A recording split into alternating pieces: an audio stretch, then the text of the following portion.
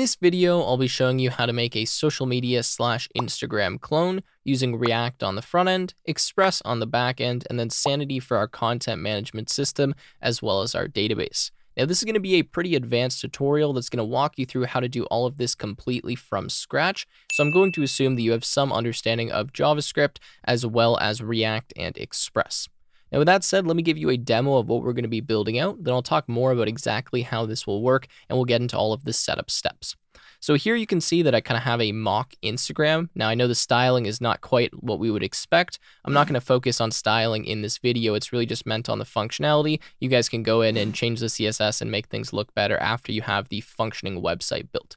Regardless, what I can do here is sign in. Now, I'm not implementing real authentication here, and the reason for that is it would make this video extremely long. We're just going to focus on the actual content of the website as well as the functionality. So adding followers, searching for accounts, uh, unfollowing and following different users, being able to post something, right? All of that kind of stuff, view profiles, edit profiles. That's what we're focusing on here, as opposed to kind of all the authentication stuff, which you can add to this fairly easily.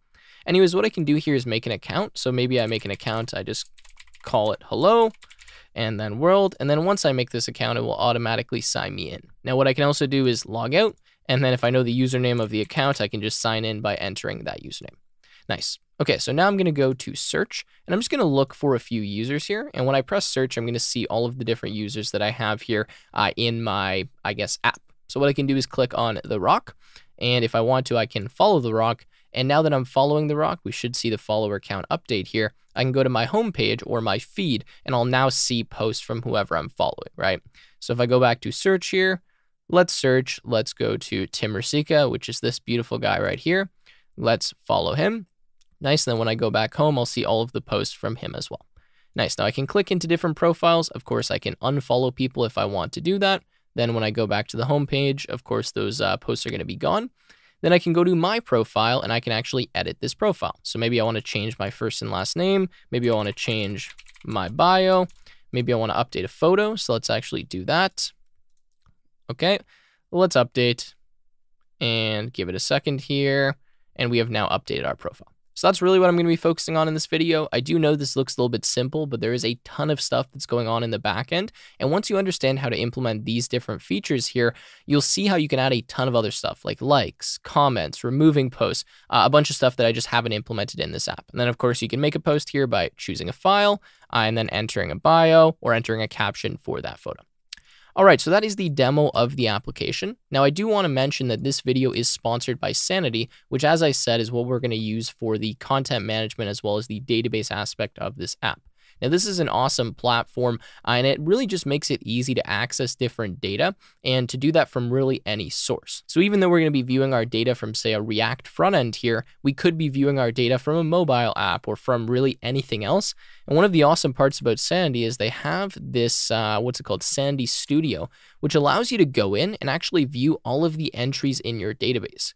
So I can go and modify different things, view all of the different entries, and it makes it really convenient when we're debugging, as well as people who aren't developers to just really easily say, add a post without having to actually go onto the website, you know, sign into an account, all of that kind of stuff. Now, of course, Sanity is completely free, and it's just an awesome thing to use for the database, and I've really enjoyed messing around with it as I've been learning it over the past few days. So, yep, that's what we're going to be using. Not much more to say about that. You will learn about all of the features in Sanity as we go through this video. So I just want to jump in here and mention that for the free version of Sanity, usually you get 100,000 API requests, 500,000 API CDN requests, and then 10 gigabytes of bandwidth. But Sanity was actually nice enough to double all of that for this tutorial. So if you go to the link in the description, sandy.com slash tech with Tim, you'll see here that you can use this coupon. So Sanity init and then hyphen hyphen coupon tech with Tim. And that actually gives you double the number of API requests, CDN requests, and bandwidth. So usually this is 100K, 500,000, and then 10 gigabytes. And now it's been doubled to 200,000, 1 million, and 20 gigabytes. Again, completely free. You really will not need this many requests, but in case you want to run some other type of application using Sanity, then this is going to be a higher limit and just make it a bit easier for you to do that. Now, the way that you get access to this, again, is you write this Sanity init and then hyphen hyphen coupon tech with Tim Now, I'll leave this link in the description. Also, when we start setting up Sanity, I will mention that you can use this coupon code to get access to the doubled limits. So as I mentioned, we do have a few setup steps here for this application. We need to set up our database, our backend, and then our front end. So for the database, go to this website. It is sanity.io. And all you need to do is actually just make an account. So you can click on login. And then assuming you don't have an account, you can just create a new one. Once you've created that account, we can actually do all of the setup for this from our command line. So just install Node.js if you don't already have it. I'm assuming most of you have that already. And then get into VS Code or whatever editor you want to use.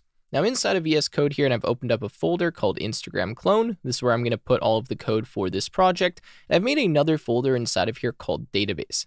Now database is specifically where I'm going to put all of the Sanity database related stuff. I'll make two new folders, one for API and then one for front end, where the API will be our Express backend and the front end will be our React application. So now that I've cd'd into this database folder here, what I'm going to do is type the following, npm install hyphen g and then at sanity slash CLI. Now this is going to globally install the Sanity CLI, which we're going to use to actually run the Sanity Studio and create our Sanity database uh, kind of starting code, right? So I'm going to install that. I already have it installed, so it goes pretty quickly. And then once I've done that, I'm going to type the command sanity init.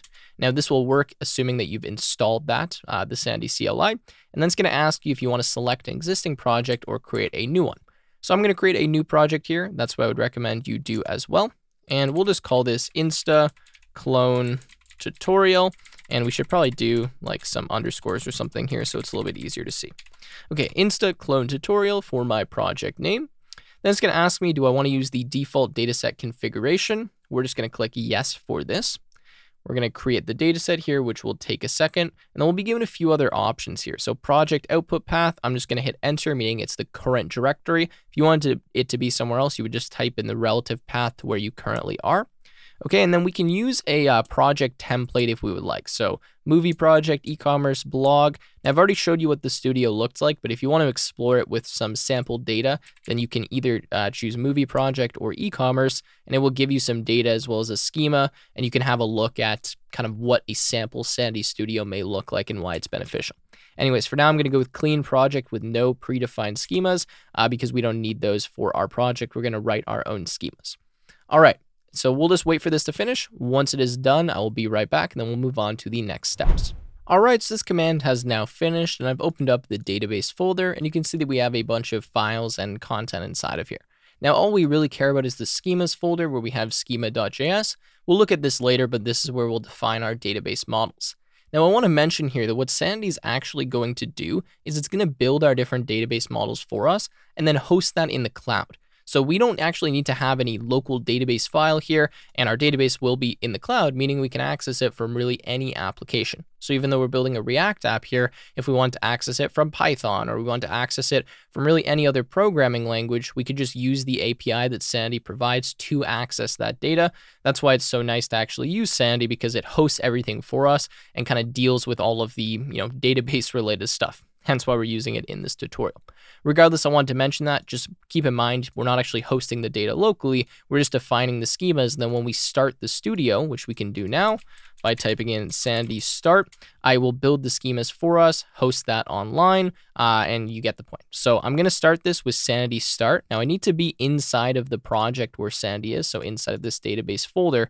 And then it'll take a second. And what I can do is go to the, a localhost link and I'll be able to actually view all my database models and all of the data that's in my database.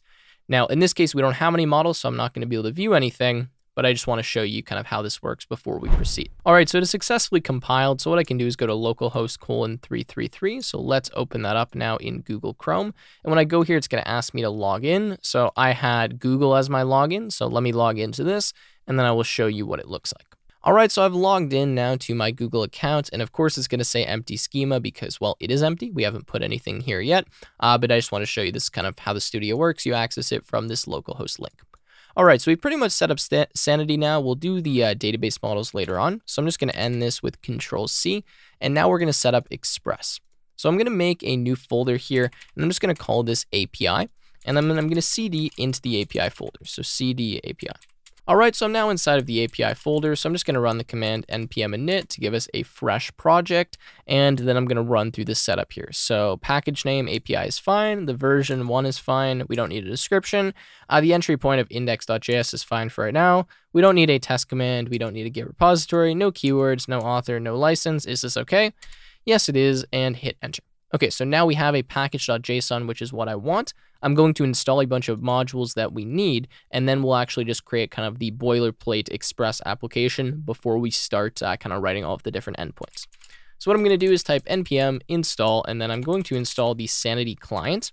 Now there is a JavaScript client that we can use that will allow us to very easily send requests to the Sanity API. Again, if you're working with Sanity from another programming language, uh, they do have some other built-in packages and kind of pre-built I don't even know what you would call them, modules uh, that, that you can use to connect to Sanity, but you also can just do it manually using the Sanity API.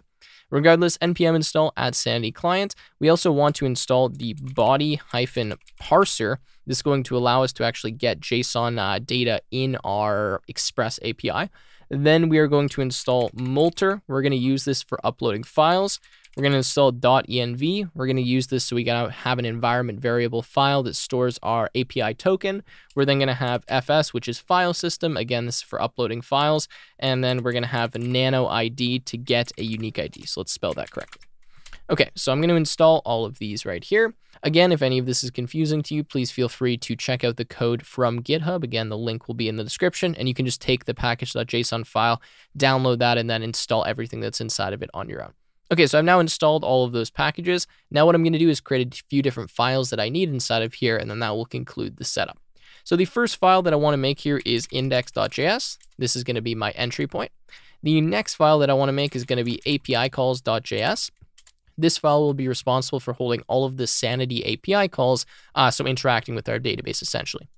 Next, what I'm going to do is make a new file, and this is going to be client.js. We're going to initialize this in a second. This will be our Sanity client. And then finally, we're going to do .env, which is going to store an environment variable with our API token for the Sanity project. Now, what's going on here is we're going to have a backend. The backend is going to be interacting with the API, so the Sanity database API. And the point of this is so that our front end can hit our backend. Our backend can be authenticated with the API, and then that way we're not exposing our Sanity API token, and we're only having the backend of our application actually manipulating or dealing with any data. I could, from my front end, hit the API for Sanity. I don't actually need to build out an entire backend, but this will be slightly more secure. Now, I will mention that what we're doing here for the backend is not the most secure. You'd have to make some modifications if you were going to put this into production, but it's just better practice to have any of your API tokens uh, and interactions with data to be done from the backend as opposed to the front end. So hopefully that makes a bit of sense, but that's what we're making the API essentially. So we forward requests from the front end to the backend that we're building. The backend will then send the appropriate request to the Sanity API, which will be hosting the database and giving us any data that we need, and then returning that to the front end. So you, can kind of think of the backend as a proxy between our front end and the database. All right, so we have .env client. Uh, we could really start anywhere here. I'll start at index.js, and I'm just going to write kind of some boilerplate code to set up our Express application. So I'm going to say import Express from Express, and then I'm going to say import the body parser like this from, and then this will be just body parser. So actually, I think it will be like this, body hyphen parser. Now, I don't know why I did a space here. Okay, we have our two imports. Then I'm going to say my const app is equal to express. This makes my express application. And I'm going to say app.use and then body parser.json and then app.use and this will be body parser dot and then this is going to be URL encoded. And then inside of here, we have to pass an object and we're going to say extended and then false. Now, what we're doing here is essentially installing a few things that are going to allow us to actually look at and parse the data that's sent as the data in a post request or in a get request to our server. Now, if you don't have a body parser like this, you're not going to be able to actually receive, uh, say, post data or just data in general, JSON, from a request. What this will do is actually parse the data for us, then it'll return it to us in our request.body. I know that might be a little bit confusing, but really this just allows us to actually get request data uh, from wherever the request is being sent from. Okay, so that's what we're doing for uh, this. Now we're just going to start the app. So I'm going to say app.listen, and then I'm going to put this on port 3001, and then I'm going to have a function here, and this is just going to say console dot log, and then we'll just say started, just so we know that the server actually ran successfully. All right, so that's all we need so far for index.js. We'll start writing a few different routes, uh, like get get routes, post routes, whatever later on. Uh, but for now, this is kind of our starting code. All right, now one thing I need to do here is go to package.json, and I just need to remove this test script, and I want to add a start script here. And what this start script is going to be is just node and then index.js. Okay, so that's going to run the file for us. And I need to add one other field here, and this field is going to be type and then module. Now, what this is going to allow us to do is actually have the import statements here. So a lot of times you'll see something like express equals and then something like use or something like require, sorry, uh, and then express. Now, I don't want to do it that way. I'd rather just have regular imports. So I'm going to have uh, a module type. So I say type equals module, and that allows me to have my regular imports. Okay, so that's what we need for package.json. That's good for index.json. API calls, we don't need anything right now. But for our client.js, we are going to initialize the Sanity client. So I'm going to say import and then Sanity client from, and this is going to be at Sanity slash client. And then I'm going to import dot .env from, and then this is going to simply be dot .env. Remember, we installed all of these things. Okay, now that we've done that, we're going to say .env.config. Remember what this is going to allow us to do is actually read this .env file. So that's why I'm writing this. And then I'm going to say export default, and I'm going to create a Sanity client. So I'm going to say Sanity client, and I'm going to pass to it an object here that has all of the data that we need to kind of initialize the API connection to our Sanity database. So I'm going to say project ID colon, and then this will be something that I will tell you how to get in a second. We're going to say dataset. You're going to make sure you put production here. This is just the name of the default dataset for our Sanity project. Then we're going to say use CDN. Now I'm going to set this equal to false, and I'll explain what this is in one second. We're going to say API version. And for the API version, what we can actually do is just put today's date. Now, when I'm recording this, it is February 22nd. And when you do that, it's just going to give you the most recent version based on this date. So just put the current date. You also could just do something like new date, but for now, we'll just hard code in this string because I know that works. Then we're going to say token, and this is going to be our API token, which I'll show you how to get again in a second. So what this CDN is going to do here, if we enable this to be true, is it's going to give us a much faster response from the database, but it's going to give us a lot of stale data. Now, the reason for this is going to cache all of our requests. So if we send the same request twice, it's going to say, oh, you sent this request before. What was the response last time? Let me just give you the same response as opposed to hitting the database. That's what the CDN does. So we want to make this false for our application because we're doing a lot of changes that we want to see happen instantly. So if we're caching all of our requests, we're going to be getting a lot of stale data, although that data will be returned to us returned to us sorry, much faster. So if you have cached data, everything is a lot quicker, but you're getting some stale data. Whereas if you don't cache it, it's going to be slower, but you're getting fresh data, which is what we're going to prefer here. So I'm going to turn the CDN off. You can make it true and see what happens in your application, obviously, once we start building out something that's more functional. So what we need to find now is the project ID for our Sanity application. Now, the way we can find that is we can go to database, we can go to sanity.json, and we can just copy the project ID. And notice here the name of the dataset is production, so that's why I put that in uh, the dataset field here. Okay, so for the project ID, I'm going to paste that in. That's now going to link it to that project. And then we need a token.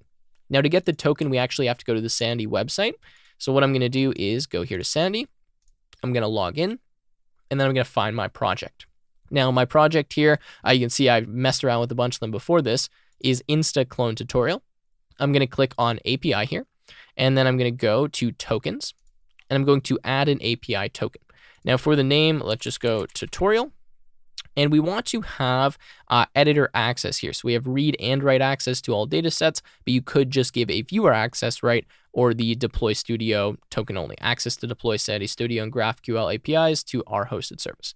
Anyways, we want the editor, so let's go with editor. It's going to give us a token. This is the only time we can copy it, so I'm going to copy that token. And I'm going to go now to my env file. And I'm going to make a variable here called sanity, and we'll say API token in all capitals is equal to, and then I'm going to paste the token inside of here. Now I have to check if we need a string or not in this file, so bear with me. I don't think we do. Actually, yes, we do need a string. So let me make this stringified here by putting another quotation at the end.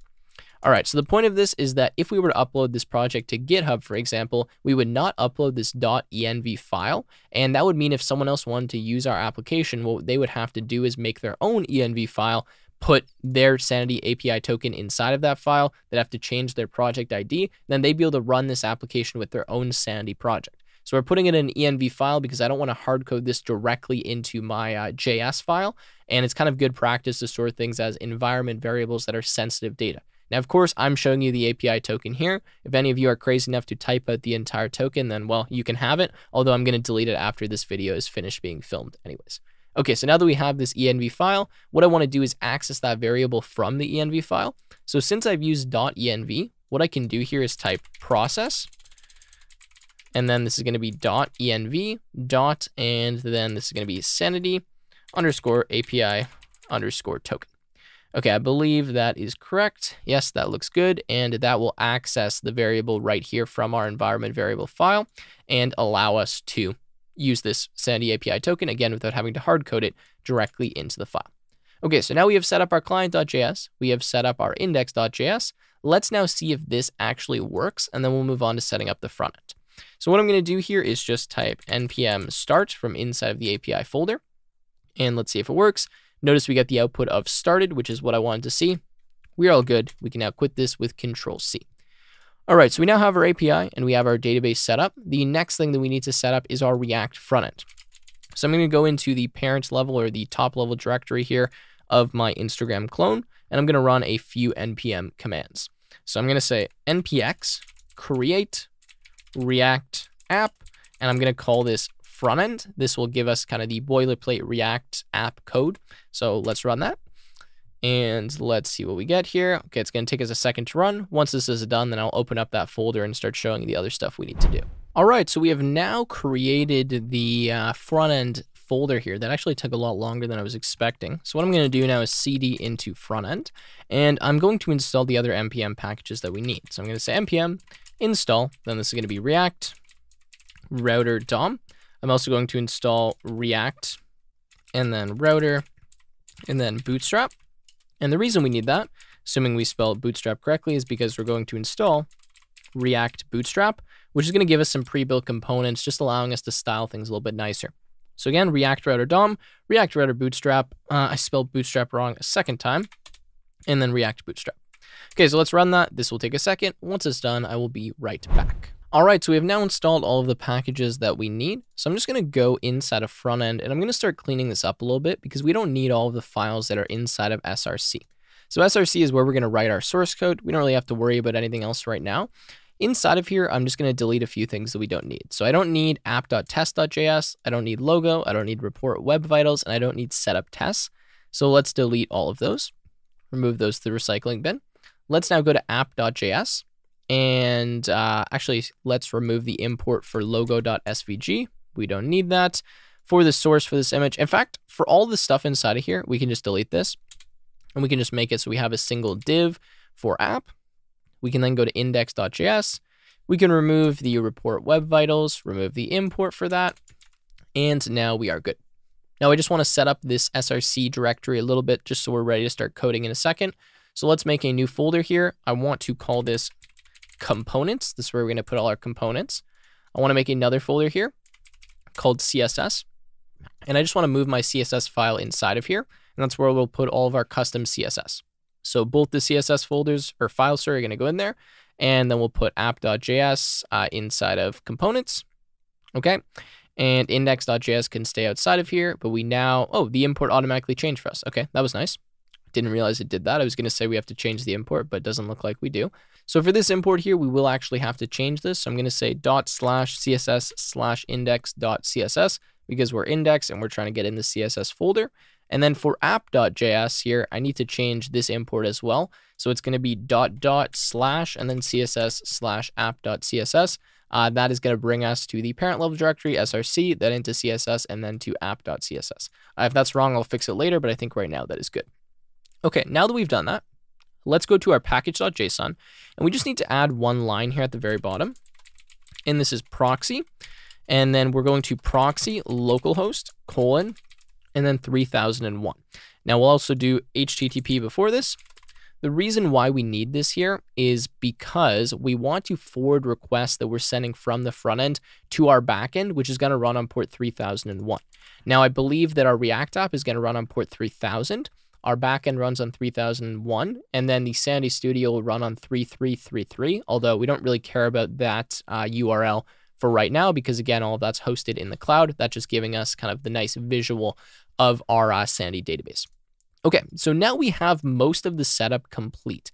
We have our front end, we have our database, we have our API. So let's just run the front end and make sure that's working. So I'm inside of front end, so let's type npm start, and let's see if this crashes or not, or if it actually runs the application for us. All right, so it looks like everything is good here. I'm looking through the terminal, doesn't look like I have any errors, and you can see that I'm at localhost colon 3000, and I can view my React application. So that is good. That is what I wanted to test out. Now, ideally, we're going to run this at the same time as our backend, but for now, we don't need to do that. I just wanted to make sure that each individual step was working. So now we have our front end, we have our database, and we have our API. Let's just quickly go to the Sanity website for one second. And I want to show you here, if I go to overview, uh, what I can do is view, for example, the API CDN requests, the regular API requests, the bandwidth, the documents. And for the free version, this is what we're limited at, right? 100,000 requests, 10 gigabytes of bandwidth. You are not going to hit that, especially because this is just a tutorial. And then you can view things like members, datasets, access, usage. I won't go through all of it, but I just wanted to mention that this does exist here. Uh, and again, because this is hosted on the cloud, you can view all of this data and you are rate limited at a certain point uh, because it's the free plan. Of course, you can upgrade and uh, get more limits or higher API requests and all that kind of stuff. Okay, so now that we've done this, I want to start setting up the backend database, so specifically the schemas. So I want to go into the schemas directory here and then into schemas.js. And in fact, I'm actually not going to do that. I'm going to make a new file called user.js and another new file, and this is going to be called post.js. And inside each of these individual files, I'm going to code out the schemas for the database models for a user and for a post. Once I do that, I'll add them to the schema folder, and then I'll show you how we actually build that schema by just running sanity start, right, and running that, uh, that studio. All right, so I've just taken a quick cut here and opened up a website containing a basic tutorial on how to create schemas in Sanity. I'll leave this in the description in case you guys want to have a look, but let's quickly run through this right here just so we understand basically how to create a schema. So we want to focus on this, which is an individual schema, or actually this, which is an individual schema.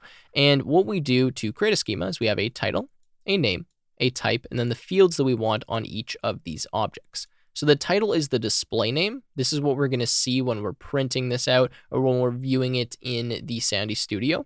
The name is what's going to be used in the APIs. So make sure the name has lowercase letters, at least that's the convention. Then for the type, we're only going to go with document for now, but as it says, you can have some more advanced types. We're not going to look at any more advanced ones. If you want to see how those work, again, reference this documentation.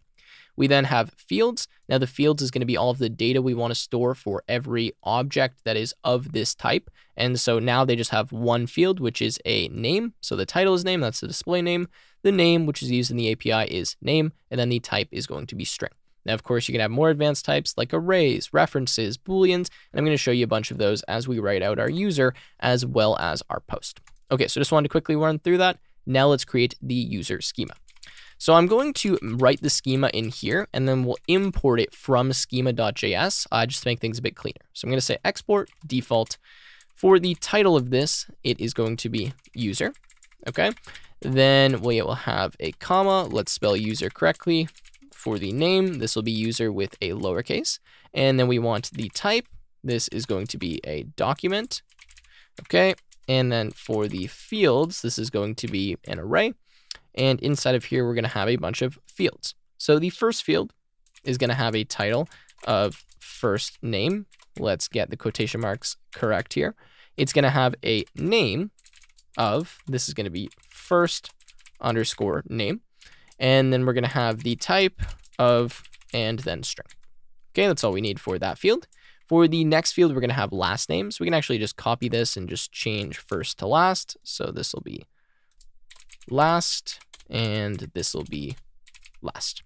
All right, next we want to have a username. So we have first name, last name, username. We're gonna have a bunch of other things as well. So we're to say title. This will be username. The name will be username with a lowercase. And then we want the type here to be, again, a string. Okay, continuing, we want to have a photo. Uh, this is going to be like the profile photo of the user. So we're going to say this is title, and the title will be photo. The name will be photo, and then the type will be, and this is going to be an image. Next, we are going to put the bio. So I'm going to say title. This is bio. I think we all know what a bio is, a little description for the user. We're going to say the name is the bio, and the type here is going to be, you guessed it, a string. Actually, sorry, not a string, text, because text can store longer piece of data than string. Since we can potentially have quite a bit of data for the bio, we go with text. So actually, no, you didn't guess it. We're going with text. Okay. All right, so this next field here is going to be following. Now, this is going to be all of the users that this user is following. Now, you also could have, say, on a user, a followers field, and then that would contain all of the people that are following them. However, you only want to have one or the other. So pick what you want. You can have followers on, on the user, which contains all of the people following them, or you can have following, which is the people that a user is following. I think that makes sense to have what I'm going to put here, which is the following field, but just want to describe what this is. So I'm going to say title. This is going to be following. The name is going to be following. And then this needs to be an array, right? Because we're going to be following multiple users. So I'm going to say type array, and then this is going to be of. And inside of here, I'm going to define the type that this array is going to store. So I'm going to say type. This is going to be a reference type. Now, a reference is something that's going to reference another document. So inside here, we're going to reference the ID of another user. So I'm going to say to, because that's what we need for reference. And then inside of here, I'm going to say type and then user. So this essentially states, okay, we're having an array, and then this is going to be of references, and these references are going to be to users. Now, one thing I can also do here is add what's known as a validation. So I can say validation, and I can say rule, and I can write a function here, and this rule can go to rule.unique. And what this will mean is that we need to have unique values inside of this array. All right, Hopefully that makes sense, but that is what we're doing for the following field. Again, an array of references to a user. And when we reference a user, we're just going to need the ID to that user. And I'll show you how we make that later on.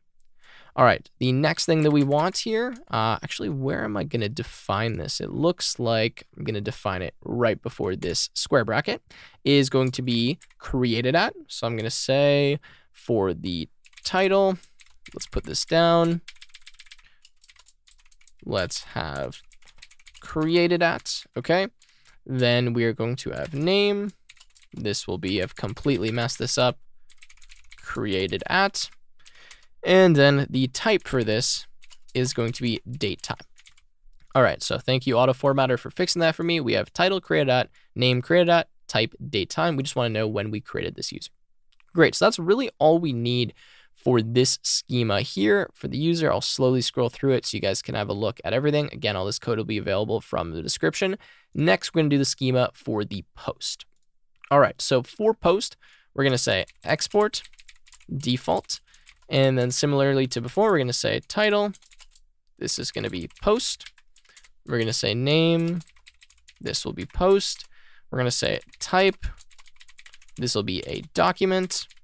And then we are going to have our fields like this, which will be an array, and we will define the fields. So on a post, what do we need? Well, we need a photo. So we're going to have title, photo, name, photo, type, and this is going to be an image. Okay, moving on to the next field, we're going to have a description for the post. So we're going to say title, description, name, description, autocomplete is coming in clutch here, and the type is going to be type text. Okay. Continuing, we want the author of the post as well as when the post was created. So I'm going to say title, created at. Okay, let's go name. Why did it do that?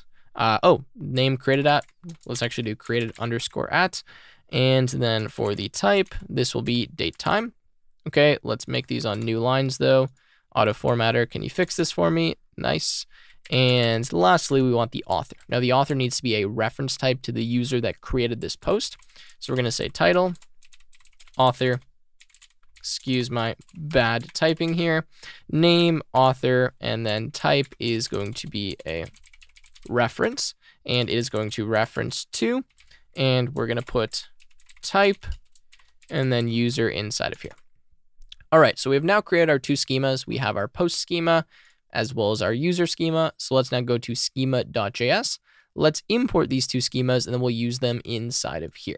So what I will do here is simply say import user from and then dot slash user dot js and then import and what's the other one that we wanted? We wanted a post from and then dot slash post dot js. Nice. And then I put my types in here. So I'm going to say user and post doesn't matter the order that you place it, but now we are going to have these two schemas inside of our data set. All right, so we have now set up the database, we've set up the front end, we have set up the back end. Let's now rerun Sanity Studio and see if we can view these different uh, database models that we've created. So let's run a new terminal here. Okay, new command prompt, and let's cd into the database, and let's go sanity start, and then let's have a look at the Sanity Studio and view these new models. All right, so it is now compiled. So let's launch this in Google Chrome. Let's have a look here at the Sanity Studio. It's logging me in. And now notice we have user and post over here. We can actually make a user and a post if we want, right? One of the great things about Sanity Studio is the fact that I can do this and maybe I give someone who is not very tech savvy in my organization access to this tool and then they can just come in here and they can make a new blog post. They can make a new user. They can make whatever it is that they want by looking at a graphical user interface, right? So I have my first name, last name, username, photo, bio, following, created at. I'm not going to fill this out, but of course you can see how easy it is to actually do that. Okay, so we don't need that open anymore. Let's actually close Sanity Studio. And now what we'll move on to is actually writing some React code. Now, I understand this video has been long so far with all of the setup steps, uh, but that was anticipated at the beginning. There's a lot that we have to do. So let's now open up our front end and start writing some React code. And first of all, I want to make some new components. So just kind of template out the components that we want, and then we'll fill in those components one at a time. So I'm going to say new file. The first component that I want is going to be all posts. Okay, uh, not .ks. This is going to be .js. I also want a component that's going to seem a bit weird right now, but this is going to be alert and then dismissible. Okay, uh, I don't know if I spelt that correctly. I think I did. Okay, I think that's fine. Uh, this is going to be an alert that will show up on the screen. You saw that during the demo, but we'll need a component for that. So let's just write that right now. Uh, next, we're going to say create post.js. That's going to be for, well, making a post. We're then going to have edit profile. This is going to be kind of a, I think it's called a modal or like a pop-up that will show up on the screen that lets us edit a post as you saw in the demo. And then we're going to go login.js. Then I'm going to make a new file. This is going to be profile.js. We're going to have another component. This is going to be profile item.js. Now, this is actually going to be what shows up in the search bar for each one of our profiles or each one of our users. And then we're going to have search.js. And we're going to have, lastly, signup.js. All right, so I think that is pretty good. Now, for all of these components, what I want to do is just write the uh, kind of boilerplate function for them, just so that I can import them and start setting up my routes for each of these different pages. So inside of all posts, I'm just going to say export like this, default, and then this will be a function, all posts, okay? And then inside of here, for now, I'm just going to return a p tag. And this p tag will just say, if we do this correctly, all posts, just so we know what page we're on. Again, this is just for the routing. So let's copy that and let's put this inside of all of these. So for alert dismissible, this will be alert dismissible. Okay, and then here, this is going to need to be alert dismissible as well. Let's do a space though.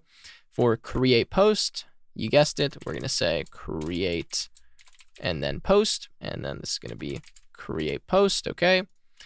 Continuing, we're going to have edit profile, so let's make this one edit and then profile. See how good the autocomplete here is, edit profile. We want login, okay? Just trying to come up with words to say here as we go in and fill all these in. Next, we're going to have profile. Okay, this will be profile. We want profile item. profile item and inside of here, profile item with the space. We want search. We're almost done here. Last one coming up. And the last one that we want here is going to be sign up. Okay, so let's go sign up and then sign up. Okay, apologize for that. We just wanted to write all the basic functions so that now we're able, able to see what page we're on when we start handling the routing. We now close all of these. We no longer need them. We want to go inside of app.js, and I want to start setting up my React router. Now, my React router is what's going to allow us to route between different pages, uh, and that's why I wanted to create all of those components, so now I can import them and then route between them. So let's just go up here, and let's start by importing React, and let's also import use state. Okay, and we're going to do this from the React module. Okay. Then I'm going to import all of the components that I just created. So I'm going to say import, and then this is going to be all posts from, and this is going to be dot slash, and then all posts.js. Now, if you're hearing something right now, that is my cat running around my keyboard, so apologize for that. Uh, continuing, I'm going to say import, and then we're going to import the alert dismissible from alert dismissible, okay, dot JS. Then we're going to import create post from dot slash create post. Then I'm going to import edit profile from edit profile. I actually don't think we need the dot .js here, so I think I can remove that. Then I'm going to import login from dot slash login. I'm going to import profile from profile. And actually, I don't need edit profile. Sorry, I just need profile. Uh, we'll import search. Okay, from dot slash search. And then lastly, the sign up page. Import sign up from dot slash and then sign up. Okay. All right, so while we are at our imports here, let's import what we need from React Router DOM as well. So I'm going to say import, and then this is going to be the browser and then router as well as a root, as well as the roots, as well as link from, and then this is React, and then hyphen router DOM. Now, if you've never used this before, again, this is what allows us to route between the different pages uh, and make it so if we go to, say, slash sign up, it actually brings us to the slash sign up page. Uh, so for our div, we can leave the class name, actually, yeah, we'll leave the class name empty for right now, and we'll worry about the CSS later. And I'm going to start actually building out the HTML of the page. So the first thing that I need to do here is put browser router. Now anything inside of here will allow us to actually route between it, okay? So browser router is kind of where we're able to write routes as well as where we're able to have links and a nav bar and all this kind of stuff. So that's why I'm writing this out. Then we're going to set up all of our different routes. Then I'll make a nav bar. So inside of here, I need to write this routes tag, and then I need to end the roots tag. And this is where you're allowed to define roots. You can only do that inside of roots, so make sure you don't try to make a root outside of it. And then I will make my roots. So I'm going to say root. Okay. The element for this root is going to be equal to, we're going to start with all posts. Now, all posts, I really could have called uh, like your feed, uh, but that's fine. We're going to render the all post component for this route. The path to this is just going to be home. So when you go to the home page, it's going to bring you to your feed, which will render all of the posts on the screen or it will show only the posts of the people that you're following, uh, depending on uh, what is it, if you're logged in or if you're not logged in. So I put exact here. Now what exact does is just make it so the path has to match this exactly. If you don't have that, then I could go to slash and then anything else like slash hello, slash world. And it would also match with this path just because it's only a single slash. So that's why I have exact, okay? Now continuing, we're gonna have another route. I'm gonna say root element equals. Uh, it doesn't really matter the order that we do this, so let's just do login. Now, I could render it that way, but I want to render it just with a slash. For the path for this, we'll say this is slash login. Now, we could do exact, but it doesn't really matter to me here because if you type slash login and then slash something else, um, that's fine. We'll still bring you to the login page. Um, I, I think it's fine to just have login like this. Okay, now continuing, not router, we want root. The element for this one, might as well just do sign up. So let's do sign up. Okay, and then the path here is going to be equal to slash sign up. Uh, and then we'll have slash there. Nice. Okay, continuing. I'm going to have root element equals. And then the next one that we want is profile. So I'm going to say profile. like that. And then this will be path is equal to profile. Okay, we need another root. Uh, where's my autocomplete here? Root element equals, yeah, we want search. That's good. For the path, we'll go with slash search. Okay. And then is there any other ones that we need? Uh, we need create post. Okay, let's do create post. We'll say root like that. And I keep saying router. I mean root. Sorry, if you see router, that's not what I meant to type. I meant to type root. Okay, and then element is equal to, and then this is going to be, uh, what was this? We needed create post. So let's have create post. The path will be slash create dash post. Okay. And then we can end. And for sign up, just because my OCD will kill me here, let's go with sign and then hyphen up. And I realized that I made a small mistake here, guys. Let's just fix this to be root as opposed to router. Again, I don't know why I kept typing that. Uh, it's meant to be root, not router. And I'm sure I'm mispronouncing that, and you guys are making fun of me, but that is fine. Okay, so now we have all of the different routes that we need. So we can go to login, sign it, uh, profile, search, create post. We'll need to make a few more. Specifically, we need one for logout. I'm also going to do something here for profile, uh, where I actually have a variable in the name, and I go with username. Now, what this means is that I'm going to type slash profile slash and then the name of the user that I want to go to. And then this will be passed implicitly to the profile component. So I'll be able to know uh, what the parameter was essentially to get to this profile page. Okay, so now that we've made those changes, let's run our front end. So let's go cd dot dot. Let's cd into the front end. Let's go npm and then start. And we'll go to localhost colon 3000 and let's just see if we can go to some different routes here. All right, so I've just opened up my React application here. Notice I'm on the all post page, which is what happens when we go to the default route. Now let's try sign up. Okay, brings us to sign up. Let's try login. Okay, brings us to login. Let's try profile. Uh, we'll go to profile slash Tim actually because we need a variable. Okay, brings us to profile. Uh, and I'm sure the other ones are going to work as well. So there we go. We have now set up the React router. All right, so now that all of that is working, I want to build out a nav bar. So to do that, I'm going to bring in a few things here from Bootstrap that I need to use. So I'm going to say import. We're going to import the nav bar. We're going to import the, uh, what else do we want here? The container. We're going to import the nav and we're going to import the button from, and then this is going to be React Bootstrap. So React and then Bootstrap like that. Okay, let's start building the navbar. So we're going to use the navbar component. Okay, inside of here, I'm going to say collapse on, and then this is going to be select. And then I'm going to say expand is equal to medium. Now this says when am I going to start expanding the navbar from a collapsed navbar to a larger navbar? That's when the screen size is medium, which is a certain pixel amount in Bootstrap. Essentially, when I have collapse on select, uh, what that allows me to do is make it so that I can collapse the navbar when it's a smaller version of the navbar You'll see what I mean when I start messing with the screen, but this navbar will be dynamic. So on mobile, you'll have to actually click on the button to view all of the different links. And then you can click on a button to collapse the navbar and hide all of the links. And it's saying, when do I want to expand the navbar? Well, I want to expand it into a full size navbar once the screen size is medium. Okay, now for the background, I'm going to make this dark. And all this stuff you can find from the Bootstrap uh, documentation. So if I don't explain something, then just reference it there. And for the variant of the navbar, I'm going to go with dark. And that's all I need for the navbar uh, definition here. Now inside of the navbar, I need to put a container. So I'm going to say container. This container is going to be fluid, which means it takes up the uh, entire top of the screen. So inside of this container, I'm going to put a few different things. The first thing I'm going to put is kind of the branding. Now the branding would be the logo. In this case, I'm just going to put a name. So the way I do this is I say link container. And I need to import this, which I'm going to do now.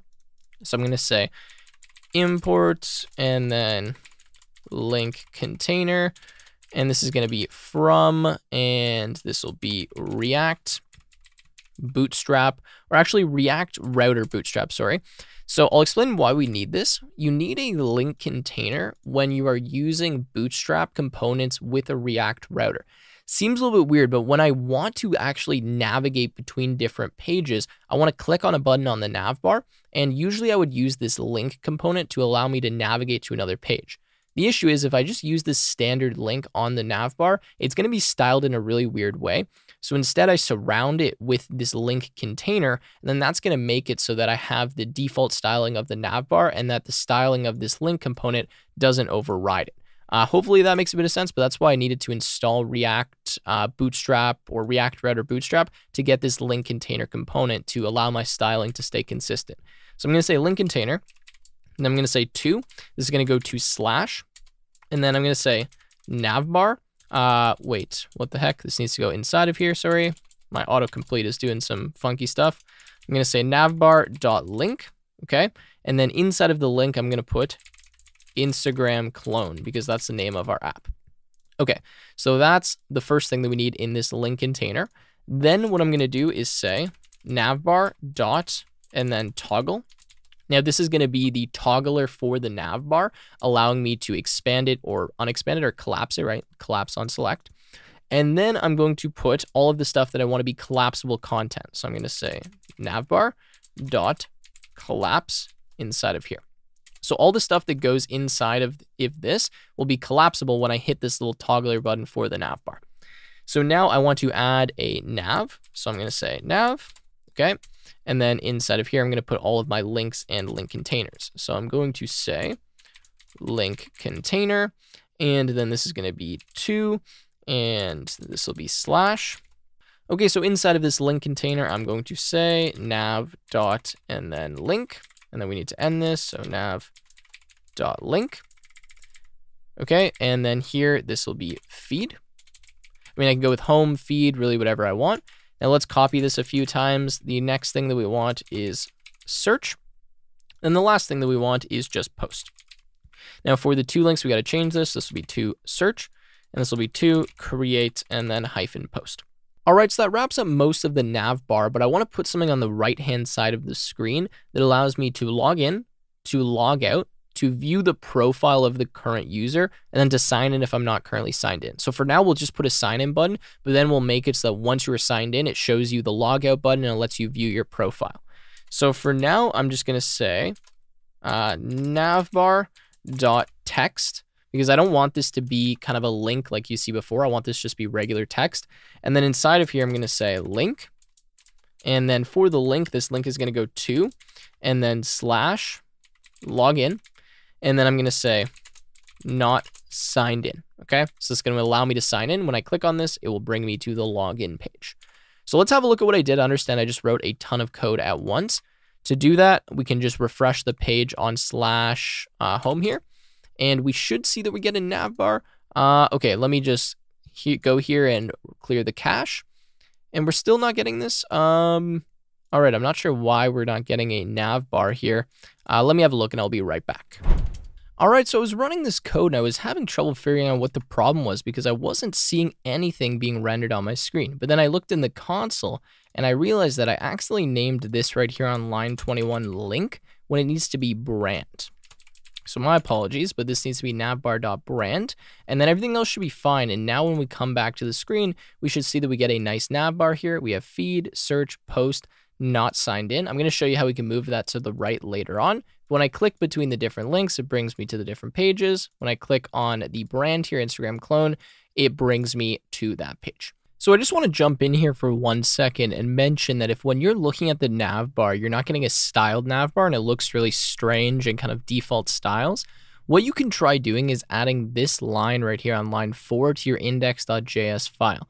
So you're going to have to just type this in, dot dot slash node modules slash slash bootstrap slash dist slash css slash bootstrap dot min dot css, and that will actually import the CSS file just in case for some reason it's not being imported. Now, if this line errors out for you, then what you can do is just manually install bootstrap. It should already be installed, but you can do npm install and then bootstrap like that, and then you should be good to go and you should be able to actually run this line. Again, I'm not sure why that would be a problem for you, but I've had that in the past. So again, just import this line right here in your index.js file, and it should fix that problem for you. Also, make sure your index.js file is right inside of src and not inside of any other folder. Otherwise, this relative import is going to be different. All right, so that is all we need for the navbar. And also you can see when I make this small enough, it makes it collapsible. So now I can open and close it. So let's get the CSS working on the navbar just so that we have this uh, moved over to the right-hand side. Then we'll move on and code out some more stuff. So to fix this and make that go over to the right-hand side, what I'm going to do is add another nav group here. So I'm going to say nav, I'm going to put my navbar.text inside of here. And again, all of this you can find from the Bootstrap documentation. I'm not going to explain how all of it works.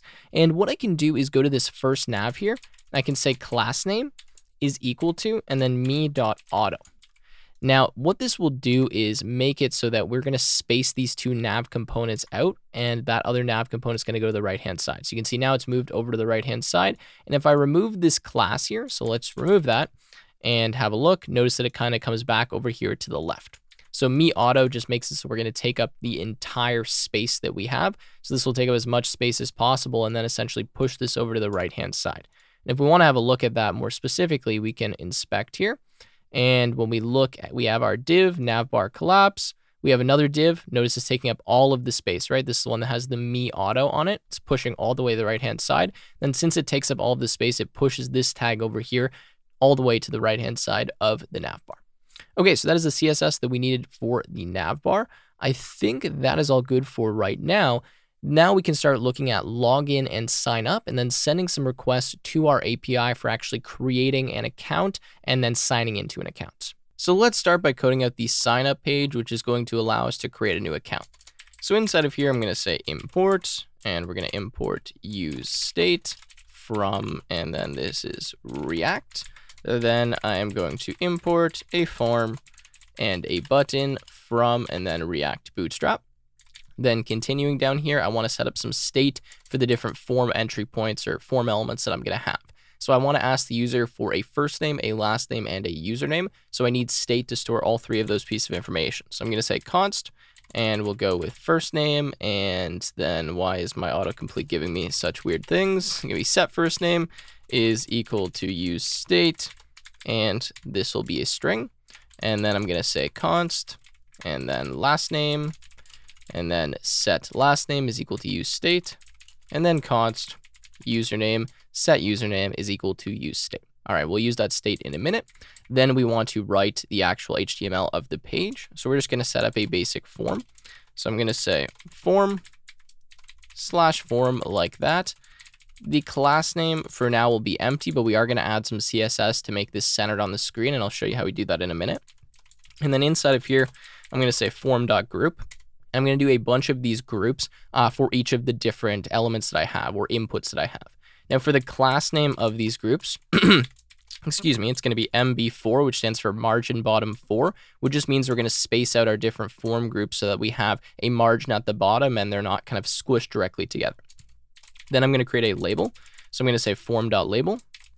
The first thing we'll ask for is the username, and then we need a form.control element, which is equivalent to an input element.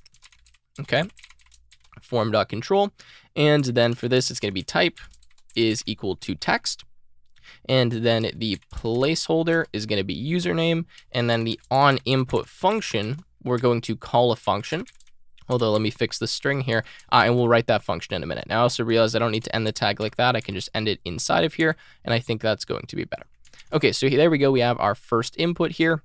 Again, we have username. That's going to be the label for this here, uh, and that's inside of a form group. Okay, let's copy this two times because now we're going to have the same thing for first name and for last name. Remember, we're not going to do a password here. We're just going to allow them to create an account without any authentication and then sign in by just using the account name. Here, let's change this to be first name, and let's change this to be last name. Okay, I think that is all good. Now we want to set up the different functions as well as the button to submit the form. So outside of this form group here, I'm going to make a button. Okay, this button will be our submit button. So the variant of the button is going to be primary. This is going to make a nice blue button. You also can use a variant like secondary. Uh, you also have danger and warning, I believe, which will give you kind of a red and yellow color. The type of this is going to be a button. And then the on click is going to be a function again that we've yet to write.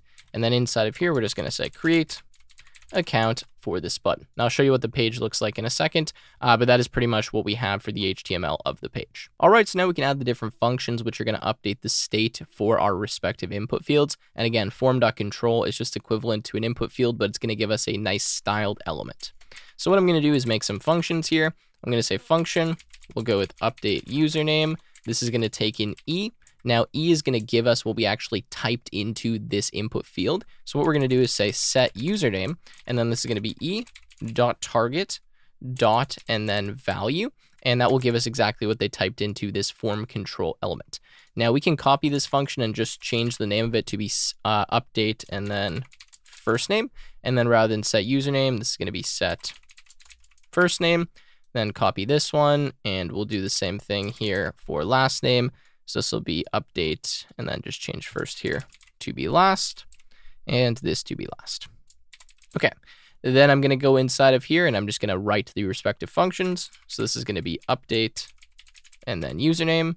This is going to be update and then first name. And this is going to be update and you guessed it, last name. And then we need an on click here for this button. So let's just make a function. Uh, and is for some reason it's not showing that I'm calling this function. I probably just need to save the file. Okay, that's fine for now. Yeah, okay, now it's good. Uh, but I want to go to function here and say on create, or actually let's just call this create account. Okay, we'll take an E here as well. For now, we're not going to do anything, but I'll just call it so we don't get an error in our uh, JSX here, which we're writing. Okay, so create account, save, that should be all good now. Uh, I'm just going to open up my React application. Of course, I am running the npm start command in my terminal. That's why I'm able to view this right now. And let's just go to not signed in. Uh, okay, it brings us to login. I want to go to the sign up page actually. So sign hyphen up and then notice that we get this nice form. Now I want to put this in the center of the screen. Again, I'll show you how we do that in a second. But for now, we have username, first name, and last name, and then the button to create an account. Excuse me. So let's code out the logic to actually press this button and have it make an account for us. And then once we do that, we can style the elements. All right, so let's come inside of here. And really what we need to do is just start coding out these different functions. Now, the only function we actually need to write here is going to be create account.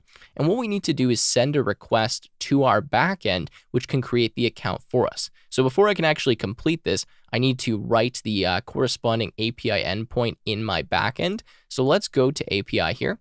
Let's go to index.js, and we're going to write our very first route here that's going to be able to create an account for us. So what I'm going to do is write a post request here or uh, write a post route, I guess, because when we're creating something, we're going to do that with the post method. So I'm going to say app.post. And then for the URL here, this is going to be create and then user. I could write this in a different way, but I think that's fine for now. And then we need to accept a request and a response object. And then inside of here, we're going to write the function that we want to occur whenever we hit this endpoint.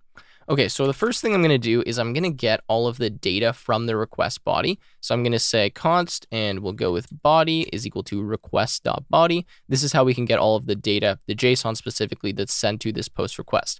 Now we're going to expect that we'll be sent a first name, a last name, and a username, and then we'll send that information to actually a separate file to the API calls file, where then we will call the Sanity API to create a new user. So again, this is really just a proxy that's going to be calling the appropriate functions that will then make the API calls to our Sanity API and database.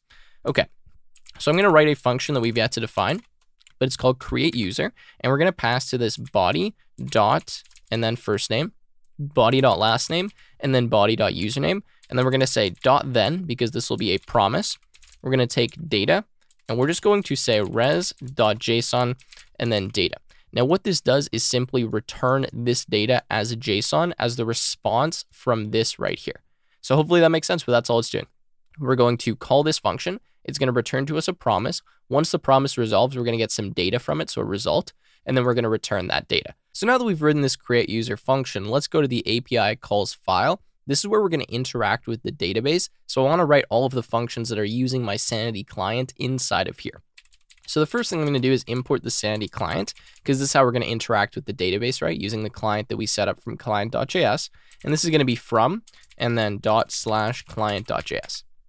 Then I'm going to say const functions is equal to, and then this is going to be a, an empty object. And the reason I'm doing this is because I'm going to put all of the things that I want to export from this file inside of functions and then just export this functions object.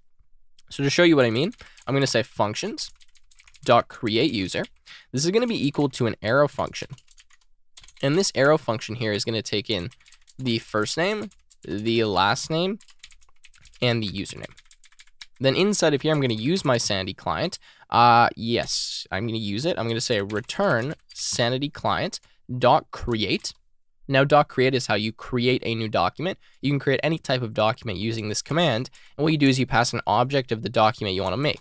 So in this type, I uh, in this case, sorry, I put the type. So I'm going to say underscore type, and this is going to be user, the lowercase version, so the name of our database model. Then we need to put in all of the fields that we want to complete. So I'm going to say first name is first name, last underscore name is last name, username is username, and then created at is going to be new date, okay? And that's actually all we need to create a new object in the database or a new document. Now, this is going to be a promise. So we're returning the promise, which then we can resolve from inside of index.js. So once this finishes, right, I call my dot then, I get the data. The data is just going to be the resulting object that we created. So it's going to give us the JSON of that object in the database. And then we'll return that here as the response from this route. So hopefully that makes sense, but just to mention here, I'm not filling in all of the fields for this user, and I don't have to do that. And if I go to database and I look at my schemas and I look at user.js, you'll notice here that I'm just using the name field that I have, right? So first name, last name, username, but then I didn't fill in photo, bio, or following. And when I don't do that, they'll just get the default value of this type. So again, empty array, empty text, and then an empty image, which is fine. We can fill that information in later on when we actually edit a user's profile. So that's it. This is how we create a user. Uh, now that we've done that, let's actually call this from the front end because we've set up really all we need in the backend. You're going to notice the backend will be fairly straightforward. We just require it kind of for security here so that, again, we're not exposing our Sanity API token on the front end. So inside of this create account function, what I want to do is send a request, uh, and I want to send a request to our backend, right? So what I'm going to do is start by setting up my request options. So I'm going to say const, and then this is going to be request options, and this is going to be equal to, and then I need to make my method, which is going to be post, and then I need to add some headers here. So for headers, I'm going to say inside of here, the content type, okay, is going to be, and then this is going to be application slash JSON, and this is content hyphen type. My apologies. Uh, that's all we actually need for the headers. And then for the body, this is going to be the data that we want to send. So we're going to pass JSON dot, and then this is going to be stringify. Okay, and we're going to stringify this object here, and this object is going to contain the first name as the first name key, the last name as the last name key, and then the username as the username key. Okay, so that's what we need for our request options. We're going to use this inside of our fetch request. So now I'm going to say fetch, and I'm going to say slash create, and then user, okay? Because this is the URL that we want to hit, and then we're going to pass our request options. And for some reason, oh, I'm putting this inside of my request options. Oops, let's put this down here. Okay, that should be better. So fetch, create user, request options, and then we're going to say dot then. So whenever this response actually comes in, we're going to get our response, which will be underscore res. And all we will do here is write a little arrow function. And for the arrow function for right now, I'm just going to print out the response. So I'm going to say console.log and then underscore res. And I'm actually going to do underscore res.json just so we can see what the response was. And then we'll do a dot catch here. And for the dot catch, we'll catch an error and we will just console dot error and then whatever that error is. Okay, now we will do something else here in a second. So we actually show an alert on the screen saying that you created the account, and then we'll navigate you to the home page. Uh, but I just want to look and see if this is actually working. And for right now, we can test that by just printing out some stuff to the console. So my React app is open. So let's go to the console here, and let's try to create a new account. So console, uh, for the username, let's just go Tim. For the first name, let's go Tim. For the last name, let's go with my last name, which is Ruscica. And okay, we got an issue here. So it says promise pending, rejected, uh, 500 internal server error. Okay, so we're getting a few issues here. The first problem that I'm realizing is that I forgot to run my backend API. So what I'm going to do is open a new uh, console here. I'm actually going to split this terminal. And inside of here, okay, let's make that a lot smaller. Let's go cd and let's cd to our API and then let's go npm start. Okay, that should fix that problem. Obviously, we need the backend running for us to be able to send a request to it. And then let's come back here and let's try this again. So I'm just going to press create account. And okay, again, we get 500 internal server error. So let's refresh this and try one more time.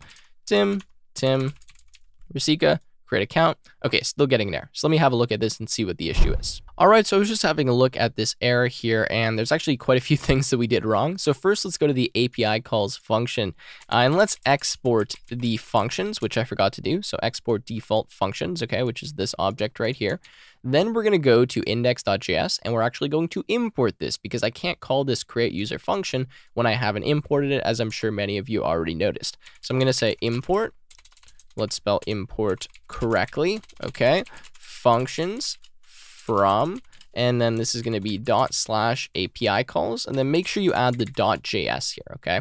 Now that we've done this, we want to get the individual function object from this functions object or the individual function from the functions object. So I'm going to say const, and then I'm going to put inside of curly braces here, create user is equal to and then functions like that. Now, I forget the exact syntactical name for what I'm doing here, uh, but I'm going to explain it as I'm breaking down this object into its individual components or individual fields. And so I'm able to get the create user function from it by just doing this. And if I add other functions later on, I can just write them out in this way. Uh, and yeah, that's how we're going to actually get access to the function.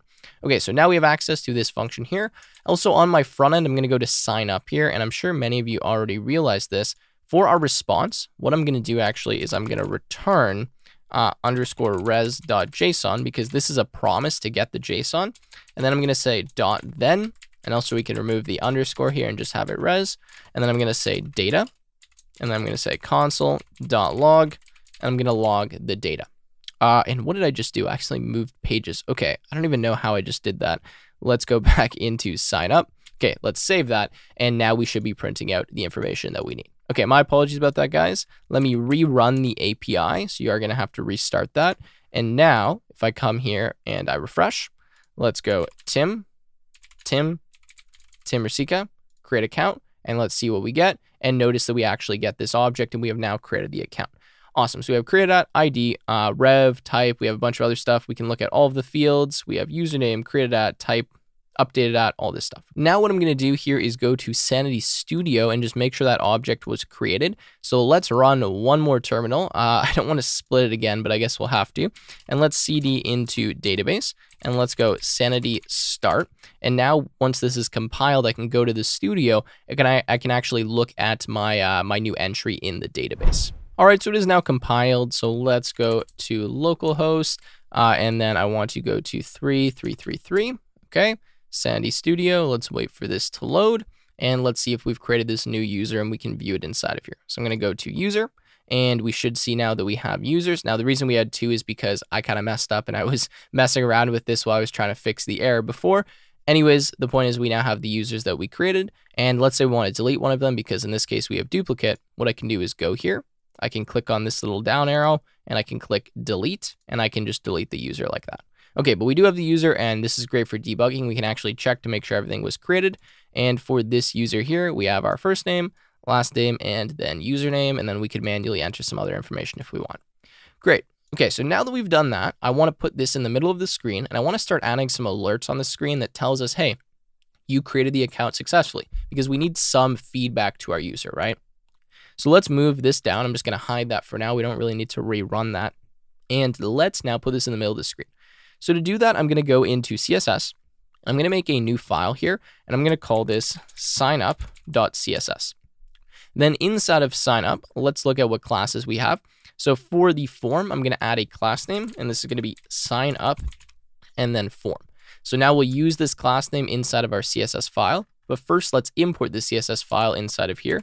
So let's say import, and then this is going to be dot dot slash, and then CSS slash, and then signup.css. Okay, then we'll go to signup.css and we'll go dot signup form and we'll write the custom CSS here to put it in the middle of the screen. So I'm going to use Flexbox to do this. So I'm going to say display and then flex. I'm going to say align items. This is going to be center. I'm going to say justify content this is going to be center. Uh, sorry, this needs to be a regular colon, not a semicolon. Then we're going to say the flex direction is going to be column, which means all of our items will be aligned vertically. And then we're going to have height, and this will be 100% just so we fill the entire screen. Okay, we might, we might have to add some more CSS as well to make this work, uh, but for now that should do the job. So let's open up our app and notice now we are in the middle of the screen.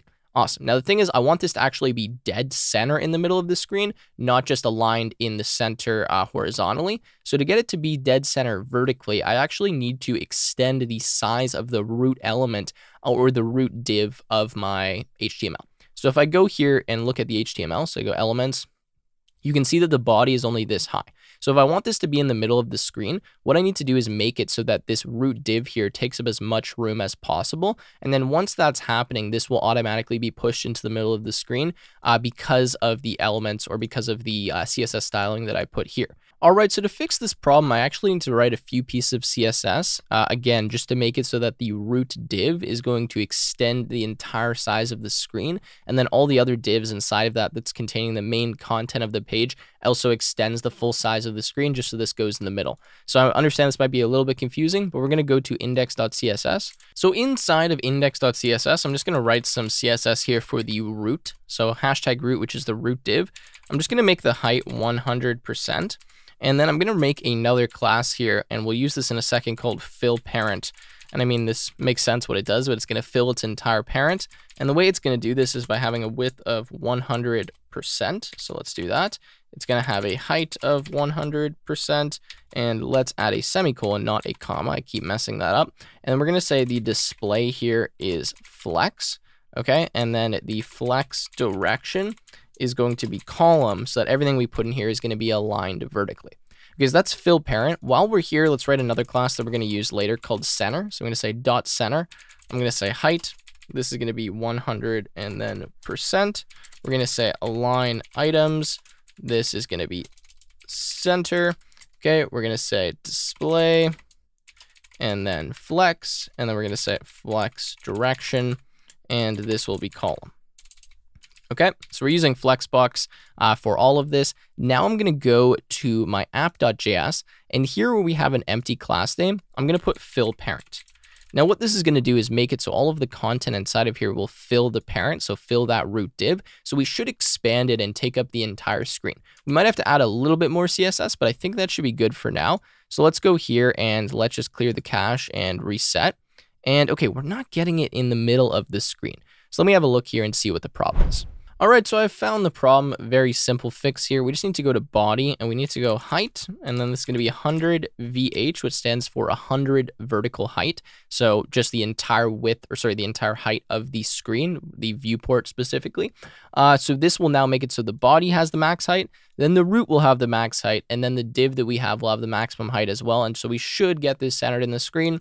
Fingers crossed. Let's go here and notice that we now have this right in the middle of the screen, which is what I wanted. Okay, now I, I, understand the CSS is probably not as good as it could be. I'm not a CSS master. Again, I'm not focusing too much on styling, uh, but now to get everything in the center of the screen should be pretty straightforward. Okay, so let's try this one more time. Let's make an account here. Let's say Joey. Let's go with Joe and Smith. Maybe Joey123. Create account. Let's go to console and notice it creates it. So now what we want to do is we want to navigate to another page and then give some feedback to the user.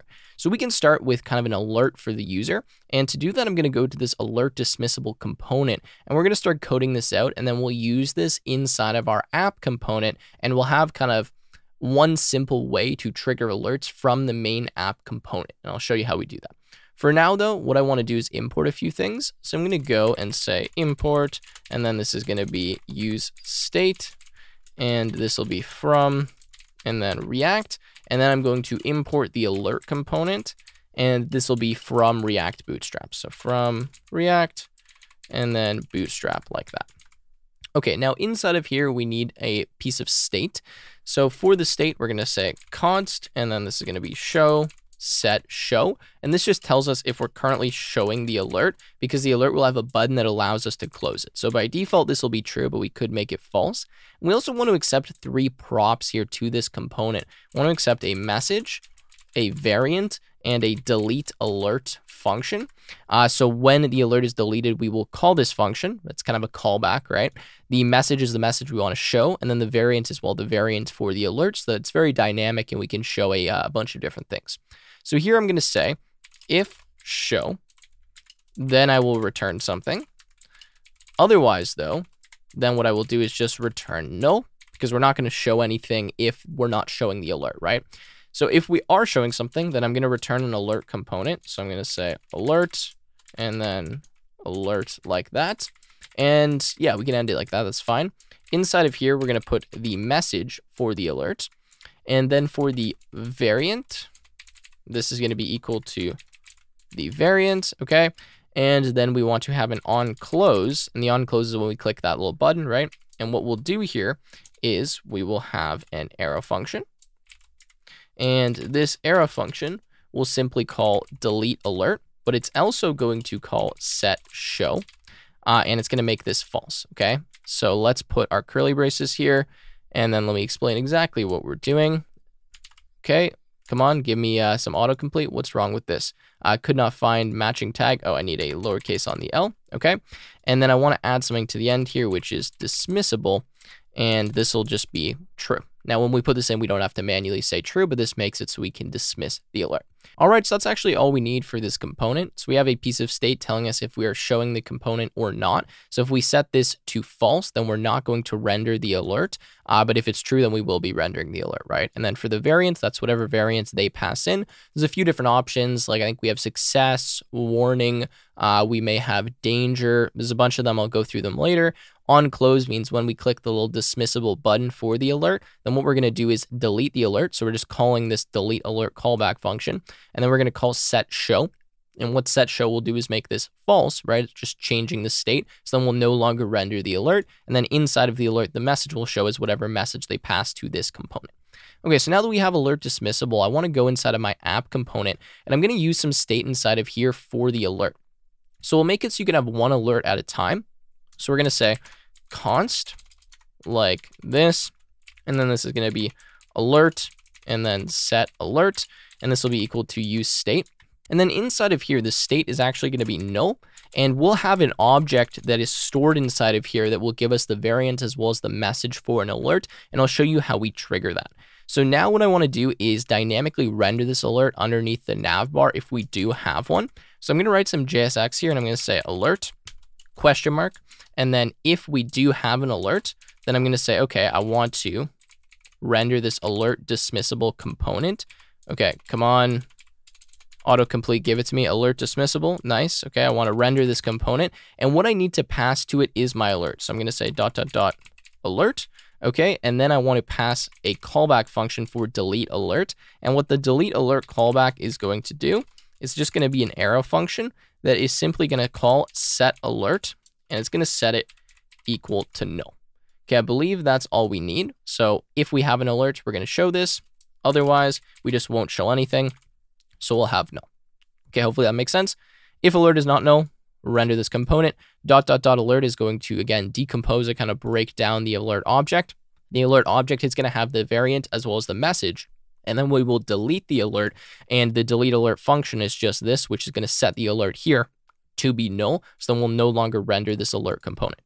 Okay, so now how do we actually trigger an alert to be shown? Well, I need to pass the set alert function here to uh, the props of, in this case, the sign up page. And then it can use that function to change the state in the app component, which will then show the alert. So if I go to sign up and I say set alert is equal to, and then set alert like that, then we're able to actually now call this function from inside of there. So let's now go to sign up and let's see if we can use this. So instead of sign up in the props, I'm going to take set alert. Okay. And I keep typing an uppercase L, it needs to be lowercase. And then here, when we get our data, what we will do is we'll say set alert. And the alert is going to have a variant of, this will be success. This is going to be a green alert. And then the message is going to be account created. So we'll say your account has been created. Thank you very much, autocomplete. And what is wrong here? Am I missing a bracket or something? Uh, okay, let's put that there. Um, set alert. Oh, I need to get rid of this semicolon, sorry. Okay, and I think that should fix it. Nice. Okay, so now we are setting an alert once we get the data. And just so this doesn't give us an error, we'll do underscore data like that. All right, the next thing we need to do is navigate to the home page. So to navigate to the home page, I'm going to import a hook here. So I'm going to say import, and then this is going to be use navigate. And this is from, and this is going to be React Router DOM. Now, this is only in React Router version 6 and above. Uh, so if you're using version 5, although I don't know why you would be, then this is not going to work. I would just make sure you're using version 6, okay? Then what I'm going to do here is say const navigate is equal to use navigate. And what use navigate allows me to do is navigate between different pages and go to a specific route. So now what we'll do is after we set the alert, we'll say navigate and we'll just navigate to whatever page you want to go to, which in this case is just going to be slash. Although I just need to add some curly braces here so that we can have multiple statements being executed at the same time. Let's add a semicolon. And now I believe we are good. Okay, so we're going to set the alert. We're going to navigate. So now we can test this out by creating another account and see if it navigates us back to the home page. So let's go here to React. Let's refresh. Let's just go test underscore account. Let's go test and then account and then create account. And let's see, okay, your account has been created and then it navigates us over to the other page. And if I hit the X button, it closes the alert. Awesome, we now have a way to create alerts. We now know how to navigate. And now what I wanna do is make it so this little banner here tells us if we're signed in or not. Because after I create a new account, I should just automatically be signed into it. So how am I going to do that? Well, from my app component here, I'm gonna make a piece of state.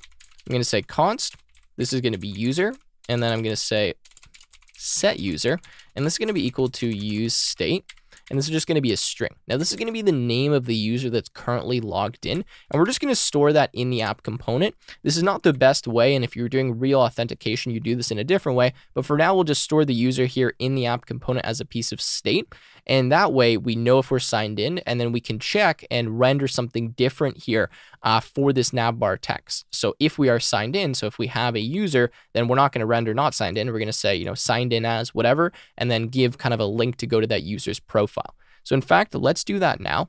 So here, what I'm going to write is user question mark, checking if we're signed in or not. And if we are signed in, then I'm going to say navbar dot text. Okay. And then for the text, I'm going to say signed in as, and then we'll put a link and this link is going to go to, so two equals, and then this is going to be slash profile slash, but then we're going to add whatever the current user is because to get to the user's profile, well, it's profile plus, and then the username. And then we will have inside of here the name of the user. Okay. Uh, nice. I think that's good for now. And then we need to just have an option here where if they're not signed in, then we're going to show this. So we're going to copy that paste that here, and now this is what we have. So if we're signed in, we show this. Otherwise, we show this. However, if we're signed in, we also want to show a button. So the button will be inside of the navbar text as well. So we'll say button, okay? The type is going to be button. The variant is going to be primary, okay? And then we'll have an on click. And what the on click is going to do is just going to set the user to be false. So we're going to say this is an arrow function and this will be set user. And we just set this to an empty string. And then here, the text on the button will be log out. Uh, and I think that's all we need, although we also want to make it so there is an alert that goes on the screen when we are signed out. So we'll put our curly braces here, and then we will set the user to be an empty string. And after we set the user to be an empty string, we're going to set an alert and we're going to say set alert. We need to pass a variant. The variant will be warning, which will give us kind of a yellow one. And then the message will say, uh, you are now signed out. Okay, so you are now signed out, exclamation point. Okay, so we can test this out now. Again, feel free to pause the video and copy this or reference the code from the link in the description. But when I go here and I refresh the page and I go to sign in, uh, let's create an account. Uh, sorry, not signed in is bringing me to the login page. I need to go to the sign up page. So sign up page, okay. So let's make an account. Let's go with Tim1234. Tim is great, okay. Create account.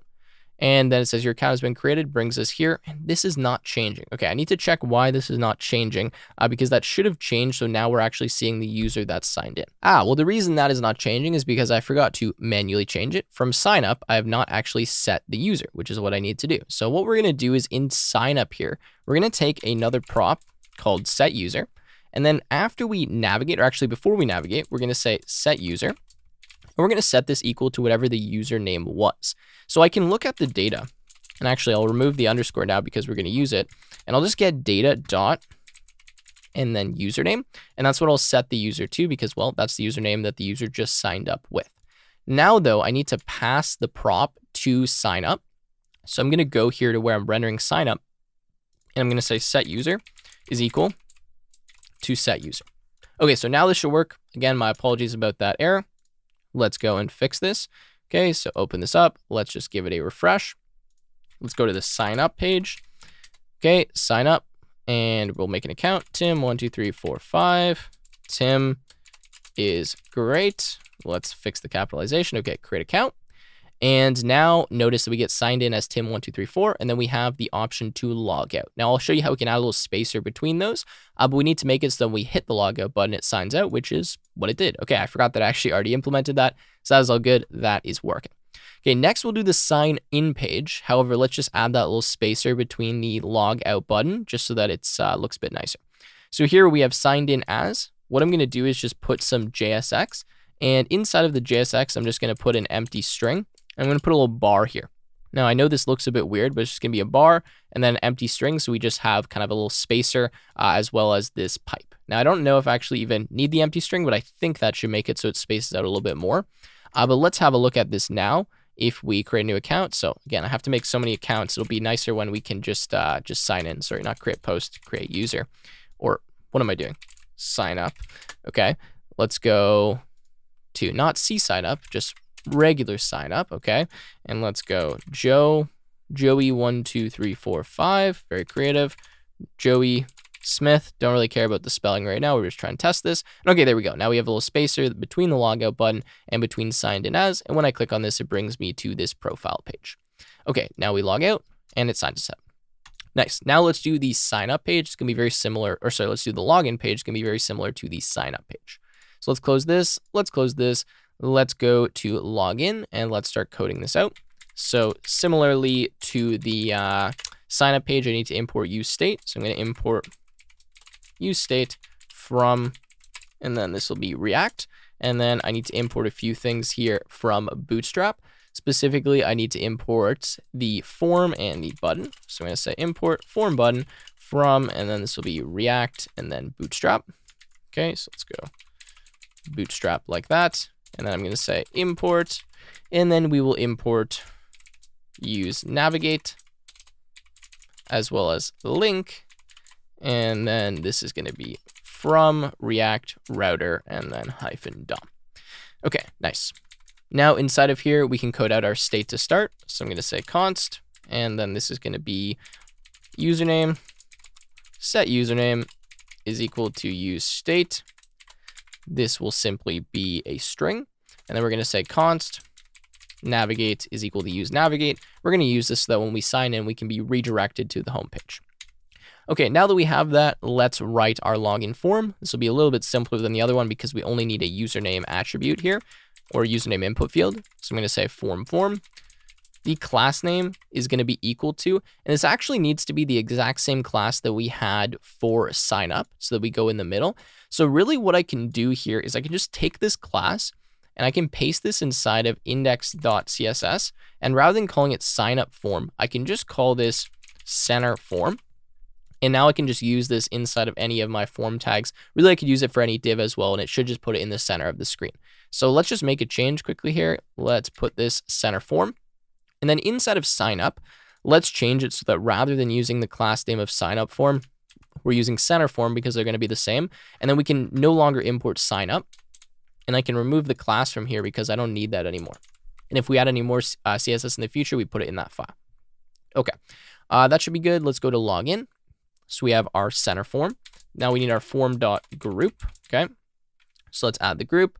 Uh, for the class name of this, we're going to say class name equals, and then margin bottom, and then this will be three. I believe the other one we did four, but let's just go with three. Let's change it up for this one. We'll go form dot label, and then we're going to say the label is username, and then we want a form dot control, which again is equivalent to the input tag. Okay, for the form dot control, we're going to say type is equal to text we are going to say the placeholder is equal to username. We don't need a class name, but we do need an on input. So on input here will be equal to an arrow function. We could write a uh, custom function as well, but this will just take in e, and then we can say set username e dot target dot value. Now we could have done this before in sign up, but we've already finished that, so we don't need to change it now. We have type placeholder, and then we have our on inputs. Now we'll get what you type in. Now that we have this, I just want to add something that says uh, how to get to the sign up page because right now we have to manually go to that link. So here I'll do something like if you don't have an account, then click on this to go to the sign up page, right? We've seen that before on, uh, on sign up forms. So I'm going to say small. This will just give us some smaller text. And then the ID, actually we don't need an ID, but the class name of this will be equal to form text and then text muted. This just makes it so it's a bit grayed out and it's not uh, as strong as the standard text. I'm going to say don't have an account, question mark, sign up, and then we'll put a link inside of here. Okay, and we'll say here. Now for the link, I'm just going to say to is equal to, and then this is going to be sign up. And I think that should be good for that. Okay, now that we've done that, let's add a button. So the button is going to go outside of the form group, so it gets spaced out a bit. We're going to say variant is equal to primary. You get a nice blue button. For the type, we will just say this is going to be a button. And then I'm going to say on click is equal to, and then the on click function we'll need to write, and we'll do that in a second. And here I will say sign in, or actually let's just go with login. All right, so now let's write the function for handling the login. So I'm going to say function handle login. Okay, inside of here, we're going to have a fetch, uh, and we need to write that back in endpoint. So for right now, we can just say console dot log the username, and then we'll finish this later. But for the on click, we can just write handle login, and we do need to take in e even if we don't use it because it will pass e to that function implicitly. All right, so now we have the login page. Sorry, not export. This is e. Okay, uh, and what's the issue here? It's saying export is, no, okay, no, it's because it's still reading the previous one. It hasn't seen that I changed this to E. Anyways, now we have login. So let's just go to the login page and see what it looks like. Okay, so there we go. We can see we get our nice login page. I just had to refresh this so everything is working fine. And then if I click on sign up, okay, that is a bit weird. It's bringing us to login slash sign up. The reason for that is I need to add a slash here. Okay, apologies about that. Let's refresh the page. Let's go back to login. Okay, let's click this now, and then it brings us to the sign up page. Now, so we can click this to get to login. Okay, awesome. So now we actually want to log in, which requires that we have an account. So now we need to write the backend that actually will check if the account exists for the user we're trying to sign in as, and then essentially return to us the account data for that. So let's go to our backend here. So let's close a few of these files that we don't need. Let's go to index.js, and now let's write the root. All right, so here I'm going to write app.get because this is going to be a get request. And this is going to be, I guess, get profile. Uh, and we will say uh, request and then response. This will be an arrow function. And then inside of here, I'm going to accept a query parameter, which is going to tell me the user that I want to get the profile for. So I'm going to say const user is equal to request dot query, which is the query parameters dot and then user. And then I'm going to send a request here to get profile. So I'm going to say get profile user dot then, and then this is going to be inside of here data, and we're going to say res.json, and we're going to return that data. Okay, so now we need to write this get profile function from API calls. So first of all, let's just import it so we don't get the error we got before. And let's go to API calls and now write get profile. So here I'm going to say functions dot, and then this is going to be get profile. This is going to be an arrow function. This arrow function is going to take in the user. And then what we're going to do is say return sanity client and then not get. This is going to be dot fetch. And what dot fetch actually accepts inside of here is a string, which is going to be the query that we want uh, to get. Okay. So the query language that we're going to use inside of here is something called Groq, G-R-O-Q. Now that is Graph Relational Object Queries. And I'm just going to write them out here. I'll leave some documentation in the description that explains exactly how to write them, uh, but it would be a very, very long video if I went through explaining every aspect of the query language. So you'll start to understand once I give you an example, uh, but just bear with me here because it will look a little bit confusing right now. So we're going to put an asterisk we're going to put our square brackets here. And the first thing we're going to do is define the type of the document that we want to query from the database. So in this case, the type that I want is a user. And I just need to single quote this uh, just so that my quotes don't get all messed up here. Okay, so we have our single quotes. We have our type, which is equal to a user inside of double quotes. And I'm going to say and, and, and then username is equal to, and then this is going to be uh, the dollar sign and then username, because this will be a variable that I input in a second. In fact, I can just do user like that. So what I've just written here is essentially the condition for this query. So I'm saying, okay, I want to get all documents that are of type user and have a username that's equal to the username that I pass right here. So that's just going to give me a single document, at least that's what I hope for. And then what I do after this is I define all of the fields on this document that I'd like to receive. So I actually need to put this inside of backticks just so that we can have this string extend onto multiple lines. And inside of here, uh, what I'm going to write is all the fields that I want. So I'm going to write dot, dot, dot. Now what this does is it's going to give me every single field. That's that's what dot, dot, dot does, okay? Then I can write, then what I can do is write my own custom fields in here and kind of modify the fields uh, to get some certain attributes that I'm looking for. So a field that I want is following I want to know how many users this person is following. So I actually don't care about the following list. I don't want to know the individual users. I just want to know the count of how many people this person's following because we're going to use this for a few other things as well, not just for getting the uh, the username of the user or checking if a user exists, right? So I'm going to use the count function and I'm going to count how many elements are in the following array of the user's following field, okay? That's what count is doing, just tells us how many are there. And then it's going to put it into a field called following. So this will essentially override the current following field and give us just the number of people the user's following. Then I'm going to say followers. And this is a bit more difficult. What I need to do for this is another query. And I'm going to say type is equal to, and then this is going to be user.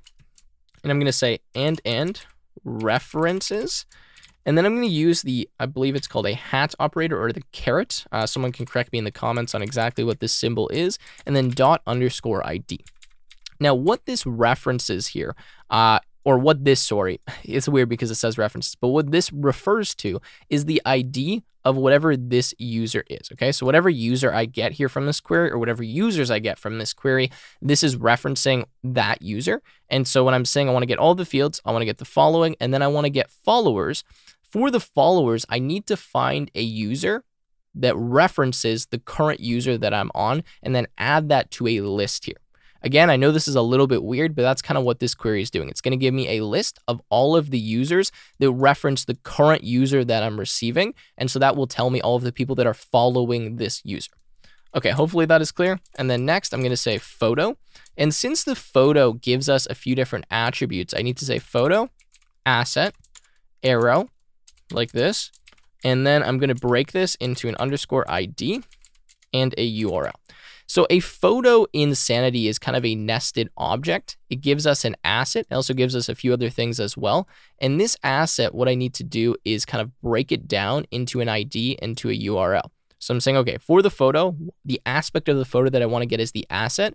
And then from the asset, I want to get the ID and I want to get the URL. And so I have to write that in this way. Okay.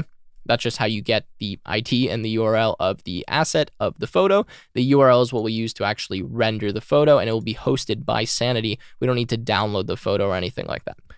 Okay, so that is this first query. Again, I know it's a bit confusing. Please reference the documentation if you want more explanation, but hopefully you can at least understand the basics of what's going on here. Uh, and I think I can put this on another line it'll make it a little bit easier to read. Let's just indent all of this uh, by one. All right, so now that we have this, we should actually just be able to use the backend endpoint that we wrote, and it should return to us information about the user that we passed here to get the profile from. Again, we're going to use this in multiple places. That's why I wrote all of these other aspects of the query. If we just wanted to see if a user existed, uh, then we really could just have dot, dot, dot in here, and that would just return all of the fields related to the user. So index, we wrote this as get profile, and we're accepting a query parameter. So when I go to login now, Inside of here, I'm going to send a fetch request that's going to contain a query parameter. So what we'll do is say fetch, and then fetch is going to be slash get profile. Okay, and then we're going to say question mark user is equal to, and then I can do a concatenation if I want. I'll just say plus, and then this is going to be username right here. Okay, so whatever they entered into the field. Then I'm going to say dot then. I'm going to get my response. I'm going to return my response dot JSON. Then I'm going to say dot then, and I'm going to say data, and I'm going to look at the data and do something inside of here. So for the data, what I need to check is if the length of the data is greater than zero. Now, what that means is that I actually do have a user because I'm going to re be returned a list from Sanity of all of the things that match that query. So if I go back here, this will give me a list of everything that has a username that matches with this. So theoretically, if I had multiple users with the same username, which we're not going to allow, but if we did have that, I would get all of the users that had that username, right? Because it's giving me a list of all of the results. So even though this will only give me one result, Sanity doesn't know that. So by default, it returns to me a list or an array. And so what I have to do is look in that list and see if we have at least one element. If we do, that means the user exists. If we don't, that means the user does not exist. And then we have to grab the first element out of this array and use that to access the different fields. So I'm going to say if the data dot length is greater than zero, we need to put this inside of parentheses here. Then what we can do is say add alert. Okay, we're gonna have to take add alert in here. So let's say add alert. We also want to take in set user. So we'll pass that from uh, app in one second. But the alert that we want to add is going to have a variant of success. Okay. And it's going to have a message of successfully logged in exclamation point. Okay. So that's what we need for the add alert. Then we're going to say set user. We're going to set this. Sorry, let's go to set user to be the data zero dot username. And we know we can do this because we'll have at least one element in our data, right? So data dot zero, data zero, sorry, dot username. And then we are going to navigate to the home page, okay? So we're just going to navigate to slash. All right, now otherwise, what we will do is just set an alert saying that there's no user with that name. So we're going to say add alert. Okay, this is going to have a variant which is equal to, and this will be danger, which is going to be red. Apparently I can't type very well today. And then we're going to have a message that says no user with that name exists. Okay, let's fix our capitalization. All right, we'll do an exclamation point as well. Okay, so that's what we have for handle login. And then we'll just have a catch here just in case something goes wrong. And we'll have an error and we'll just display that error as an alert. So I'm just going to say add alert. Okay, variant danger message will be error and then error dot message. Nice. Okay, so I think that's all we need for the login.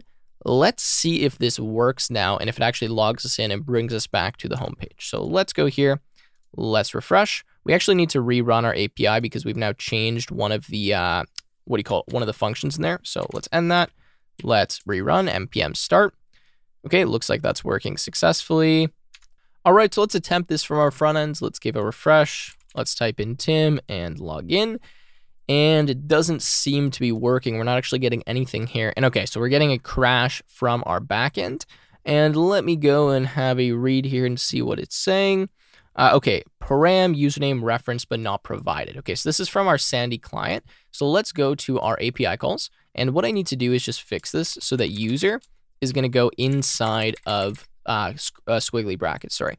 Kind of forgot that I need to do that since we can pass multiple parameters. They need to be inside of a JavaScript object. And so I can just write user like that. And I think that will fix the problem for us. So let's try this now. Let's rerun the API. So yes, we want to end that. Let's rerun. Okay. And now let's come here. Let's refresh and let's go Tim. Let's hit login.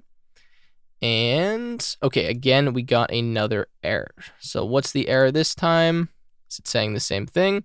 Uh, param username reference but not provided. Okay, so the issue here is that user does not match with username. So what I can do is make this username colon, and now hopefully that should fix the problem. So let's rerun this again. My apologies, guys. Whenever you're working on a large project, you are going to get tons of errors. I like to keep them in just to be real with you that uh, not everything is perfect. Anyways, let's restart this. So let's refresh.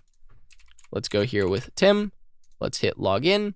And we got add alert is not a function. Okay, nice. So we can fix that problem now, but that means that the sanity, uh, what is it, query that we had didn't fail. So at least we're getting an error on the front end here, not on the back end. We're not seeing anything inside of our index.js or inside of our backend. So let's go to login, or actually let's go to app. And the fix to this is we need to pass our set alert and set user to the login component. So if we paste that in here, that now should fix the problem because remember in our, uh, what is it? What do you call these again? Props. We have add alert and set user, but we weren't passing them. So of course, those were not defined and we were getting a problem. So let's try this now. Let's refresh. Let's go Tim. Let's go log in. And uncaught add alert is not a function. All right, so it looks like the error is that I have add alert as opposed to set alert. My apologies here. This needs to be set alert, not add alert. So let's change all of these to be set. And now that should fix the problem. Again, my apologies. Let's refresh. Let's go Tim. Let's go log in. And there we go. Successfully logged in, signed in as Tim. Nice. Okay, let's log out. Let's go to sign in. Let's close that. Let's try to sign in as an account that doesn't exist like H, and then no user with that name exists. Nice. Okay, so that's working.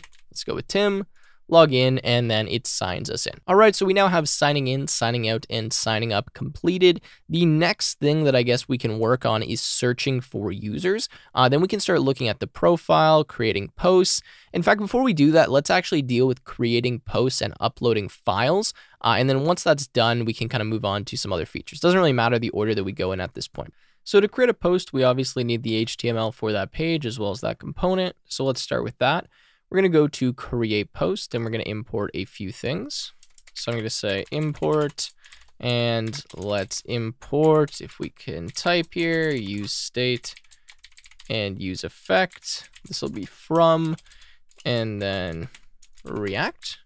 And then continuing, we're going to import just like before in the other pages, a button as well as a form from, and then this will be React Bootstrap.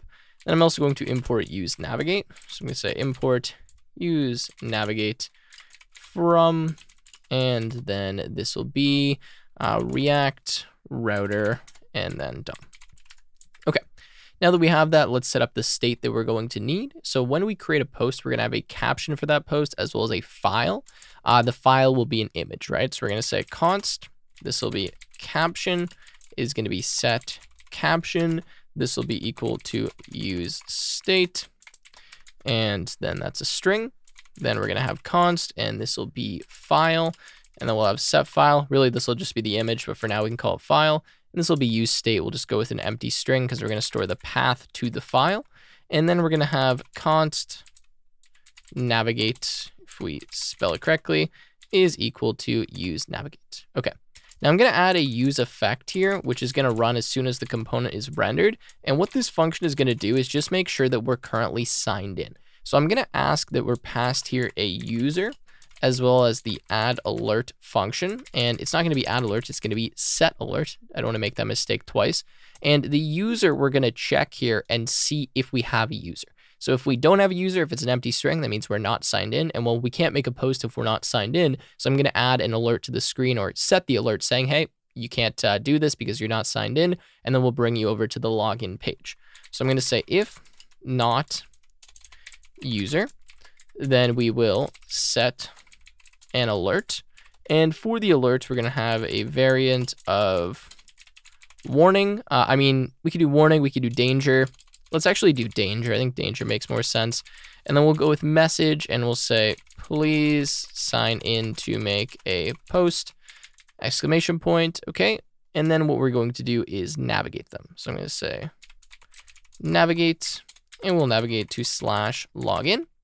And I think that's good for that. And then here we want to rerun this effect whenever the user changes. Okay, so that's what we need for use effect. Now let's do the HTML of the page. So I am going to return. So let's render a form inside of here. So let's go form for the class name. Right now we can go with center form.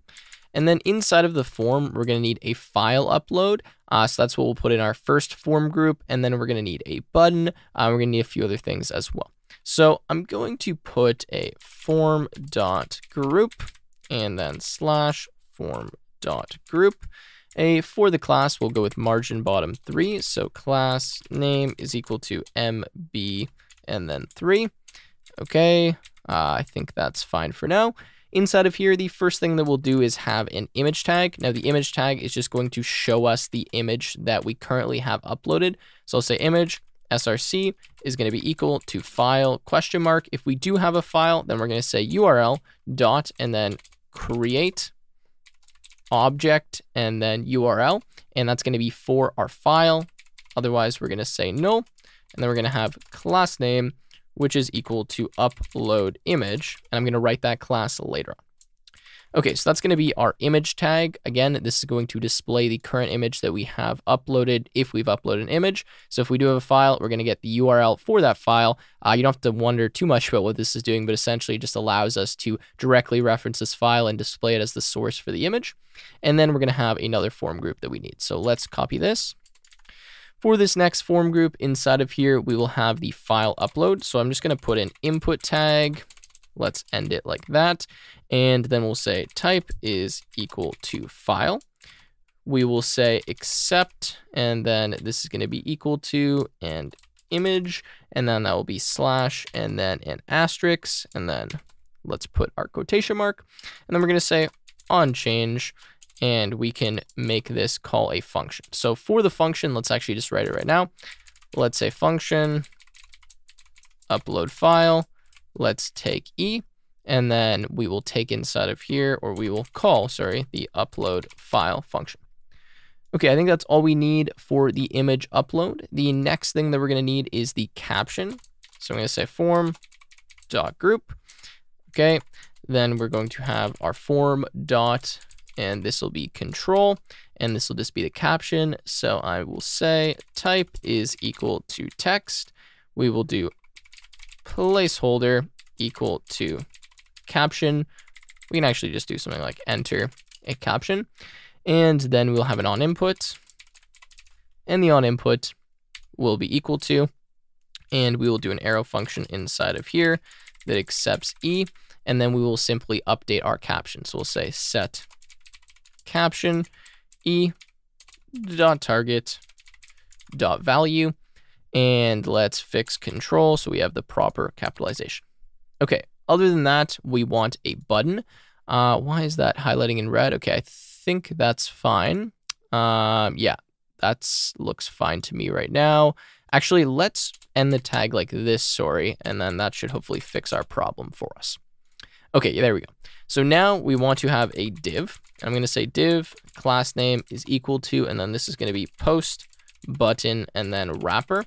I'll show you why we need this in a second, but we're going to add some styling uh, to this div just to put the button in a certain location. And then I'm going to say button.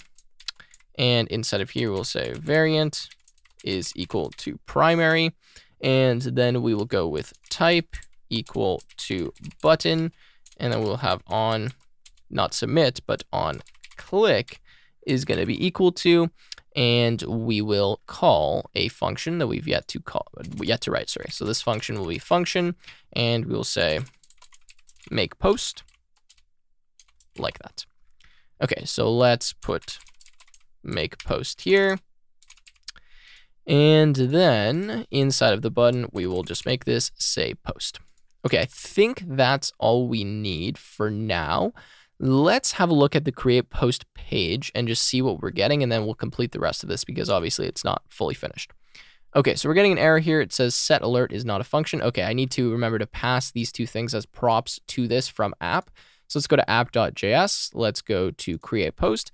Let's say user is equal to user. And let's say not add alert, but set alert is equal to set alert. And then what the heck is this? Uh, the path is fine.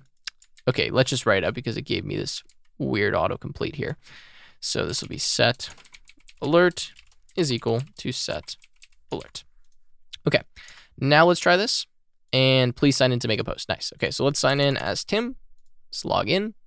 Going to take a second. Okay, let's go to post. And then we have our file, we have our caption, and we have our post. And I'll have to fix this again because you're noticing that, you know, the post button's kind of weird. The caption should probably be larger. The file input isn't lined up. Uh, so we'll fix all of that in one minute. We also want to have kind of a default image for the uh, the image, right? Like that we have here, so we can see something showing up even if there's not something there. Let me just refresh again here and see if we're getting any errors. Okay, so let's go Tim, log in, And it looks like if we go to post, we are all good. Okay, so let's handle the styling and making things look a little bit uh, nicer now. All right, so I need to add a few classes here as well as a few divs in create post. So the first thing for my button here, I'm going to say class name is equal to post button. Okay, then I'm going to add a div that's going to surround all of this. So we're going to say div class name is equal to, and then I guess we'll just go with post, or actually let's just go with create post. Okay, let's take that div and let's surround everything inside of here. All right, again, I'll explain all the CSS in a minute. And then we need a few other uh, class names. So for our image, let's add a class name. Let's say class name is equal to post image. I believe that is fine. Okay, so now that we have all of these classes, let's make a custom CSS file. Let me just close some of this so it's not clogging up my uh, left-hand side. So let's make a new CSS file. Let's call this create post.css. We can then import it inside of here. So we're going to say import, and then this will be dot dot slash css slash create post dot css. Okay. Now let's go to create post and let's write the different classes that we need. So the first class that I want to write here is going to be create post. So let's just write this out and then we can see exactly what's going to happen. So I want to set the min width to be 30% of the parent. I then want to say the display is flex. I want to say the flex direction is going to be column. Okay, just so we have a flex box. All of the elements inside of that div will now be a flex item. And then we're going to have margin hyphen top. And this is going to be equal to 2em. 2em is going to be whatever the default font size is, I believe, of the browser multiplied by 2. Okay, so that's margin top, just to give us a bit of spacing from the top of the screen. I then am going to have my post button and then wrapper. So this is the div that's wrapping that button. Uh, and this is going to allow me to actually center the button. So I'm going to say display. This is going to be flex. And then I'm going to say align items. And this is going to be center. And then I'm going to justify the content in the center as well. All right, so now that we have that for post button wrapper, we're going to do our post button. I just want to make it larger. So I'm going to say post button width and then 100%. So we'll take up 100% of its parent. And then I want my upload image. So let's go upload image, or actually it's not upload image, it's post image to have a width and a height. So I'm going to say width is equal to 300 pixels and height is equal to 300 pixels just so it takes up some room on the screen and we should see something now. Okay, so now that we've added this CSS, let's go here and let's sign in. So let's go Tim. Okay, uh, let's go to post. Okay, so that looks a little bit weird. The issue that's happening here is I'm spacing everything out and taking up the entire height of the screen, which I don't necessarily want to do. So I'm going to need to fix this slightly. And the way I'm going to fix this is by actually creating a new uh, class name here. So rather than center form, I'm going to have post form. And let's now go here and write the post form class. So I'm going to say dot post form. And we'll do something similar to what we had for center form, but we're just not going to take up the entire height. So I'm going to say display. This will be flex. We're then going to go align items, and this will be center. And then I want to have justify content. This will be center. And then I want to have the flex direction, and this will be column. Okay, so let's see this now. And okay, I got to sign in. So let's go Tim, log in. Let's go post. And close, uh, although the image, it's still a little bit weird, right? It looks like this input tag is going above the image. I don't know why that's the case. So let me have a quick look here and I will be right back. All right, so I'm just having a look here and I made a few kind of silly mistakes. So first of all, I added a post image class to this input tag, which was not expected. And I also realized that I named this upload when it should be post to match with what we have here, right? Post image and now post image. So now we'll have a width and a height. I also realized that for this form, I forgot the class name equal to margin bottom three. And I believe now with those fixes, we should actually be good. So let me have a look at this now, and that looks much better. Okay, everything is aligned. So just quickly looking at the CSS, uh, what we did uh, is we made it so that our post form has a display flex. Everything is aligned in the center, so horizontally and vertically. And then the direction is column, meaning that we're having everything aligned vertically, right? Then we have create post. So for create post, I just wanted to make the minimum width of everything 30%. So that way we're going to take up a certain amount of size on the screen no matter what. Then I have display flex, flex direction column, and the margin top is this right here. So it's making it so we're not directly squished to the top of the screen. Uh, we have some padding between the other div. So that's what we're doing there. Or I guess a margin, padding, whatever, you know what I mean? And then we have post button wrapper, display flex, align item center, and then justify content center. This uh, pushes our button into the center of its container because it wouldn't have been directly in the center before. And then we have post button width 100% just to make it take up the entire width of its container, which will be 30% of the width of the div because this div, the create post div, is going to be 30% of the entire screen. So it will be 100% of this div, right? Hopefully that makes sense. And then post image, we're just giving it a width and height of 300. We could do percentages, but I think this is fine. And then you'll see if we resize the screen, uh, everything actually looks all right. And we can, you know, kind of move it around and it's all good. And in fact, maybe we want to just make the image uh, have a width equal to 100% and a height equal to 100%. Uh, although height, I guess I can't really do. I could do height 300 with maximum, and then that way it will uh, expand.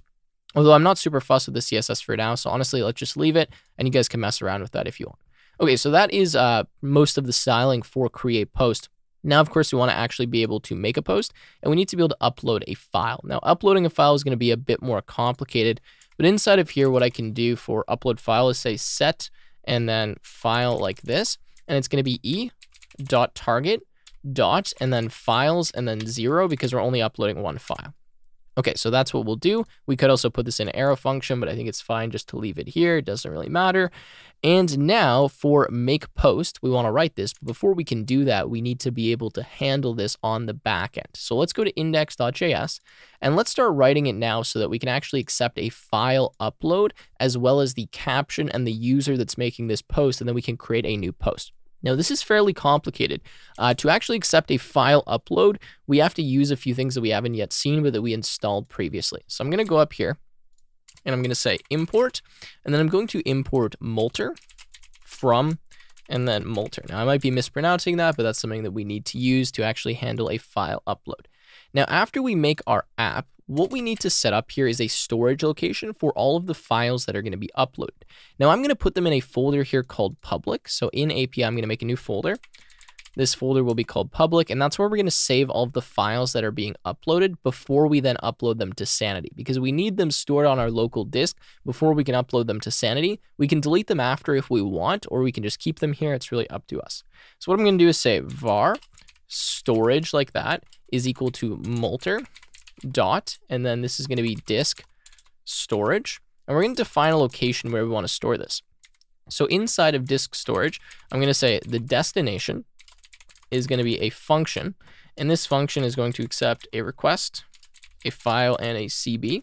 And we're just going to say CB, and then inside of here, it's going to be null, and then public and this is a callback function. Now, I understand this is not going to make any sense right now. I'm going to be quite honest with you. I just found this code on Stack Overflow, tested a bit, and it seemed to work. So I don't know exactly what's going on here, but I will try my best to explain the parts that I do understand. I do know that what this does, though, is set up a storage location where we're able to save files to.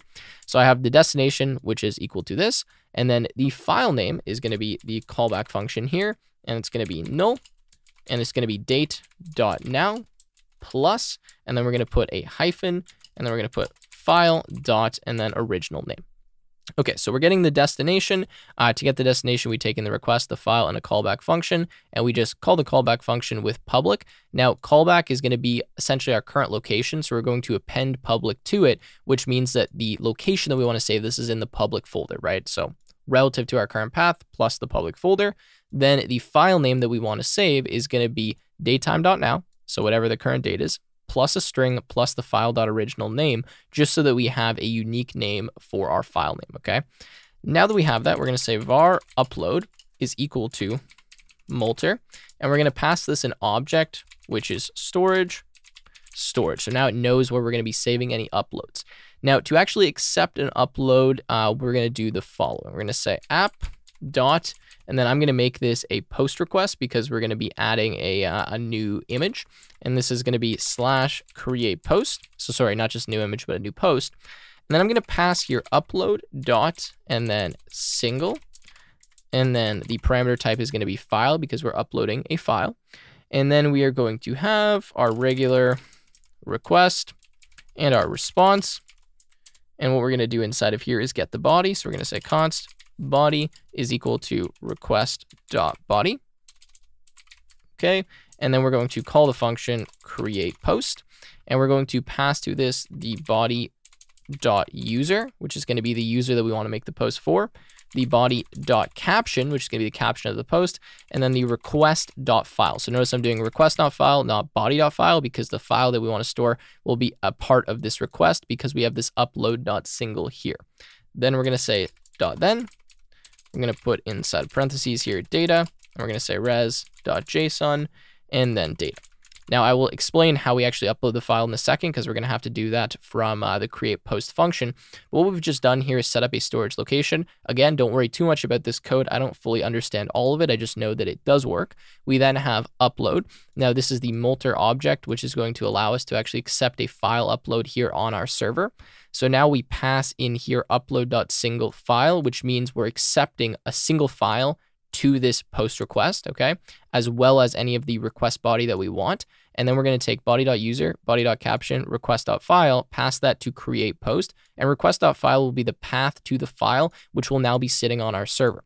So we're uploading the file from our uh, front end. We're then going to be downloading it on the back end, saving it locally, and then we're going to take that file and use that and upload it to Sanity, okay? The reason we're doing this is because we need to upload to Sanity, so we first need to get the file here on our back end. Then once we have it here, we can use it and send it to Sanity.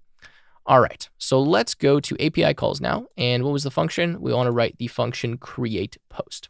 So what we're going to do here is say functions dot create post. Now this will be an arrow function, and what we want to take in here is the user, the caption, and the image, okay? And then we're going to say return, and this is going to be Sanity client. And the first thing that we need to do is we need to upload the photo to Sanity. So to upload a photo to Sanity is different than to create uh, a regular document. So we first upload the folder, or first upload the image, sorry. Then we're going to link the image as uh, this user's post. So you'll see what I mean in a minute, but we're going to say sanity client.assets because we're uploading an asset. We're going to say dot upload. We're going to upload an image, and then we're going to create a read stream. And this is going to be of the image.path. Now I need to import this from our file system.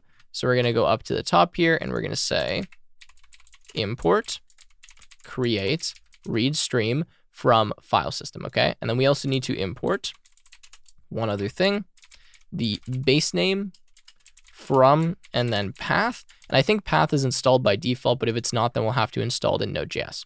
Okay, so we're creating a read stream of the image.path. This is essentially going to give us a bytes stream of this image, and then we'll be able to upload that to Sanity because, well, we need to take the image, turn it into a format Sanity can accept, which is this, and then upload it. Now, we also need to pass here as an additional argument the name for this file. So I'm just going to say file name is equal to base name of image.path. And this is going to give me, well, just the base name. So just the image name, not the entire path. So I'm saying, okay, I want to create a read stream of the file at this location. We want to save it as the file name of this. And then we're going to wait for this response to finish. We're going to get the data from this. And the data is going to include information about this image that we need to link it to a post. So now what we're going to do is say functions dot get user ID. Is a function we're going to write in one second. We're going to say dot user. We're going to say dot then. We're going to say IDs inside of here. Uh, actually, did I mess something up here? Uh, nope, I think we're okay for now. I'm going to say IDs. And then I'm going to do something here inside of an arrow function. Okay, let's save this. Hopefully it gives me some formatting. Uh, what's the issue with my parentheses? Expression expected. Uh, okay, that's fine. We'll do something inside of here. And here we're going to say return sanity client dot and then create. And then we're going to create a new post. Now, I know this is really confusing. Let's first write out this get user ID function because what we need to do here when we're making a post is we need to have a reference to the image for the post as well as a reference to the user who made the post. Now to be able to do that, we have to have both the ID of the image as well as the ID of the user. So that's why I'm first doing the upload, right? I'm uploading the image. It's then going to return to me some data. This data is now going to contain the ID of the image. I can then use that ID to link the image to the post because of the, the image is stored separately than the post. Then same with the user. I need the ID of the user, which I don't have. I just have the name. So I have to get that ID. So I'm going to say functions dot get user ID. This will be an arrow function that takes in a user. And then what we'll do inside of get user ID as well, we will get the user ID. So to get the user ID, we're going to say return sanity client dot, and then this is going to be fetch. And then the and then the query that we want here for the fetch is going to be the following. We'll put it inside of backticks just so we can have a multi-line string here. We're going to do our asterisks. We're going to do our square brackets. We're going to say underscore type is equal to our user. Let's have a space here. And then we will add similar to before and user is equal to, and then this will be username, and then we'll have to pass that username in a minute. And then inside of here, the only thing that we want is underscore ID. So rather than putting dot, dot, dot or anything else, we just put this because we only care about the ID of the user. And then here, we're going to say username, colon, and then user like that. Okay, nice. So that gets user ID. So we've now written that function. So now what we're doing, right, is we're saying, okay, well, once the image is uploaded, we're now going to get the ID of the user. Now, it's actually going to give us a list of IDs because remember, it's always going to return to us multiple things. So if we want just the ID, we can say const ID is equal to IDs at zero and then dot underscore ID. Okay, and that will give us the ID of the user, assuming this user exists. And then we're going to return sanity client dot create. And then the type that we're going to use here is going to be a post. Okay, so we're going to say type post and then we'll fill in the other fields that we need for creating a post. So we'll put the author of the post. The author is going to be equal to a reference. So we're going to say underscore ref, and this is going to reference the ID. Okay, that's all we need for that. Then for our photo, this is going to be an asset. And this asset is going to have a reference to the data dot underscore ID, which will be the ID of the photo that we just uploaded that we're now getting from data. And then after photo, we're going to have our description, which will really just be the caption. I think I called it description in the uh, in the database, although let's have a look actually. Let's go here, schemas, post, and yes, I did call description. So we're going to have to use description other than caption. Okay. And then the last thing that we want is the created at, which is new, and then date. All right, so that is actually all we need to create a post. I know, very confusing. There's a lot of stuff that we have to do. It took me a long time going through the documentation to figure this out because since we have this on the back end, we need to first download the image, then we need to get the path to the image, then we need to upload it to Sanity, then we need to link the image with the post as well as the user ID with the post. And so this is how you do it, right? If I want to have a reference to a person, I do underscore ref for the author, and then I'm referencing the ID of a person object. And then for the photo, I put asset inside of here because that's one of the mandatory fields. Then this asset is referencing an asset that is on Sanity already that we just uploaded. So that's why we had to do that first and then get the ID of it. Then the description, well, that's a caption, created at new date. There we go. We have the create post function. Okay. So that actually should be fine now. So if we go to index.js, that's all we need for slash create post. Now for make post, we're going to send a request here. So let's do, uh, start creating our, uh, what do you call it, request options, as well as our form data. So when we want to send a file, we need to send this file in form data. So what I'm going to do is say const form data is equal to, and then this is going to be new form data, because remember here, we need to upload a file. Then what I can do is add the fields that I want to the form data. So I can say form data.append. I can append, for example, the user. That will be equal to whatever user is passed here to create post. All right, continuing, we're going to say form data.append, and we're going to append a description. Uh, actually, let's check here. Index.js. Uh, nope, we're going to append a caption. And the caption will be caption, okay? And then we're going to say form data dot append, and we're going to append a file, and the file will be the file, all right? Okay, then we're going to say const request options, and we're going to say that this is equal to an object, and we're going to say the method is equal to, and this is going to be post, and then the data will be our form data, okay? We're just doing it this way because we're actually sending a file, so we want to add that to our form data so it's handled properly. And then I'm going to fetch the slash create post. And then we'll pass the request options. And we're going to say dot then. And we're going to get a response. So underscore res like that. And then we will do the following. So assuming that we get a response and we don't get an error, we're going to say add alert. And we're going to say variant. And then this is going to be success. And then we're going to say message. We're going to say post created exclamation. And then we're going to navigate to the home page. So navigate home. Now, if we do not get this successfully, so if we have an error, we're going to need to catch that error. So we're going to catch error. Okay. And then we're going to make a new alert. So we're going to say add alert or not add alert. This is going to be set alert. Don't tell me I called this one add alert. Okay, sorry guys, set alert. So we're setting alert. And then the variant here is going to be danger. And the message will just be error.message. So whatever that is, we'll display that. Okay, so that should actually be it for making a post now. So when we hit that post button, it should just, well, make the post and we should be good to go. Again, apologize for all the complexity there, but it is required. So let's refresh the page. Okay, let's sign in as Tim. Let's go to post. Let's close that. Let's choose a file. Uh, I have Dwayne The Rock Johnson. Nice, awesome, uploaded. And notice it shows up here because, again, when I go to my image, let's have a look at it here. You can see that I am displaying the image only if we have a file. Since I set the file, we now have it, so I can display it there. And then what I'll do for the caption is say, this guy is strong, okay? And hit post and post created. Although we got an issue, it says create post not found. Ah, okay, so the reason we got that problem there is because we need to restart our API because we added a new function. So let's restart this and let's try this again. Okay, so let's come here. Let's go to post. Let's choose a file, Dwayne The Rock Johnson. This is a strong man, okay, and then post. All right, again, 500 internal server error. What's the error that we got this time? It says create post is not defined. Okay, we need to import that. So let's go to our index.js and let's add here create post. And now hopefully this should work. Okay, let's try this now. Let's go to post. We need to rerun the API because we made a change. Okay, so stop and rerun. Let's go back here. Let's upload a file and let's go testing this time and post and another internal server error. What is the error this time? Property path of undefined. Hmm. Okay, let me have a look here and then I will be right back. All right, so I found the problem here. I apologize, this is a really stupid error here.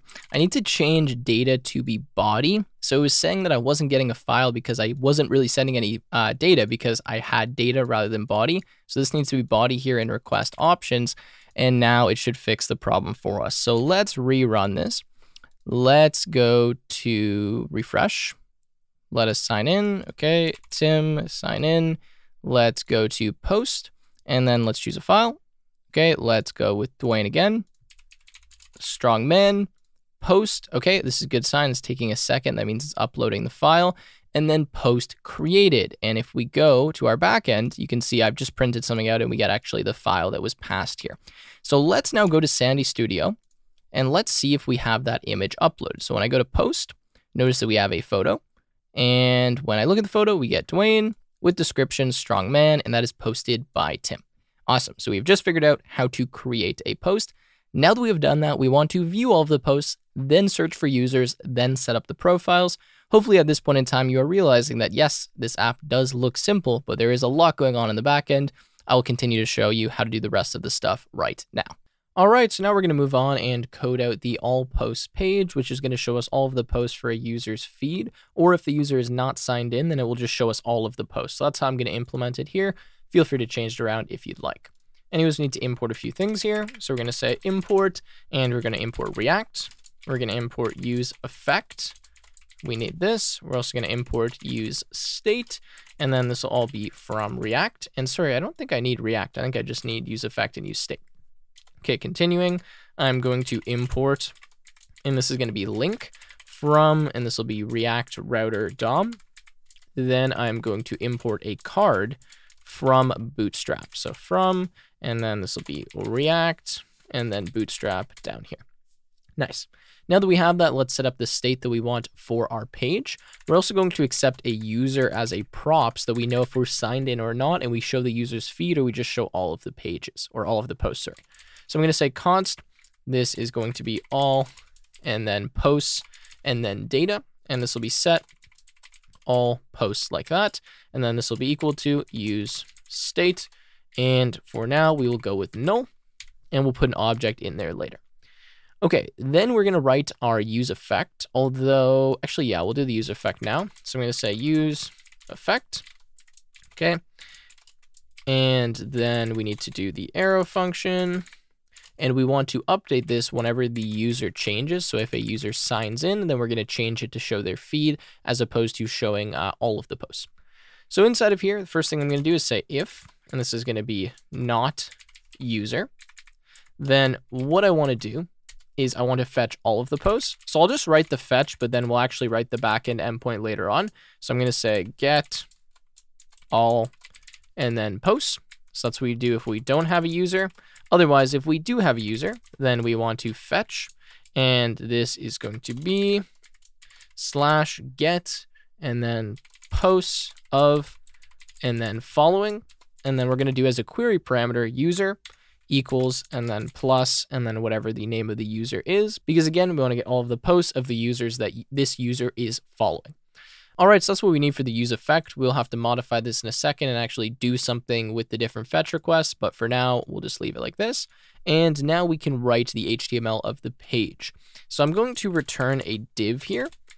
And for now, I'm not actually going to write any classes in a separate file. I'm just going to write them all inline CSS. It's definitely not best practice, and I'm being a bit inconsistent here, uh, but just to show you that I can use some built-in Bootstrap classes instead of having to write all of the custom classes myself. So I'm going to say div class name, then this is going to be equal to center, and then this will be MT3, so margin top 3. Now, the center class is one that we already made, and if we go to index.css, we should see that we have center here, and it just puts us in the center of the screen. Okay, going back to all posts, what I want to do inside of here is I want to map the all post data. So I'm going to say all post data dot map and then for every single element in my all post data which is going to be a list of all of the posts that I have I want to display a card for them so I'm going to say post and then index and then this is going to go to an arrow function and actually not an arrow function, sorry, just a uh, parentheses. Well, it is an arrow function, but we're going to have parentheses as opposed to the curly braces. And then inside of here, I'm going to have a div. So each post will have its own div, and the div is going to be class name equal to, and this is going to be center as well. And we're going to say M and then 2. Now, this is margin 2, meaning we're going to have a margin of 2 on all sides. And then for this, I'm going to say style is equal to, and I'm going to say that the min underscore width is equal to 30%. So we're going to go 30% like that. And then we're going to say that the max width is equal to, and we're going to go with 400 pixels. Now, this will just give us a nice dynamic size. So we're going to take up a minimum width of 30 uh, 30% on the screen, but when the screen is large enough, we'll take up up to 400 pixels. Now you could change this around if you want the post to be slightly larger, uh, but I messed around with a bunch of different values and this was pretty good. Now since we're going to have a bunch of divs that are going to be in kind of a list, uh, we're going to say key is equal to and then index. Whenever you're using map and you're putting multiple elements inside of what's being mapped, you're supposed to put a key, uh, and the key is just a unique value for the elements on the page. So kind of hard to explain it more than that, but you'll see that you get errors if you don't have this, or you'll get warnings at least that are saying that you need to have a key property in the element uh, because when you're rendering them dynamically like this, that's what React expects. Now inside of this div, we're going to display a card. So I'm going to say card like this slash card, and then we're going to put a div inside of the card. now this div will have a class name and this will be equal to dflex, so display flex. And we need another S here for the class name. Now this is a bootstrap class that you can use that just adds uh, the display being flex for the specific div. Then I'm going to say align items and then center. I think you can guess what that is going to do. And then we'll make this a flex column as opposed to a flex row. And then let's end our div. Okay, now inside of this div, I'm going to put a card image. So I'm going to say card dot, and then this will be image, and then card dot, and then image. The variant of this is going to be top, which means we're going to put the image at the top of the card that we have. For the SRC, this is going to be equal to the post dot and then photo dot and then asset dot URL. Okay, that's the source for our photo. And then for the style, we're going to say that this is equal to, and then this will be width, and then 100%. So we'll take up the maximum width of our container. Okay, there we go. Now we want to do a card body outside of this div. So I'm going to say card dot, and then this is going to be body, and this will be card dot body as well. Inside of the card body, I want to have a link to the user's profile. So we're going to have kind of an at symbol, say the user actually posted this photo. Then I want to have the description of the post as well as when the post was, well, posted. So the date time that it was uploaded or, yeah, I posted, whatever you want to call it. So inside of here, I'm going to make a link and I'm going to say to is equal to, and then we'll actually do inside of curly braces here, slash profile, slash, and then this is going to be plus, and then this will be post dot, and then this will be username, like that. Okay, that should be fine. And then we'll end the link, so slash link. And here we'll just put the name of the user. So I'm going to say card dot, and then title, and then card dot, and then title like that. Let's fix that. And inside of here, this will be an at symbol. And then we will say post dot and then username.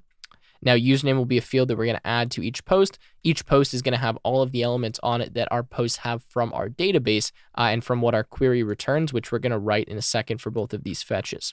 Okay, so now we have the card title that's inside the card body. Uh, next, we want to have the description. So we're going to say card dot and then text and then card dot text.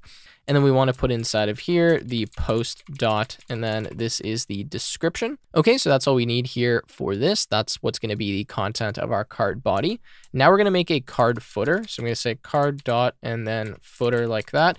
This will be beneath the card. It's kind of muted and it looks a little bit, uh, what do you call it? Uh, like kind of lighter. So I'm going to say class name equals text and then muted.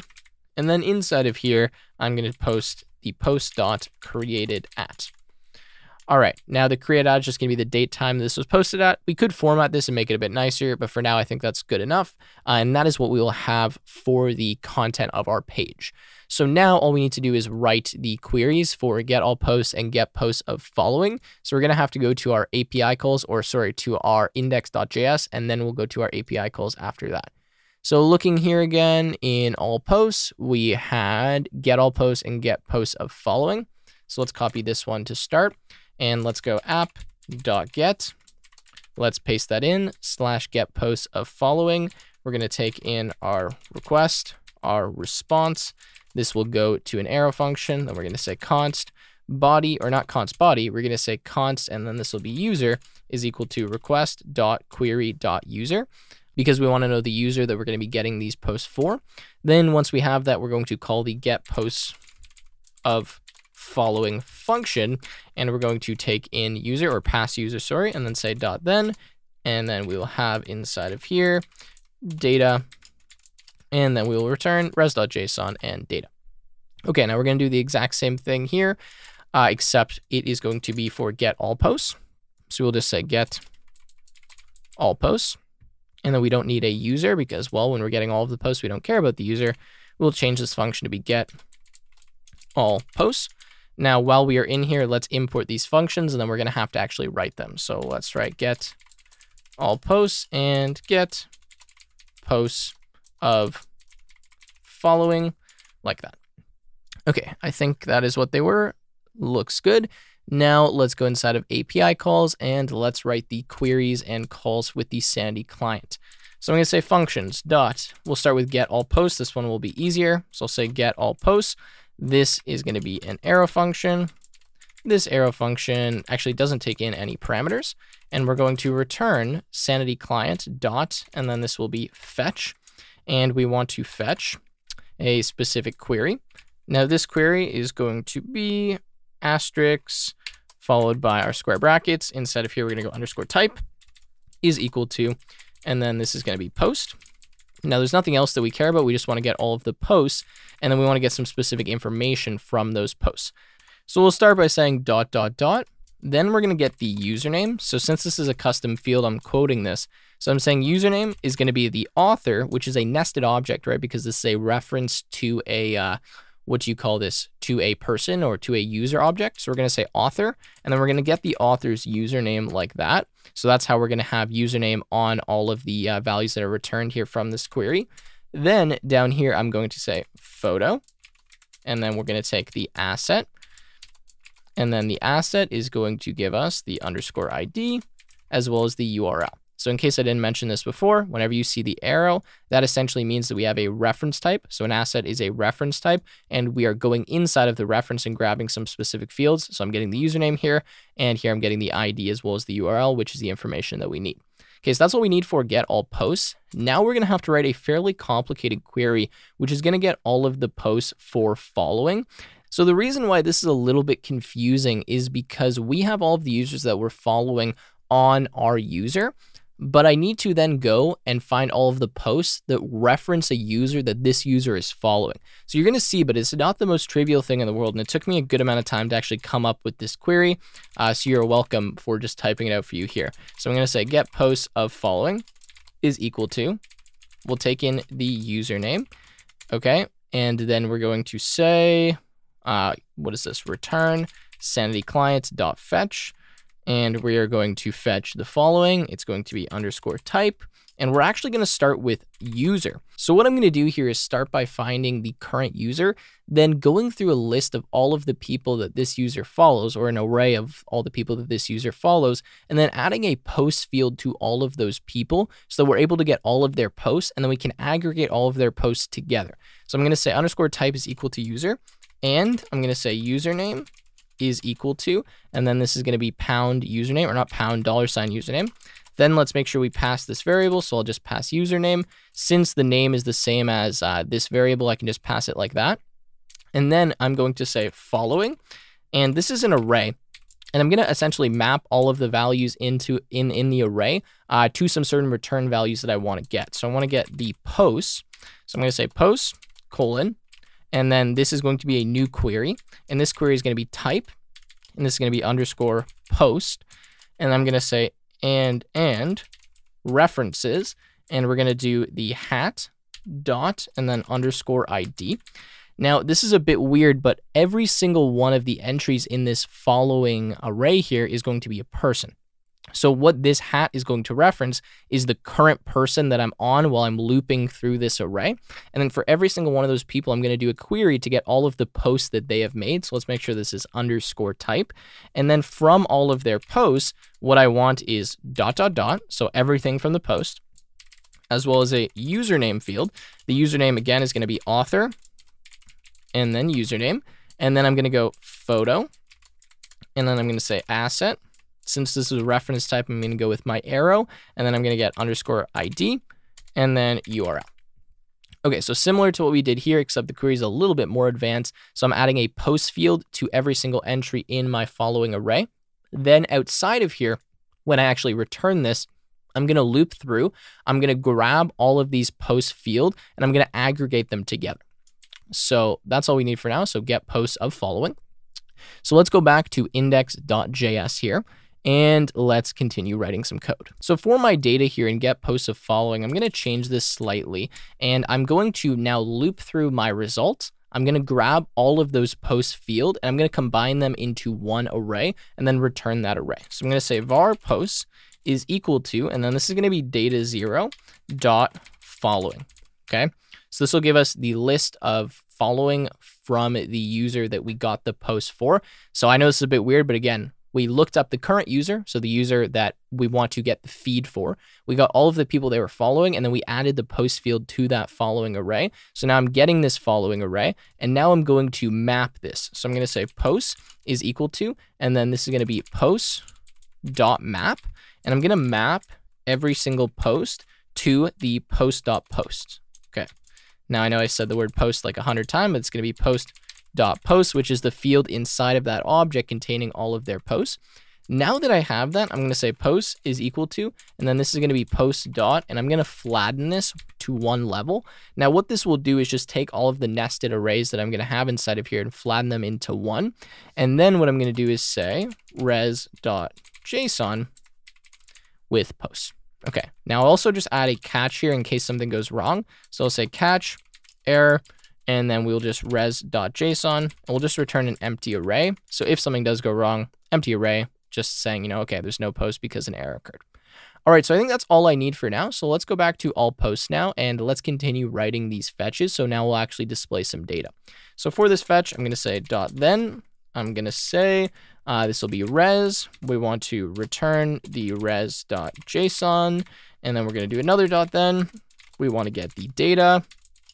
And then we are going to say set all posts and we'll set all posts with the data. Now we'll do a very similar thing here. In fact, we'll do the exact same thing. So let's do this and let's run that. Now what I can do is also just add a catch to both of these in case something does go wrong. So I can say catch error, and then we can just console.error this error.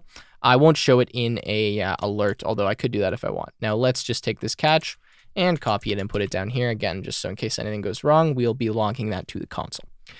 Nice. So now that we do that, we should actually be able to see all of the posts from a user once they've signed in, or when we're not signed in, we should just see all of the posts. And so let's resize or resize, let's rerun our API. Excuse me, I've been recording for a long time now, as you guys can probably tell. So npm start our API.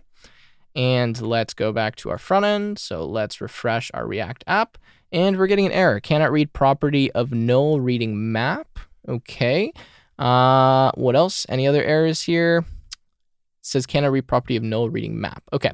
So let me have a look why that's going wrong.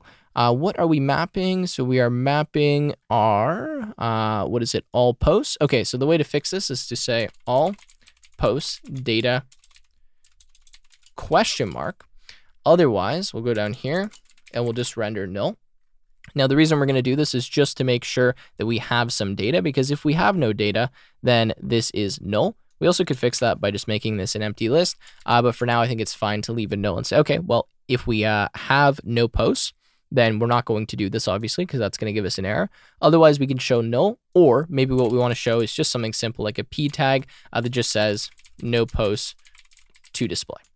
Okay, so let's do that. Let's go to our front end and then notice we're going to see the one post that we currently have. Okay.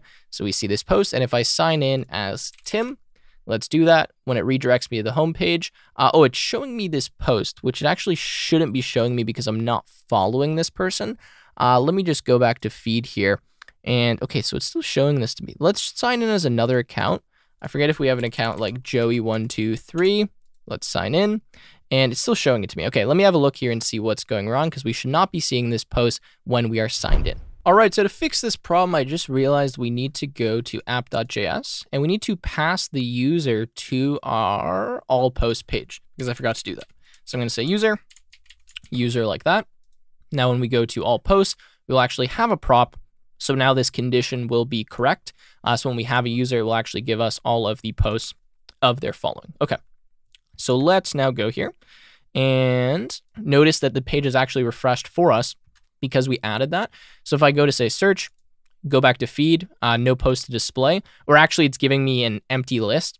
And since it's giving me an empty list, uh, we don't have null, and so it's not showing me no post to display, but we're not displaying any posts because I'm not following the person that made that post. So now what I want to do is make it so that we can actually search for uh, different users. And then once we search for them, we'll be able to view their profile and then we can actually start following people, right? Because, well, we need to follow people to be able to view the different posts. So let's start working on that. Uh, let's close all posts. Let's close, actually, let's not close app. Let's pass, do we want to pass something to app? Or sorry, do we want to pass something to search? I think for now we don't need to.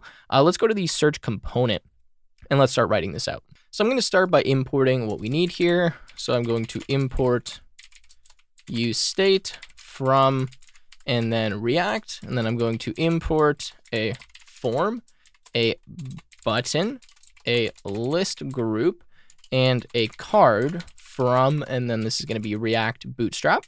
And then I'm going to import a profile list item from profile list item.js.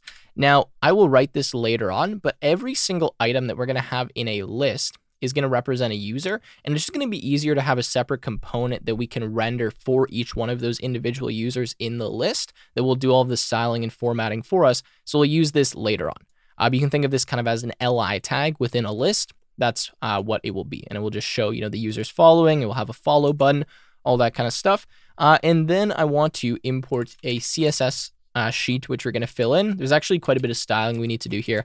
So we'll say slash CSS slash and then search dot CSS. Okay. And what is the error that we're getting here? It's saying browser doesn't contain a valid field, doesn't contain JS. Can I remove this? Is that going to fix the problem? Uh, okay, you know what? We'll look at the problem later on uh, because right now we just need to finish writing this. Okay, so now we want to add some state here. So I'm going to say const, this is going to be search text, and then update search text. Okay, update search text is equal to use state. And the search text is going to be the text that we're searching for when we're searching for a user.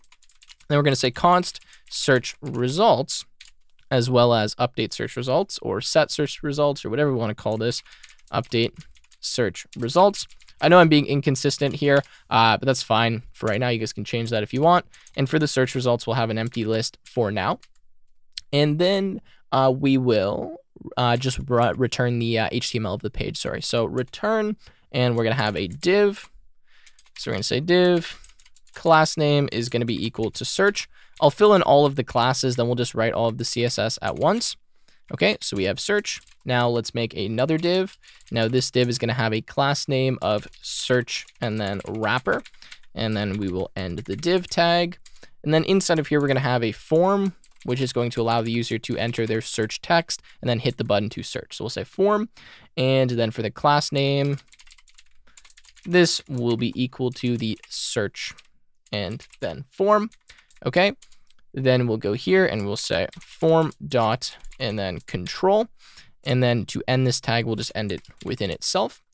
For the type here, uh, we are going to go with text. So type equals text. We're going to have an on input, which will be a function. This will actually just be a function that updates the search text. So we'll take e in here and we'll say update search text e.target.value. And then we'll have a placeholder and we'll just type search for a username. Okay, so let's write that username like that. Okay, nice. Now continuing under the form control, uh, we actually want a form group to put this form control inside of. So my apologies. Let's write that now. Form group. Okay, let's copy the ending tag. Let's wrap it around our form control. And then for the form group, we'll have a class name and this is going to be equal to the search field, just so that I can expand the size of the, uh, the field inside of here. Okay, now outside of the form group, we want to have a button to submit. So we'll say button and then button. And then here we will just type search. For the variant, we are going to have this being equal to primary. And then we'll have an on click, which will call a function that I have yet to write. Okay, I think that's all we need for right now. Then underneath the form, but inside of the search wrapper, I'm going to start displaying all of the search results. So we're going to go here and say search results dot length. And we're going to say if this is greater than zero, then what I want to do is I want to render this. So let's have this. Otherwise, we're just going to render null. Or actually, rather than rendering null, we'll render a p tag and we'll just say no search results. So we'll say p slash p and then no search results. Okay, and then inside of here, we want to render a div. So I'm going to say div slash div. And then for the class name, this is going to be the search results and then wrapper. So let's fix wrapper here so that it has a hyphen. And then inside of this div, we're going to render a bunch of cards. So we're going to have card, card. For the card, we're going to have style equals, And then we're just going to make the width 100%. Okay. And then inside of the card, we're going to render a list group. I understand this is a lot. We'll walk through it after in a second, but let's just get it all down. I'm going to say the variant of this is going to be flush. This is going to be just, well, a list group that will display all of the different list items that I have.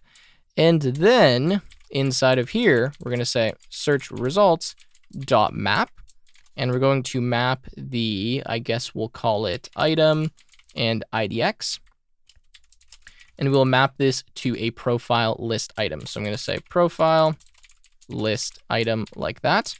And then let's just end the tag here. And we'll pass to this dot dot dot item, which is going to contain all of the information about uh, what do you call it, an individual user that shows up in the search page. Now let's change width here so that's inside of a string. Okay, profile list item. And then we also want to pass an index here. So I'm going to say IDX is equal to IDX, just so we can render an index inside of the tag and we don't get a warning. Okay, understand that was a lot. I think that's pretty much all that we need for this. Now let's write the two functions for the on click for the button, uh, as well as did we have another function that we needed to write? Uh, actually, no, we already did this one for the on input. So let's just write the search function. So let's go function search. Okay. And then let's just simply call search right here. Okay. So I think that's good. Uh, I'm not sure. It looks like we're getting some errors. So let's see what the errors are. Okay. So the error first is saying search.css does not exist. So let's create that file, search.css. Okay, now that that is created, uh, it's giving us another error. It's saying profile list item does not exist. Okay, that's because it's called profile item. So let's change this to be profile item from profile item. We don't need to call it list item. And we're getting another error here. It says profile list item is not defined. Um, okay, that would be right here. Let's change this to profile item save, and looks like all of our errors go away. Okay, so let's open up our front end, and this is what the search page looks like. A little bit weird, but we have the uh, the search field expanding the entire width. We have the search button that says no search results. If I hit search, it's going to say no search results again. What we need to do now is add the styling and all of the classes for this. So let's do that. It is going to be quite a bit of CSS. Let's start writing it out. So we're going to say dot search and this is going to be display and then flex. And then we're going to say the flex direction is a column. And we're going to say align items. And we're going to align them in the center. Okay, we're then going to have our search wrapper. So I'm going to say search wrapper. This is going to be display flex. Going to say the flex direction is going to be column. Going to say align items center. Going to say justify content. Uh, this will be center as well. We're then going to have the min width, which is equal to 30%. So take up a minimum of 30% of the screen. Uh, why is that? Oh, it's because I have a comma here. So let's fix that. Then we're going to have a max width. And the max width, I'm going to make 500 pixels. Okay. So let's see how this looks so far when I make these two changes. Notice here that the classes I did was this div and this div. So let's have a look and notice that now we're taking up kind of the correct amount of size in the screen. We do want to be a bit larger, so we're going to have to affect some of the uh, the other styles or some of the other classes. We're going to have to change them. Uh, but anyways, you get kind of what we're looking at right now. Okay, now that we have that, let's do our search field. So for the search field, this is going to be where we actually have the input. I'm just going to say width is 100%. Okay, now after the search field, we're going to go search form. So let's go search form like that. The search form is going to be display flex. It's going to be margin and then top. And rather than 20 pixels, we're just going to go with 2EM. Okay, then we're going to go flex direction. The flex direction here is going to be the row, and then the width is going to be 100%. Now, before I do the rest of them, let's actually just see what this looks like so far. And now notice that we have this beside the search button. So that's what I wanted to have, and that's what this does right here. When I put the flex direction to row, means all of the items contained in this div, or I guess this is the form, are going to be aligned in a row rather than in a column. Uh, so that's what I was doing to make it look like that. Okay, now that we have that, I'm going to go the search and then the results, and then wrapper. And this is going to be equal to margin top. We're going to do 2EM as well. We're going to say flex direction. This is going to be column. And then the width is going to be 100%. All right, so after search results wrapper, that should be all good. So let's now have a look at what we get. Okay, nice. So that's exactly what I was expecting. We have the margin from the top. We have the text field and the button kind of beside each other. We have this in the center. Now what we need to do is start actually getting the results and then displaying them by using where is it here? The profile item. So we can actually code out profile item first to display an individual profile item. And then that way it's going to be very easy for us to just finish the uh, the fetch commands there uh, and allow us to actually get the different uh, users that we search for. So let's start here by importing and let's import a button. Let's import a list group and then let's do this from and this will be the React and then Bootstrap. And then we're going to say import and we're going to import use navigate. And this will be from React and then router and then DOM. Okay, now we're exporting our profile item. Inside a profile item, I want to take a few props. I want a username. I want a first name. I want a last name. I want a photo and I want the followers. However, for the first name, I'm going to do it like this. For the last name, I'm going to do it like this and then the photo will be here. Now, the reason I'm doing it in this way is so that these match exactly what the fields are that are going to be returned from our Sanity API. Uh, and that way I don't need to actually do any modifications or manually look for them. Okay, now I'm going to say const like this is going to be use navigate or const navigate will be use navigate. Okay, so const navigate equals use navigate. And then we are just going to return what we want to display. So I'm going to go here. I'm going to say return we're going to return a list item. Okay. This list item uh, will have a div inside of it. So we're going to say div. The class name of this div is going to be equal to dflex. This is going to be align item center, justify content, and actually not center. We're going to justify the content between. Then I'm going to end the div tag. And inside of this div, I want to have another div. This div is going to have a class name, which is equal to, it's going to be dflex, okay? And then we're going to, going to align the items in the center of this div, and then we will put an image. Now the image here is going to be the profile photo of this user. So I'm going to say image, we'll end the image tag within itself, and then we'll say src is equal to, and we'll check if we have a photo. Now, if we don't have a photo, or if we do have a photo, sorry, then I'm going to say photo dot asset. So let's do this dot asset dot URL. Otherwise, we'll just display a placeholder photo uh, that kind of says, okay, this user doesn't have a photo, but we're going to show something anyways, just so it doesn't look empty.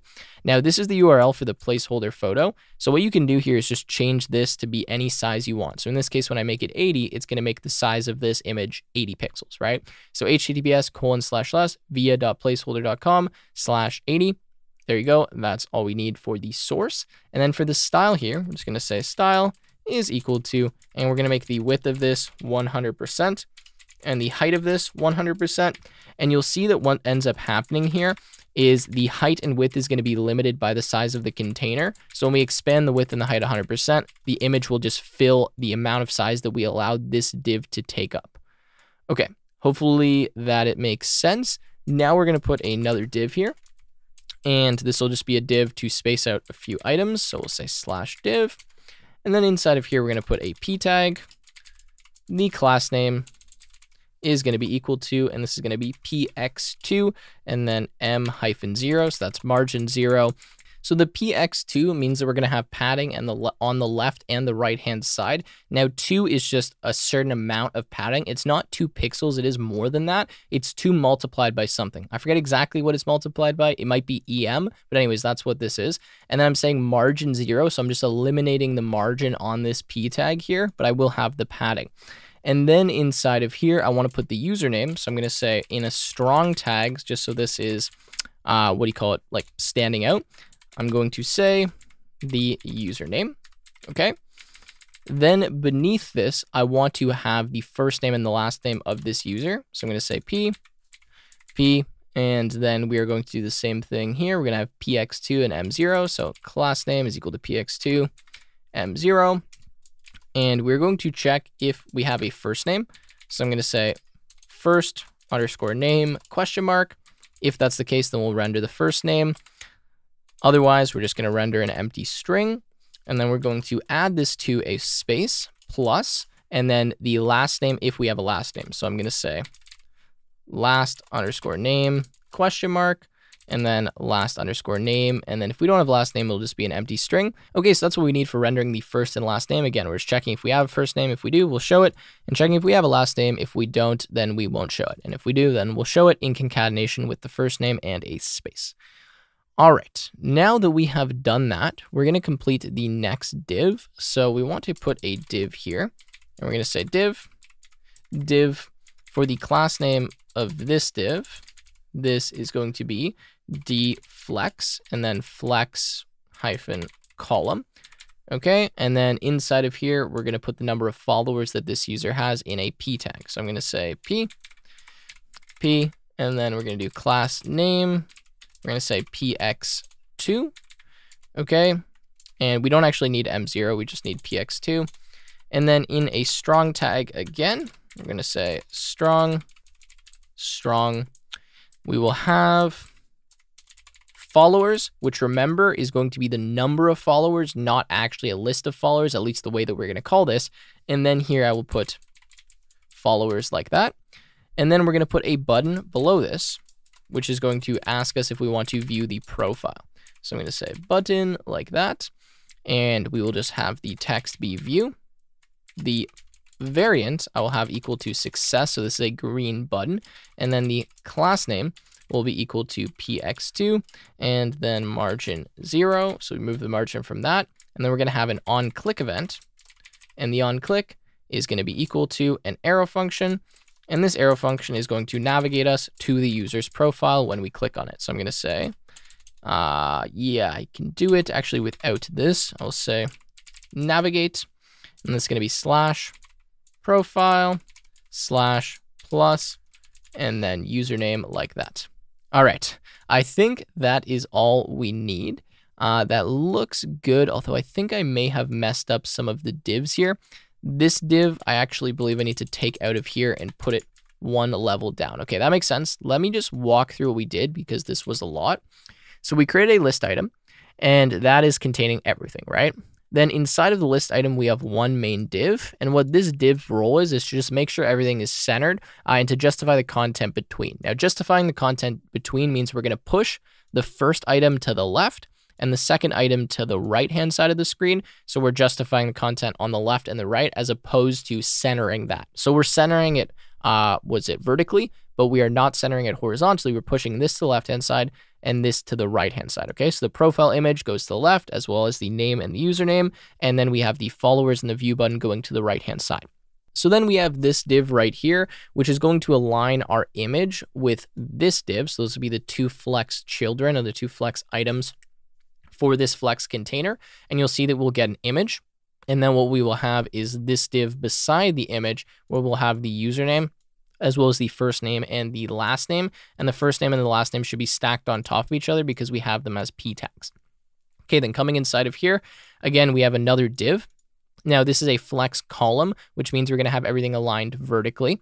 And we're going to have our followers. And then beneath that, we're going to have the button. Okay, hopefully that makes a bit of sense. That's what we have for profile item search.css is finished. So now we just need to finish this search field and we need to make a call to our API here. So what we'll do inside of search is we'll say fetch.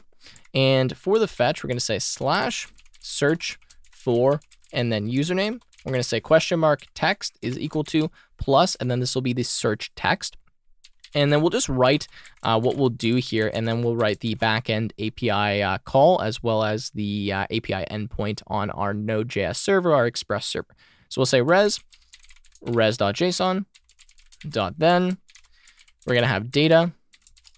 And then what we're going to do with the data is we're just going to update the search results. So I can actually just say update, and then this will be search results like that with the data. And then we will have a dot catch. We will catch our error. And we'll just say console dot error, error like that. Uh, and that should be good. Now I might have to do message. I think it's fine if I just show the error. It should actually display it for me and I will actually be able to view the message from that error object. Okay, that's what we have for search. So this component is pretty much done. We now just need to go to index.js and we need to write uh, this route. So what was the route? It was search for username with a query parameter of text. So let's copy that. Let's go here let's say app.get, okay, slash search for username. Then we're going to take in our uh, request, our response. That will be an arrow function. We want to get the text query parameter. So I'm going to say const text equals, and then this will be request dot query dot text. And then we're going to call a function. So we're going to say search for username. We're going to pass text, then dot then. And then inside of here, we're going to have data and we're going to say res.json data. Okay, so now let's import this and then write that. You guys should be getting used to doing this by now. We've done it a few times. Let's go to API calls. And now let's write the API call for that. So we're going to say functions dot, and then this is going to be search for username. This is equal to an arrow function. This is going to take in some text that we want to search for. And then we are going to return Sanity client dot fetch. Uh, what is the issue here? Sorry, this is functions, not function. So functions dot search for username. We're going to fetch. We'll go with our backticks again. We're going to do our asterisk, and then we're going to say underscore type is equal to, and then user. And what I want to do is match this text against uh, any text for our usernames. So we're going to search for usernames in that box. And essentially any text that I find, I'm just going to see if it's contained in the username starting from the beginning. And if it is, then I will return that user.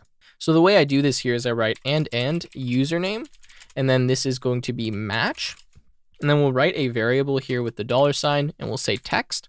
And then we'll just pass text as the object here so we actually get that. Now, what match says is if the start of the username matches with the text that we have right here, then it will match. I mean, hopefully that's clear, but if we have a username that's like hello, then the text HE would match with that, but the text ELLO would not match because we didn't start with an H. So maybe you want to search for it in a different way, but I think this makes sense. You're going to search like a few letters, and then if the uh, those letters are contained in the beginning of any username, then it will show you all of the usernames that have that uh, result, right? Okay, so here, now we need to decide what we want to return. So I'm going to return dot dot dot, which just means everything. And then again, I'm going to return my followers. And here for followers, I'm going to count the number of followers that this user has. Now to count this again is not trivial because I need to find how many references there are from other users to this user because we're not storing followers on a user, we're storing following. So now I need to do another query. And for this query, I'm going to say underscore type is equal to, and then this is going to be user. Okay, so we'll go with user like that. Uh, and then we're going to say and and references. And then again, we're going to go with the caret and then dot underscore ID. So we're looking for how many users reference the current user that we got uh, when we're searching through all of the different users, okay?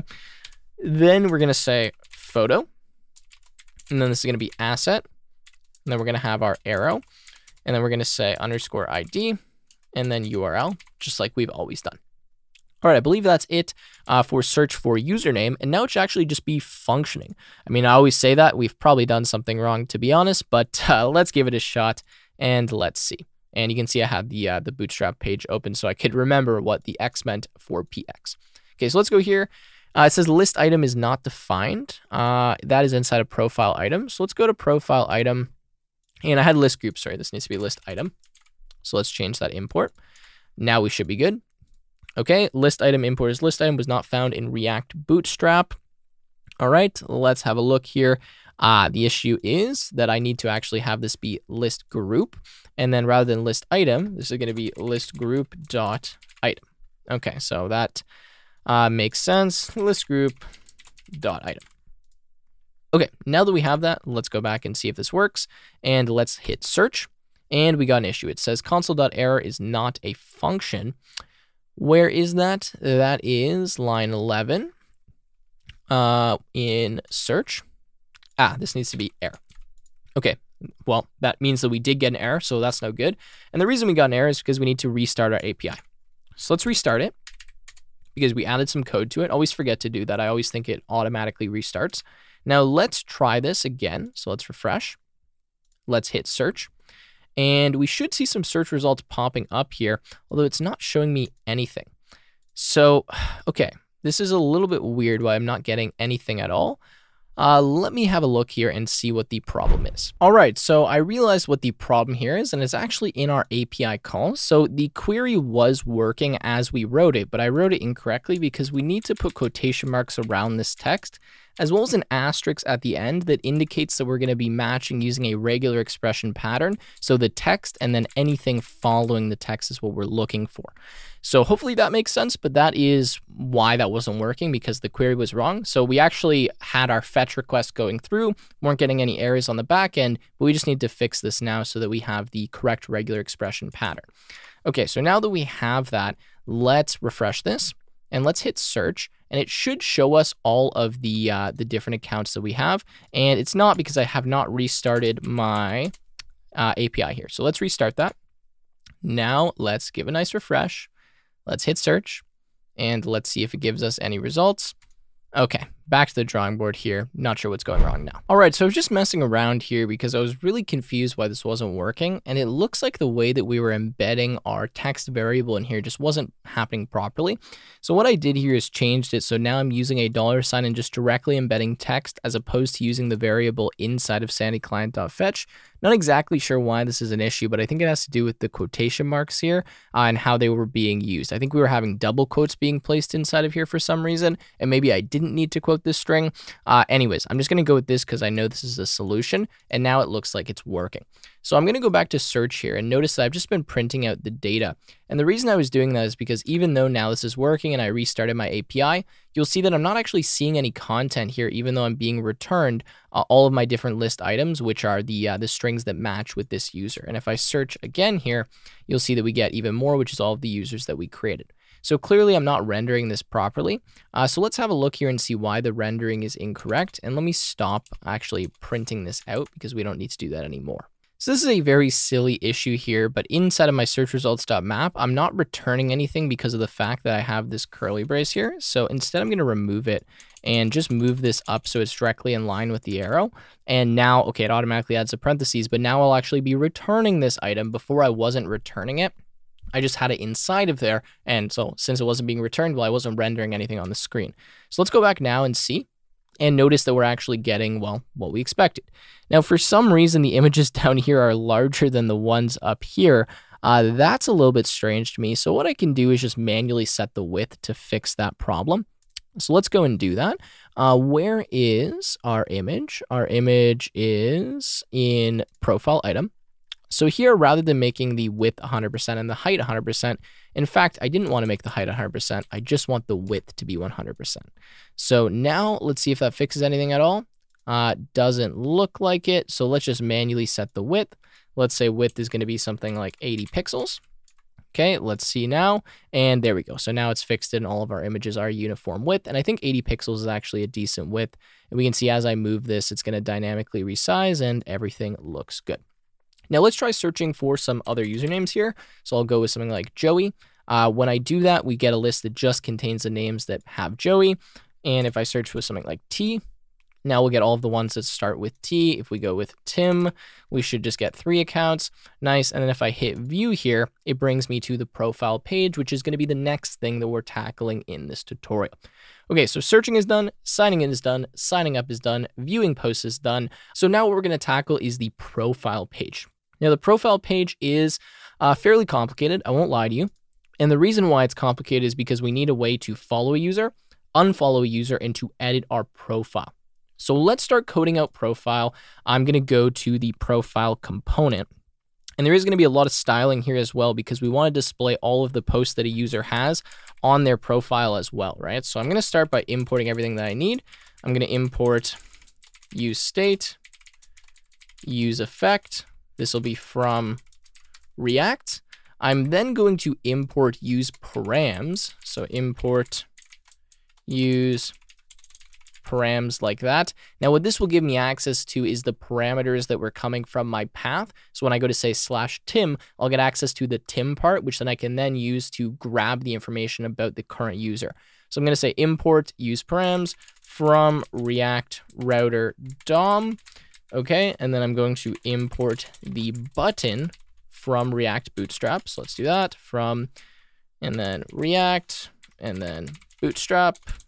Okay, Then I am going to import edit profile from edit profile, which we'll use later on. And then I'm going to import the CSS for this, which I've not yet created, so I'll have to make that, but it's going to be dot dot CSS slash and then profile dot CSS. Let's go here and make this CSS file. So it's going to be profile.css. I will write all of our CSS inside of here. Okay, so going back to profile.js, so we can now set up the state here, and the pieces of state that I want is going to be the profile data, the post that this user has, if we're following this user or not, because if we're not following it, then we need to show a follow button. If we are following, then we need to show a, uh, different button, a button that's going to say unfollow, right? If we are the owner of this profile or not. If we own this profile, then we need to show an ed edit button so we can edit the profile. And then we need to know if we're in the editing mode or not, because I'm going to display, I think it's called a modal. It's kind of like a pop-up uh, where we'll be able to edit the profile uh, without leaving the page. So those are the three pieces of state that I need, or not three pieces. That's more than three. I believe it's five pieces. But I'm going to say const profile and then data and then set and then profile data. This will be equal to use and then state, and we'll just put an empty object inside of here for now. And then we're going to say const, and the next thing we need is the post. So post and then set post like that. This will be equal to use state. Okay, nice. And then we'll say const, and this will be following, and then we'll say set following like that. And then we're going to say is equal to and then use state. And for now, we'll make it false. Then we are going to say const, and we're going to say owner. So are we the owner of this or not? And then set owner, and then this will be equal to use state false. And then we're going to say const editing, telling us if we are editing or not. And then set editing is equal to use state false. And then finally, we're going to say const params is equal to use params like that, which will give us access again to the uh, profile that we're currently looking at. Okay, now what I'm going to do is write a few functions just so that we have them defined and then we'll fill them in. So the first function we want is going to be update following. This will tell us if we're following or not. So I'm going to say update following. Uh, we'll take in profile here. And for now, we just won't do anything. Then I'm going to say function. This is going to be update profile. So this is just going to grab the profile information for a specific username. Okay. And then we're going to say function, and this will be follow click. So if we click the follow button, what do we do here? Okay. And I think that's all we need for our functions. Never mind, we need one more. And this is going to be hide, edit, callback. And again, we'll fill these in later. I just wanted to code them out for right now. Uh, so the first thing that I'm going to do is just say if the profile data is equal to an empty object, then what I want to do is just return nothing. And the reason I'm going to do this is because, actually we're going to return null, is because if we don't have any profile data, then that means that the profile that we went to does not exist. So I will show an alert for that, but I just don't want to render anything on the screen. So we'll just return null. Otherwise, though, if that's not the case, then we can start actually coding out the content of the profile page. Now, again, this is going to be fairly complicated, a lot of CSS just because we need to design kind of like a decent looking profile with everything laid out properly. So I'll code out everything and then I will try my best to walk through it. But there is some understanding of CSS you have to have to understand how this works. So for now, we're going to say class name is equal to profile. Okay, then we're going to do an H4 tag for the name of the profile. Now you can make this smaller if you want, but I think H4 is good. And we're going to say at, and then this is going to be the profile data dot, and then this will be the username of the profile. Then beneath that, I'm going to have a div. And for this div, we're going to have a class name, which is equal to the profile data. Now, the profile data is going to be the, the number of posts, the number of followers, and the number of following. Uh, it also, actually, I'm not sure if in this div we're going to hold the post or not, but either way, we'll have this div. Now inside of here, we want an image. The image is going to be the profile image, right, of this user. We want to see that. So I'm going to say image src is equal to, and then this will be profile data dot photo question mark. So if we do have a photo, then we will display it. So we'll say profile data dot photo dot asset dot url. Otherwise, though, we're going to uh, show the placeholder image, which I'm just going to grab from profile item right here. Okay, so let's grab that and paste it here. Then uh, we can add an ID for this. So we'll say ID is equal to, and this will be the profile underscore image. Uh, we could have made this a class, but I think the ID is fine. And that will allow us to then change the size of this, which we'll do later on. Okay, so now that we have the username and we have the image, the next thing that we want to display is what I'm going to call some vertical data. So I'm going to say div, div, it's going to be class name equal to vertical and then data like that. And then inside of here, I'm going to put a p tag. And in the first p tag, what I want to put is the number of posts that this user has. So I'm going to say strong, strong, and we're going to say posts. And then beneath this, I want to display the number of posts in an H4 tag. So I'm just going to say H4.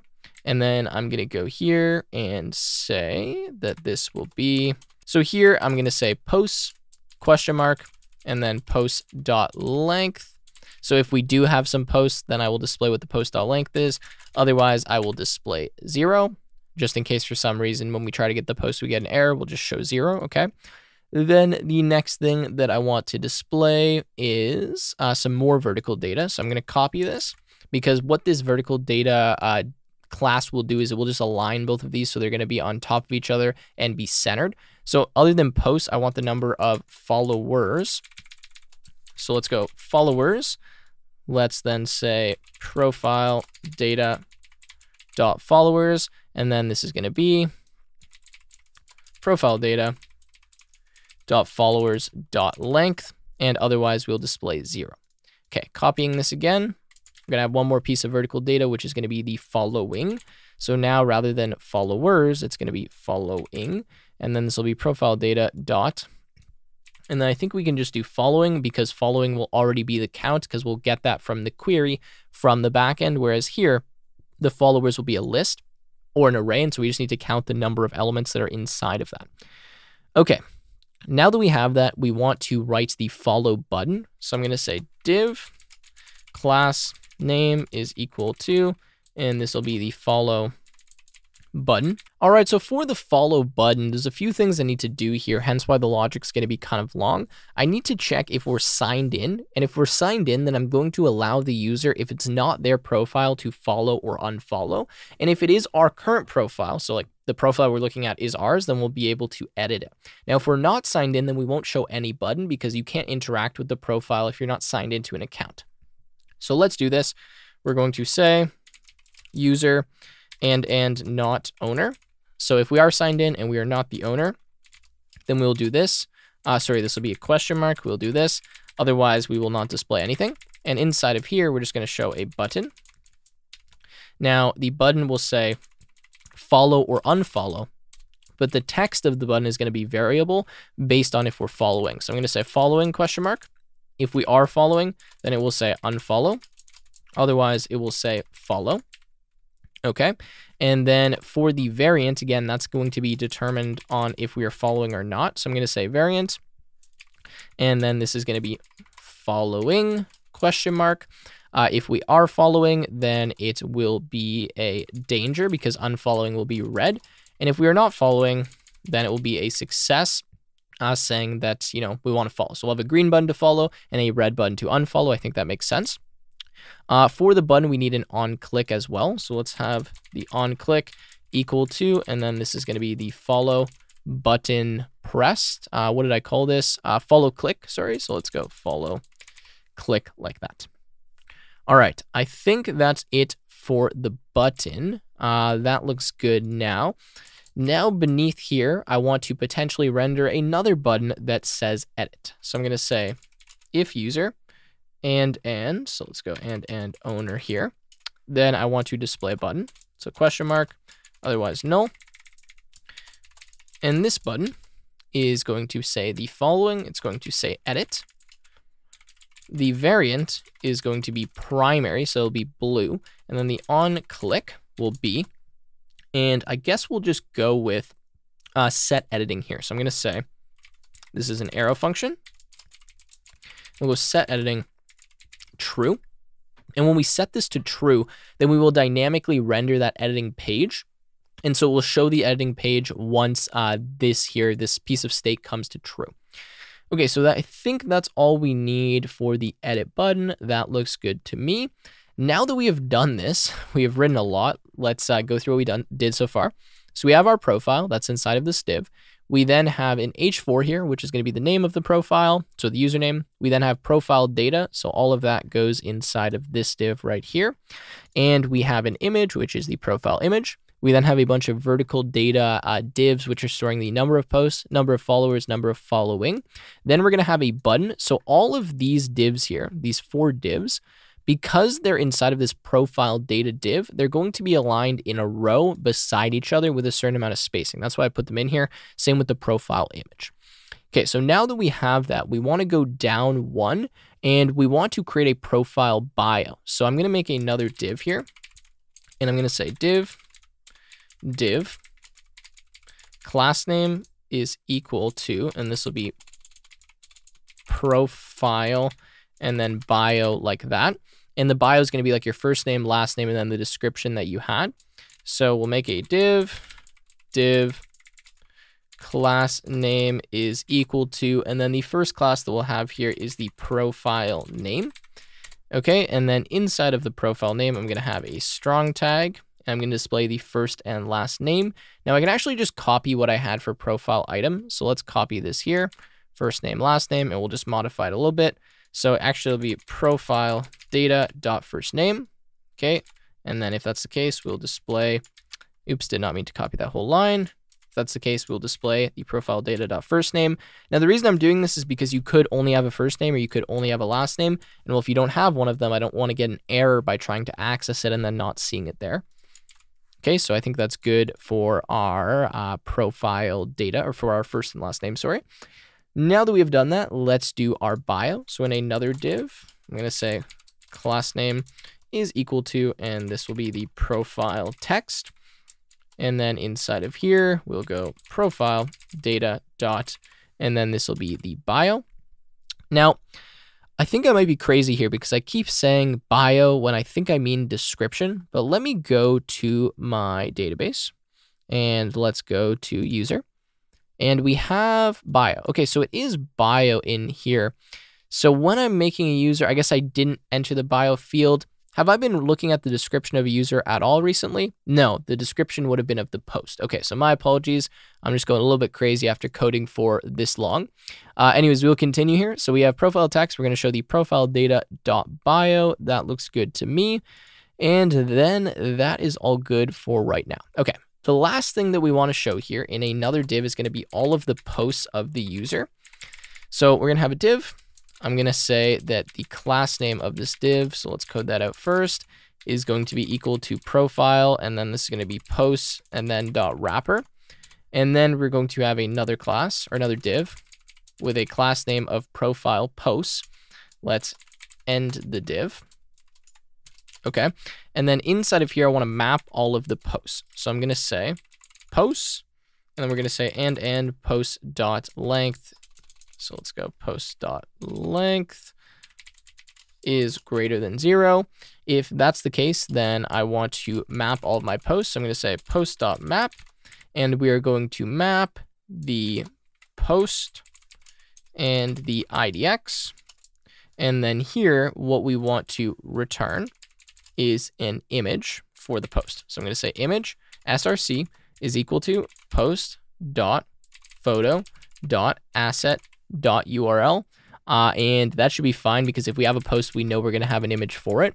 And then we need to end the image tag and we need to say key is equal to, and then this is going to be IDX.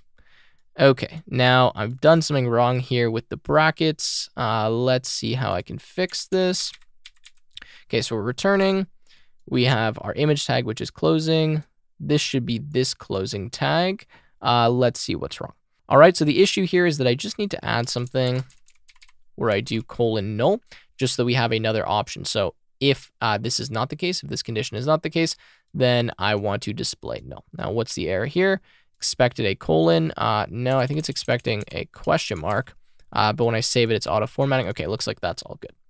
Okay, Apologies, that was a lot of code to write at once. Let's remove this final return statement, but we've completed the HTML for this page. Now, really what we need to do is fill in these functions, and we also need to write all of the CSS. Now, we can't really write the CSS, or at least see what it's doing until we have these functions filled in and we're getting some profile data, getting some posts, and getting all of this. So let's start by writing the function, which is going to be update profile. So I'm going to go to update profile here. And what I'm going to do in here is I'm going to fetch and I'm going to fetch from slash and then get profile, which we've actually already written. And I'm going to say user is equal to plus and then user. Uh, and actually, sorry, this is going to be username. And we're going to get username from our params, but we're going to call this function from somewhere else, which I'll do in a minute. Okay, so we have fetch uh, slash get profile user username. I'm going to say dot then. We're going to get our res. We're going to return the res.json. Then we're going to say dot then again. We're going to get data and we're going to return the data. So we're going to say, actually, we're not going to return the data. We're going to set the profile data of data. Okay, so that's what we need for there. However, we need to do a few things just in case any errors occur here. So let's add our curly braces. And the first thing that I want to check is if we have any profile data. So I'm going to say if, and this is going to be data, and I keep writing the wrong brackets. I'm going to say if data dot length is equal to zero, then I'm going to add an alert and I'm going to get the alert from in here. So I'm going to take in user and I'm going to take in set alert. So I'm going to say set alert like that. And the alert that we want to send is that this user does not exist. So if we don't get any length from our data, that means there was no user that existed with the username that we're trying to get the profile for. So we set the alert with the variant equal to or equal to danger and the message equal to no user no user with this username exists. Okay. Or I guess we could say profile does not exist. That's probably a bit shorter. Profile does not exist. Uh, not exist. Okay, nice. So that's what we have for set alert. And then we can just write return here. And then down here, we will set the profile data. However, before we set the profile data, I want to fetch all of the posts that this user has. And I have to do that in a separate request based on the way that I'm going to write these queries. So I'm going to say fetch, and this is going to be get. So slash get posts, and this is going to be question mark user equals plus and then username. Okay, and then here I'm going to say dot then. I'm going to get my response. I'm going to return my res.json. Okay, then I'm to say dot then. I'm going to get my data, and then I'm going to handle the data. So again, what we're doing here is we're getting all of the information about a specific user. So we're just getting their profile. Then once we get that, assuming that we actually have a user with that name, we're going to get all the posts from that user. And once we get the posts, I'm going to change this actually. So rather than this saying data, this is going to be profile data. Okay, and we'll change this to be profile data just so this is a bit more clear. And actually, no, we don't want to shadow the above name. Uh, so let's leave this as data. Let's leave this as data as well. But let's change this to be posts just so it's clear that we have data up here and we have posts here because we're going to have to use them both. So I'm going to set the profile data of the data that we got here. But then the posts, I'm going to say set posts. And that's going to be the post that we got. All right, so now that we've done this, I just need to make a few modifications. First, I need to make this data zero because again, our data is going to be a list, even though it only contains one element. So I want to get the first element.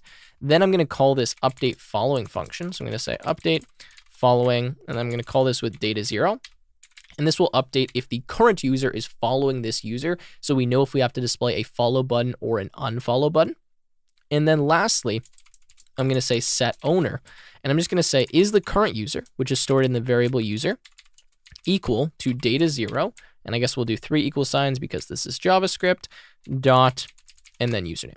So this is saying, is the current user the profile that we just got? If it is, then we want to show the editing button or show the edit button at least. And so that's why we're, uh, we're setting this here. Okay, now that we've done that, we can just add a catch. Uh, so we'll add, actually, I guess we can just add one catch right here.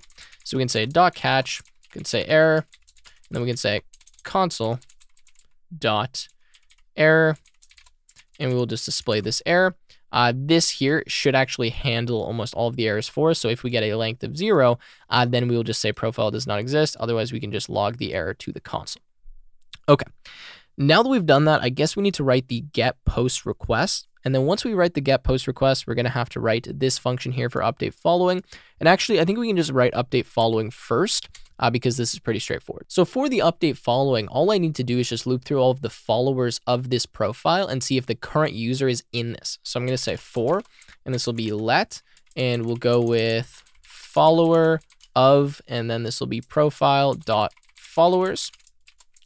Then I'm going to say if follower dot username is equal equal equal to the user, then what we'll do is say set following, and we'll set that equal to true, and then we'll break.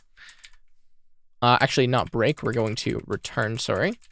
And then otherwise, so if we get to the end of the for loop, we'll say set following, and then false. Okay, so this just sets the state again, telling us if we are following or not.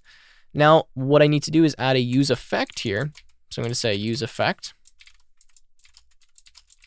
And I'm just going to call this update profile. So I'm going to say update profile. And then what I need to pass here is the params dot and then username like that.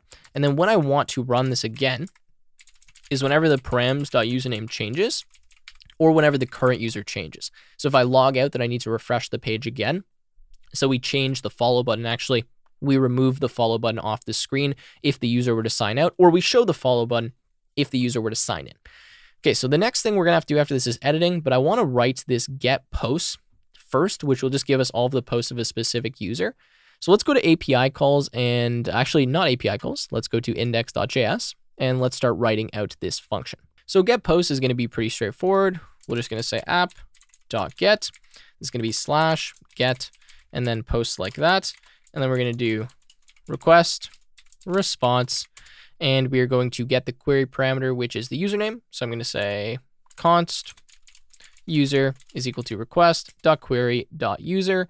That looks good to me. Then we're going to say get posts, pass the user. And then you already know what we're going to do here. Dot then, I'm going to take in our data. I'm going to say res.json data.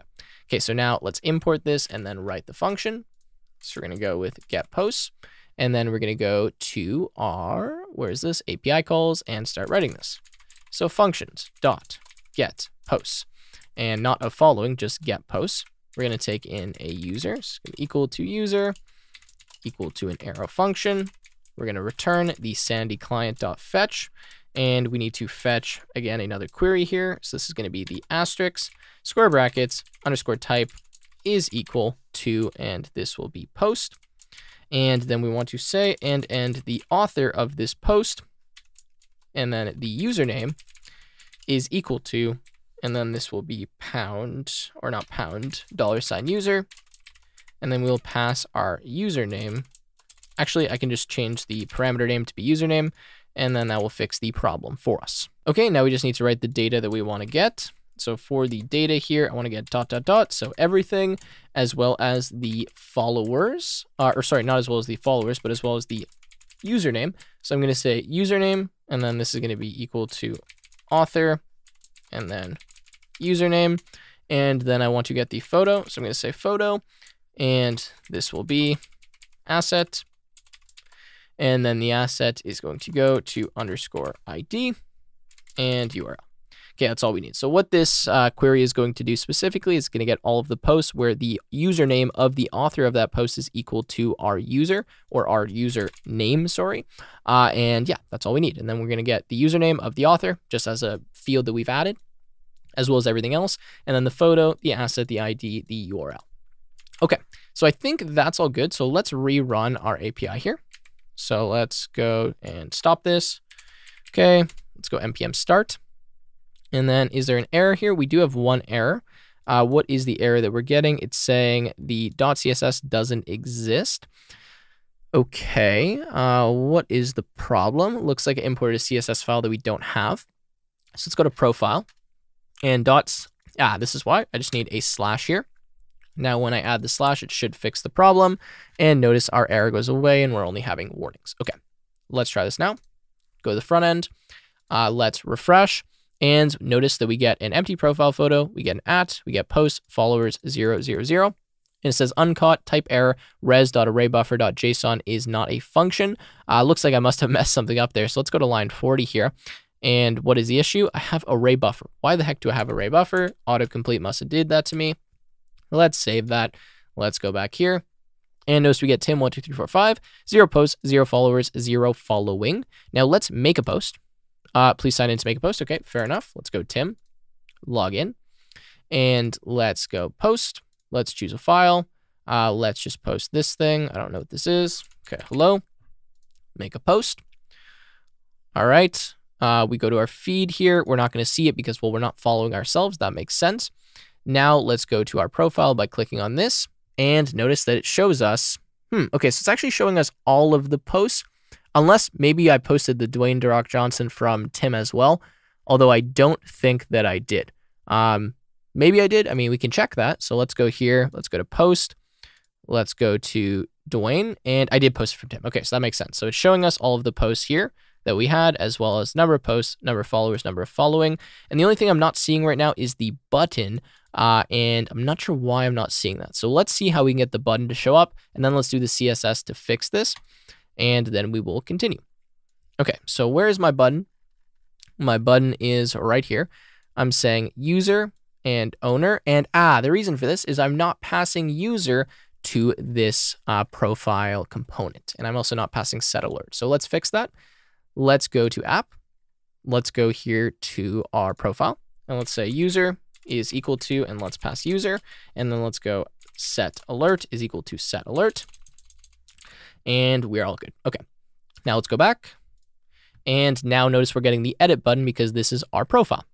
Awesome. When I click that, it doesn't do anything, but that's what we expected.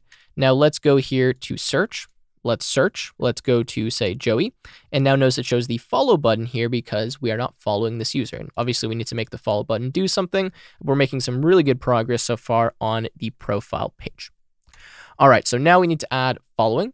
We need to add the styling. So let's do the styling first. I keep forgetting to do that. It's also because I hate styling, as I'm sure many of you do as well. Let's start writing out all of these classes. The first class that I'm going to write is my vertical data. I'm going to say this is display flex. I'm going to say this is align items, and then we're going to align this in the center. Uh, we need our semicolon here. Okay, we need the justify content. So we're going to say justify content center. And then we're going to say the flex direction is going to be columns, so they go above each other. So let's have a look what happened now and we add that. Notice that now our posts, uh, followers, and following are all stacked above each other, which is what we wanted. Okay, the next thing we want is dot profile. So for dot profile, we're going to say display flex. We're going to say flex direction here is going to be row. Okay, then we're going to say justify content. This is going to be center. Align items. This is going to be center. I'm also going to put a flex wrap here, where I say flex wrap, and this is going to be wrap. Okay, let's have a look now. And notice that everything kind of gets pushed in the middle here. A little bit strange, but we're making some progress. All right, next I actually need to write a class that I forgot to add. So what I'm going to do is go back to profile here and add another div that I forgot to add here. So right inside of profile, I'm going to say div class name is equal to, this is going to be profile hyphen banner. Okay. So this is going to contain everything up to but not including the posts. So I'm going to put the ending div tag right here. And now we have a profile banner div. So now I'm going to go to profile.css and I'm going to code this. Now the profile banner, again, just contains kind of the top banner aspect. That's everything other than the post for this user. Okay, so we have profile banner. What we want for profile banner is the following. We're going to have a min width. So we're going to say min width is going to be 30% of the screen or of the parent. We're going to say the max width will be 500 pixels. Again, this is not the best way to code all this out, but it will make it look decent enough for our, uh, our purposes. I'm going to say this is display flex. I'm going to say flex direction, and this is going to be column. Okay, I'm going to go with align items. So align item center. We're going to go with the justify content center as well. And then we're going to go column gap, which is how much of a gap there is between each column. And this is going to be 2EM. Okay, now let's have a look here. And notice it brings it all back here over to the left-hand side. Don't worry, as I code out the rest of it, it will continue to fix it. So that is profile banner. Now we need our profile data. So I'm going to say profile data, and this is going to be display, and this will be flex. And then we want to have a flex direction of row, and then we want to have a column gap here as well of 2em. Okay, so continuing here, let's go dot follow and then button. And for the follow button, I want to have the display of flex and I want to have a line item center. Okay. Then we're going to have our profile image, which I'm referencing with ID. Don't really know why I went with ID as opposed to class, but it's done now. We're going to say max width is 100%. So let's fix that. And then min width is, and this is going to be 100%. Okay. Apologies if you hear my little kitten here that is meowing, sitting right beside me. I know you guys can't see her, but uh, she's meowing, and I'm not sure if it's picking up on the mic or not. We're going to continue here. We're going to have profile bio. This is going to be display flex, and then we're going to say flex direction. This is going to be the column. Okay, and then we're going to go dot profile posts, and then this is going to be hyphen wrapper. This is going to have a min width and not of none, but of 30%. It is going to have a max width of 500 pixels, so 500 px, and then it's going to have display flex. Okay, and the flex direction is going to be column, so let's fix that. Okay, then for our profile posts, I want to have a grid to uh, display them so that it's nice and organized. So I'm going to have profile posts, and then inside of here, we're going to have display, and this is going to be as a grid. And then I'm going to say grid template columns. And I'm going to say one fractional unit, one fractional unit, one fractional unit. And what this will do is make it so that we have three posts in every single row of our grid. Uh, that's kind of just what this is doing. Now, if I wanted four, I would do one more fractional unit. If I wanted two, I would remove one. I'm not going to explain much more than that. That's what that line does though. And then finally, I'm going to say profile, posts, and then for all of the image tags inside of there, I'm going to say the width can be 100%, and the min width will be 100% as well. Okay, min width, and then 100%. Okay, again, I'm not a master of CSS. I'm sure some things here don't make complete sense, and there's probably better ways to do stuff, uh, but this is what I got working before, and I'm not really down to change it right now. Okay, so let's go here, and let's refresh. Okay, so that looks better after I refresh, but this image is way too big. So I got to find a way to make the image smaller. Uh, so let me have a look here and then I'll be right back. All right, so I realized what the issue is. I had this at 100% when I meant to have 100 pixels for my profile image. So let's fix that. Make it pixels, not percent. And there we go. That is looking much better. Now, it is a little bit offset, like it's over to the left when I want it to be in the center. Uh, so again, let me just have a quick peek here and see why we're getting that. All right, so I see the issue here for my align items in my profile banner. I'm actually going to align them at flex start, which means I'm going to align them at the beginning of the container. Uh, and I think that should make the fix. So let's have a look at this now. And that looks a bit better. So these items have now been pushed over to the left. We still have this kind of offset to the left when it should be in the middle of the screen. So let me continue look for the issue here. I'll be right back. All right, so I found the other issue here had to do with my profile. So I had the flex direction as row when it needs to be column. Uh, when we make that column now, it should fix this and put it in the center of the screen. And as you can see, it does. And when I resize it, everything is dynamic and looks okay. All right, there we go. Now let's go to Tim's profile because there's some images there. And let's see if these are laid out nicer now. So for Tim, now we get our two images not perfect, but I can live with that for right now. Uh, it's good enough. Again, we're not focusing a ton on the styling, but I can see the different images. And actually, maybe one thing that I do want to do is add a little bit of a break here between the images as well as uh, the bio here. So let's implement that. And the way that we can do that is we can go to uh, profile here and we can just add in a break div in between here. So I can say div, I can say class name is equal to break. And then if I go to my profile.css, let's just write that. So I'm going to say dot break.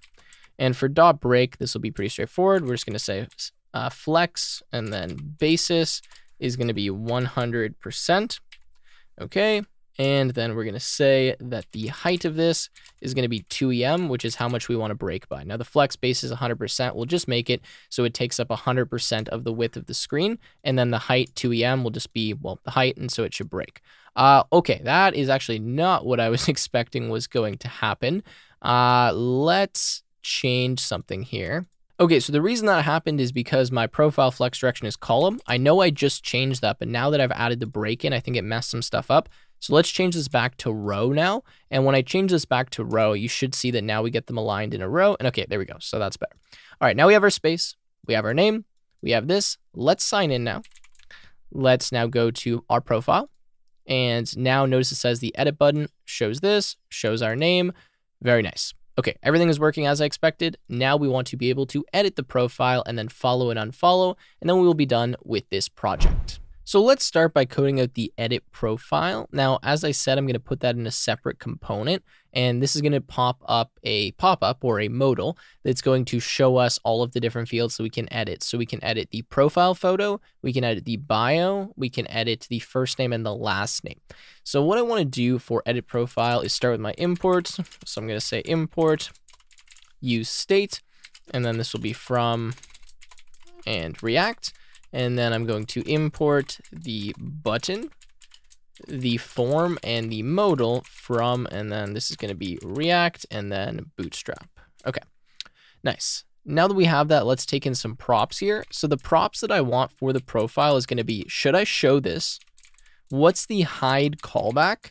So when I hide this modal by clicking out of it, uh, what's the callback function for that? Then we have user, we have not add alert, but set alert. And then we have the profile data because we need to populate the fields uh, with kind of the default data that's already there and then see if we need to update it or not. So what I'm going to do now is say my state. So I'm going to put a state for the bio. So I'm going to say const bio and then set bio is equal to use state. So we'll say use state and then this will be the profile data dot bio. So that's what the default value is going to be for it, whatever our current profile data bio is. Then we'll have const, and this will be the first name, and this will be set first name equal to use state profile data dot first underscore name. Okay, and then we're going to have const last name set last name is equal to use state. So let's do that. Profile data dot last underscore name. Okay, then we're to have const, and this will be a file. This will be set file, and this will be use state, and this will be an empty string, and the file is to be for our profile picture. And I will show you how we uh, update the profile photo uh, later on. Okay, then we are going to write the HTML for our page or for this modal, for the component.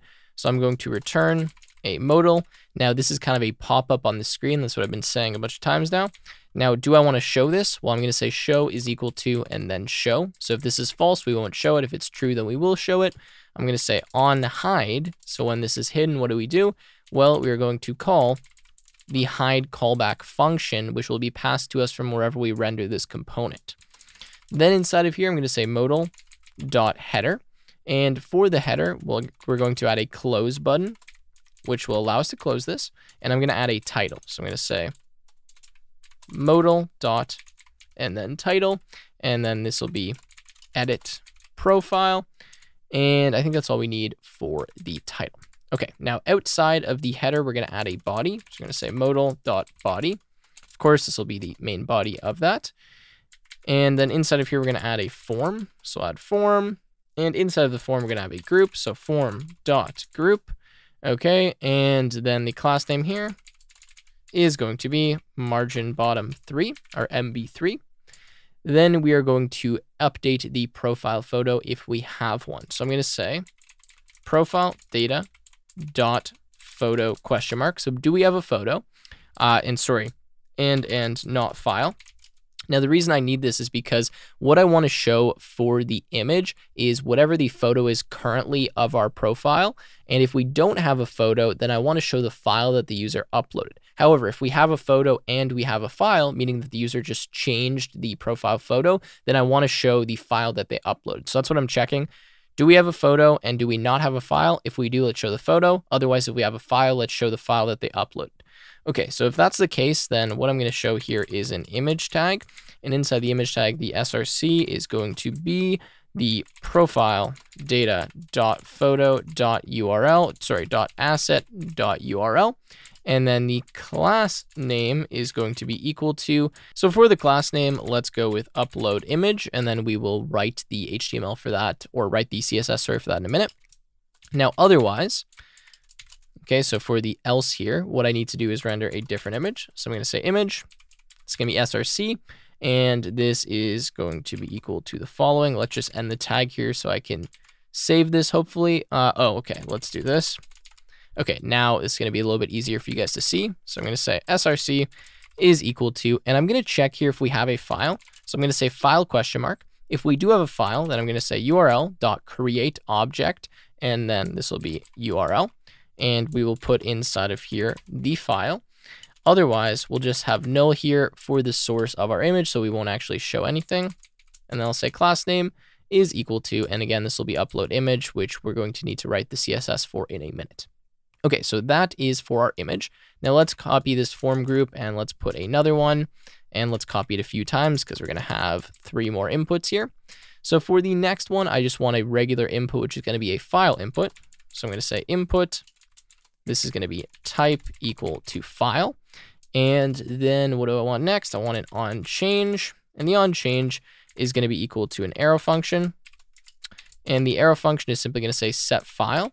And this is going to be E, but we need to take in E here, dot target dot files at index zero, which we've already seen. So that'll give us the file that uh, we actually uploaded here.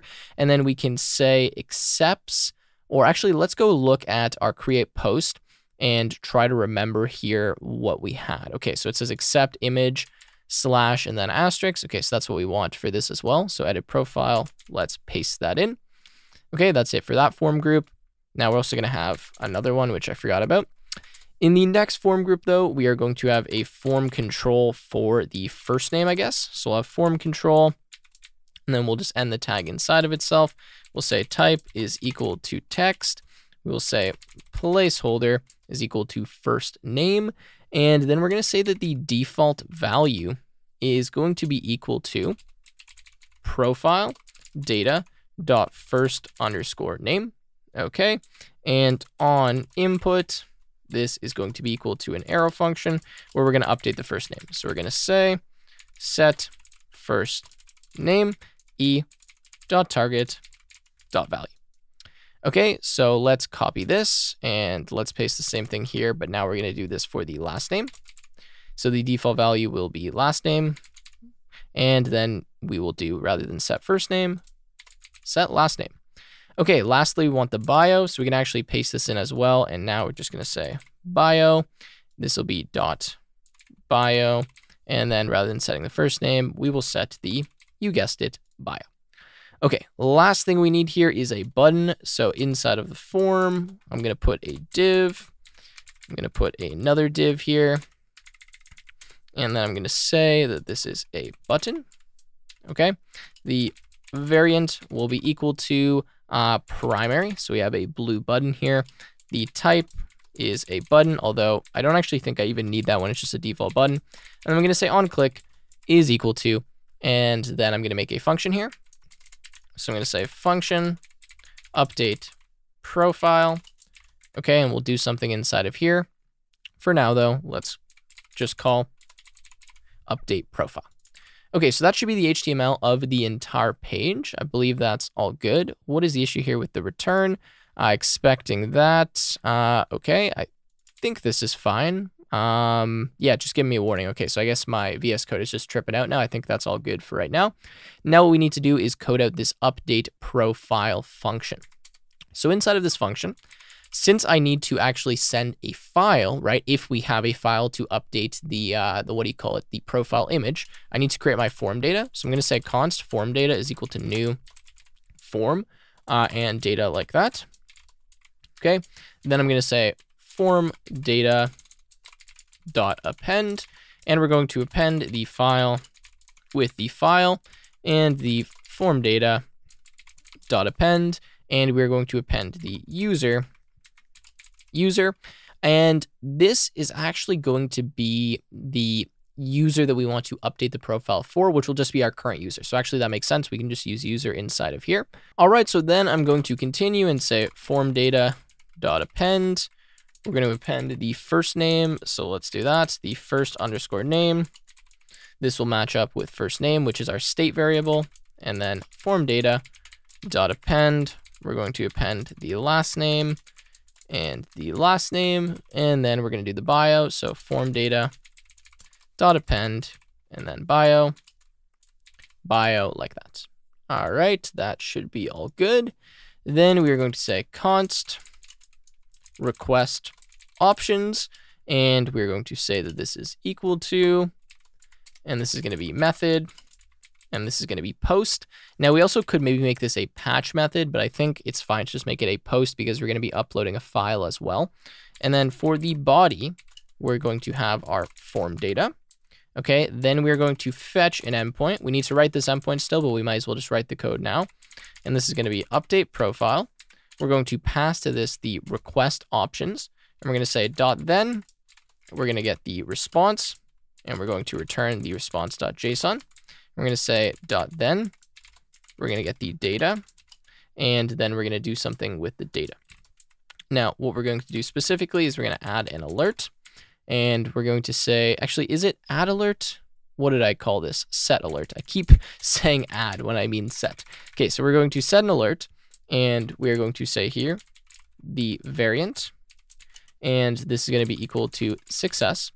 Okay, and then the message and this is going to be equal to profile updated successfully. Okay, now what I'm about to do here is going to seem a little bit weird, but it's going to save us from having to make another request to the API to retrieve the new image for our uh, our profile image if we uploaded one. So I'll explain why we need this, but I'm going to say if file. So if we did actually upload a new file, then I'm going to say data dot, and I'm going to add a new key here. It's going to be image URL is equal to URL dot object or dot create object. So this is going to be create object URL, and I'm going to pass to it file. Now, the point of this is that I'm going to now call the hide callback function with my data. And I've now added this image URL field to it. And so now from the component that's rendering this, which is going to be the profile component, I can grab the image that was uploaded here in the modal. And without having to wait to get a response from the API, at least to send another request, get the new profile data, get the new image, etc what I'll do is just immediately update it on the profile. And so it's going to seem like it's a lot faster because what happens here is when I send this request, it's going to return to me all of the data that I updated on my object. It's also going to return just the data of the object in general. The issue is that it's not going to return to me a URL for the image that I uploaded. It's only returning to me the ID and the reference of that image. So since I already have the image path here, I'm going to say data.imageURL is equal to, and I create a URL for it then I display it immediately. Again, this is saving me a request to the API. So once we start getting through this, uh, it'll make more sense. But again, we're just adding the URL to the image we uploaded to this data. So now I can grab that from the profile component and I can just display that instantly. And so it looks like we updated very quickly when uh, we don't have to send a second request to the API to get the new image. Hopefully I'm clear there. Let's add a catch though, just in case something goes wrong. So I'm going to say error. And then here we will add an alert actually. So I'll say set alert, caught myself that time. And let's go with variant. And this will be danger. And then the message will be error dot message. And then we also need to call the hide callback function from here as well. But this time we're not going to have any data to return. So I'm going to do semicolon and then I'm going to call the hide callback and I'm just going to pass to it undefined uh, because, well, we have no data. Okay, so that's it for the update profile function. Now that's really going to complete this component. Now what we need to do is write the update profile API uh, endpoint. So let's go to actually index.js first. And inside of index.js, we're going to write this. So we're going to say app.post. Now this is going to be slash, and this will be update profile. Now here we want to accept a file. Although we're not sure if we're always going to get a file, but we could because when you're updating the profile, the idea here is that you can update some aspects of the profile, but you don't have to, right? You might only update the first name, you might only update the last name. So we have to be careful here how we're updating this and making sure we don't clear any fields if we didn't change those. So I'm going to say upload.file. And then inside of here, uh, actually, sorry, not upload.file, upload.single. This will be a file. And then we're going to say, let's go here, request, response, and then this will be equal to an arrow function. Inside of here, I'm going to get the body. So I'm going to say const body is equal to, and then request dot body like that. All right.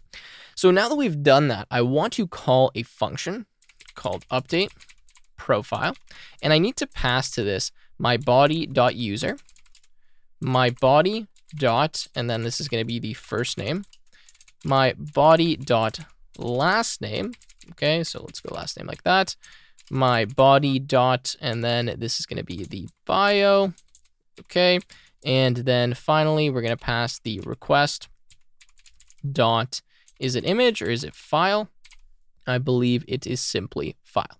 Okay, then we're going to have dot then data, and then we are going to return res.json like that. All right, so let me just quickly fix this so that we don't have these uh, things here because we don't need those. Now, what I wanted to mention is that throughout this video, I haven't really been showing you all of the responses from the Sanity client. Now, they're just standard JSON responses that are going to contain all of the fields from our database.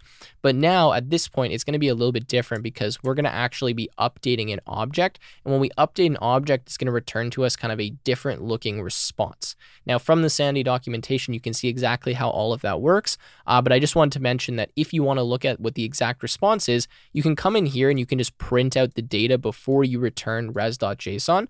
And then that way you'll be able to see, well, exactly what the response is in the console. Uh, or specifically, you'll see it actually from your API, like when I was here when I was printing out a file that I was uploading. In fact, let me remove that. I have a console.log somewhere. Uh, where is it? Yeah, right here, console.log request.file. Okay, anyways, we have update profile. We have this function. So let's now import the function. Okay, and then I just want to copy this just so I don't forget the different arguments. And let's go into API calls and let's start writing this. So I'm going to say, actually not const, functions dot, and then this is going to be update profile like that. This will be equal to an arrow function. And then we're going to take in the first name, the last name, the bio, uh, we also need the user. So first we'll take in the user, first name, last name, bio. And then this is going to be the file, or we'll call it the image. This will go to an arrow function. Then inside of here, we need to make what's known as a patch request uh, with the Sanity API client so we can update the profile. So to update the profile, First, we're going to check if we have an image, because if we have an image, we need to upload that image and then use the new ID of that image as kind of an update field when we're updating the profile of the user, right? So I'm going to say if image like that. So if we actually have something, then we're going to return the Sanity client, and this is going to be dot assets, right? And then dot upload. And we're going to do exactly what we did before. So Sanity client dot assets dot upload. We're going to upload an image we're going to create a read stream. This is going to be of the image dot path. And in fact, uh, actually, yeah, we'll just code it out because why not? We have the file name here. And this will be the base name of the image dot path. Okay. And then from here, we're going to say dot then. And then we're going to have some data. And then what we're going to do with this data is we're actually going to say functions dot get user ID like that. We're going to get the user dot then. I know this is a lot. I'm going to save in a second. Actually, let's save right now just so we can see this a little bit easier. Okay, that's a bit easier to read. So I now have dot then. Now I'm going to get IDs. And then from the IDs, excuse me, I need to say sanity like this. So sanity, sanity client dot, and then this is going to be patch, and I'm going to patch IDs zero dot underscore ID. Don't worry, I'll explain all of this in one minute. And I am going to set something. Specifically, I'm going to set all of the fields that I want to update. So let's write that out. But first, let me just fix this so I don't have my curly brace because I can't have that here. That's going to crash my program. Okay, so dot set, and this is the way that we update a field. Okay, so let me just slow down for one second because I'm getting lost a bit myself. So we have if image. If we do have an image, we're going to start by uploading the image, which we already know how to do. Once we upload the image, it's going to return to us some data. That data is going to contain the ID of the image, which we're going to use to reference it. Okay, so that's where we're first uploading the image. Then we're saying functions.getUserID. We've written this, uh, I guess, very close to the top. Yeah, it's right here. Just returns to us uh, information about a user, specifically just the ID but it's going to give it to it, us in a list. So we want to get ID zero and then dot underscore ID, which, which will actually be the ID of this user. Then we're saying dot set because we're patching here. So patch says we're going to be updating and then we're setting. And when we set a field, we're just changing the value of that field to be whatever we want. So then I'm going to write an object here and I'm just going to put the names of all my fields. So I'm going to say first name, last name, bio. And then for the image, we're going to have to set it a little bit differently. So we're going to say the image, actually not the image, sorry, the photo, because that's the name in our database. And this is going to be equal to an asset. And the asset is going to be a reference. So we're going to say underscore ref. And this is going to reference data dot underscore ID. Okay, let's save this. Now it's a little bit easier to read. So again, we upload the image. We get the data associated with the image, which will allow us to get the ID. We get the user ID of the current user and then we say sanity client dot patch, and we're patching what ID or what document. We're patching the document with the ID of this user. So when you use dot patch, you pass in an ID of the document that you want to patch and set different fields on. And then I'm saying dot set. So dot set allows me to actually set the values. So I pass an object here. I pass first name, last name, bio, and then I'm passing photo. And this is going to be an asset that's referencing the image that we just uploaded, which we're going to be able to get the ID of from data okay? And then what we do is we type dot commit. And when we do that, it's going to commit all of the changes uh, to the Sanity database. All right, now we also have the option to unset. I won't show you that. Again, you can reference it from the documentation, but setting is how we can make an update to the object and override those fields. Nice. Now that we have that, we need to write an else because if we don't have an image, then we're not going to upload an image. And in fact, if we don't have an image, we're just going to do this. So I'm going to copy this part right here uh, actually, it'll just be this first part. And we're going to say return like that. This is going to be functions.getUserID dot then. And then inside of here, what we're returning is sanityclient.patch ID 0 ID set first name, last name, bio, but we're not going to set the photo this time because, well, we don't have a photo. So there's no reason for us to set the photo, right? Pretty straightforward. Okay, so I think that's all we need to do inside of here. That looks good for update profile. Definitely the most complicated one that we had to do thus far. Now we will go back to edit profile. Uh, and I guess we can actually just give it a test, although I need to render this component from inside of profile. So I am importing edit profile from edit profile. So what I'm going to do now is go here to uh, right before profile, and I'm going to the, render the edit profile component. So I'm going to say edit profile, and then what I need to pass to the profile is quite a few things. So I need to say user is equal to, and then user. I'm going to pass show, which is going to be equal to editing. So if we're editing, we're show it. Oh, we're going to show it. If we're not, then we are not, obviously. And then I'm going to pass my hide callback. Okay, so hide callback is going to be equal to, and then what did we call this? I think we called this hide edit callback. Okay, that is what we called it. And let's just end the component so I don't forget to do that. So we have user, show, hide callback. We also need to pass our profile data. So I'm going to say profile data is equal to, and then profile data. Let's save that. And then lastly, we need to pass our add alert. So I'm going to say add alert is equal to, and then add alert, which would have been passed to us uh, in a prop right here. And oh my gosh, I keep saying add alert set alert, set alert. And then let's just go to edit profile and make sure I called this set alert. Okay, I did call it set alert. Nice. Okay, so that now will actually allow us to view the edit profile page uh, whenever we click the edit button. All right, I think that's all we need to do for the profile component. I have a feeling a few things are not going to work as expected, but that's fine. We'll fix them when we get to that point. So let's go here. Uh, let's go to our React app. Let's refresh. Uh, okay, let's sign in. Let's sign in as Tim. Let's go to our profile.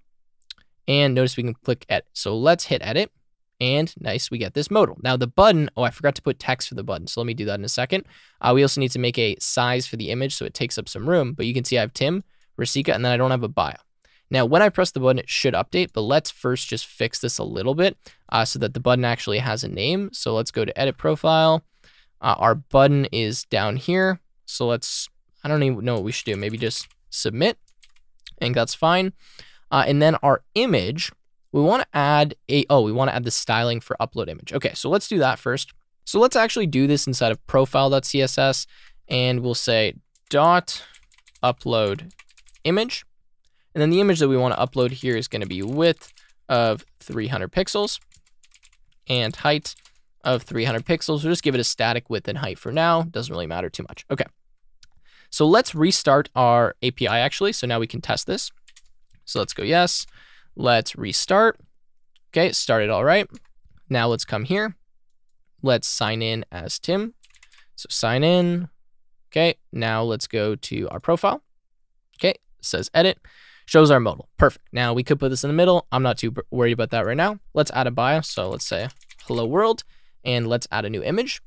And actually we don't have any image at all. So let's just go with something like this. Okay, nice dog. Let's press submit and let's see if this is going to work or not. Okay, so it said profile updated successfully, but we have not closed the modal. And when I come back here, uh, it's actually not even letting me close it because I have not implemented the hide callback function. So we need to fix that, but it does look like that it was updated. We didn't get any errors, which is a good sign. So let's continue now. Okay, so let me close this. Let's go to edit profile and we need to implement this hide, sorry, let's go to profile, my bad we need to implement this hide edit callback. So inside of hide edit callback, we're going to say set editing false. Now that will at least close the modal for us. We also need to do a few other things. The next thing that we're going to have to do is get the data that's going to be passed here, and we're going to use that to make some updates to our profile again, so we don't have to send another request. So I'm going to say if data, so if it's not undefined, if this did happen successfully, then I'm going to say profile data dot first underscore name is equal to whatever the new data dot first name is. And then the profile data dot last underscore name is equal to data dot and then last underscore name. Okay, and then I'm going to say if data dot image underscore URL. So if we do have an image URL inside of there, then we'll update the photo. So profile data, actually we'll say profile data dot photo is going to be equal to, and then this will be an asset and then this will be a URL, and the new URL will just be data dot image URL.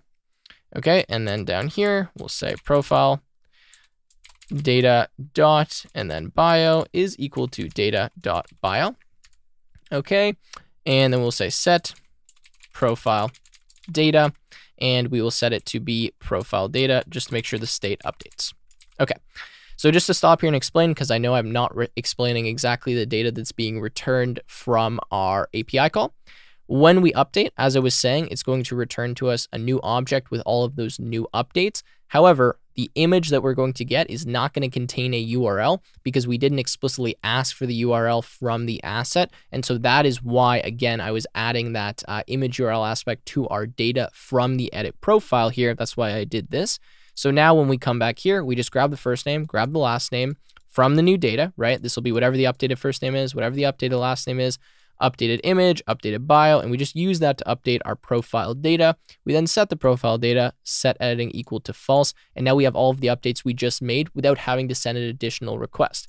Now, if we wanted to simplify this, we could actually just call the update profile function here, and then that would send another request that would then give us all of the new data, and then we wouldn't have to worry about any of this. So what we could do is not return any data and just call update profile, and we just call this with the username, right?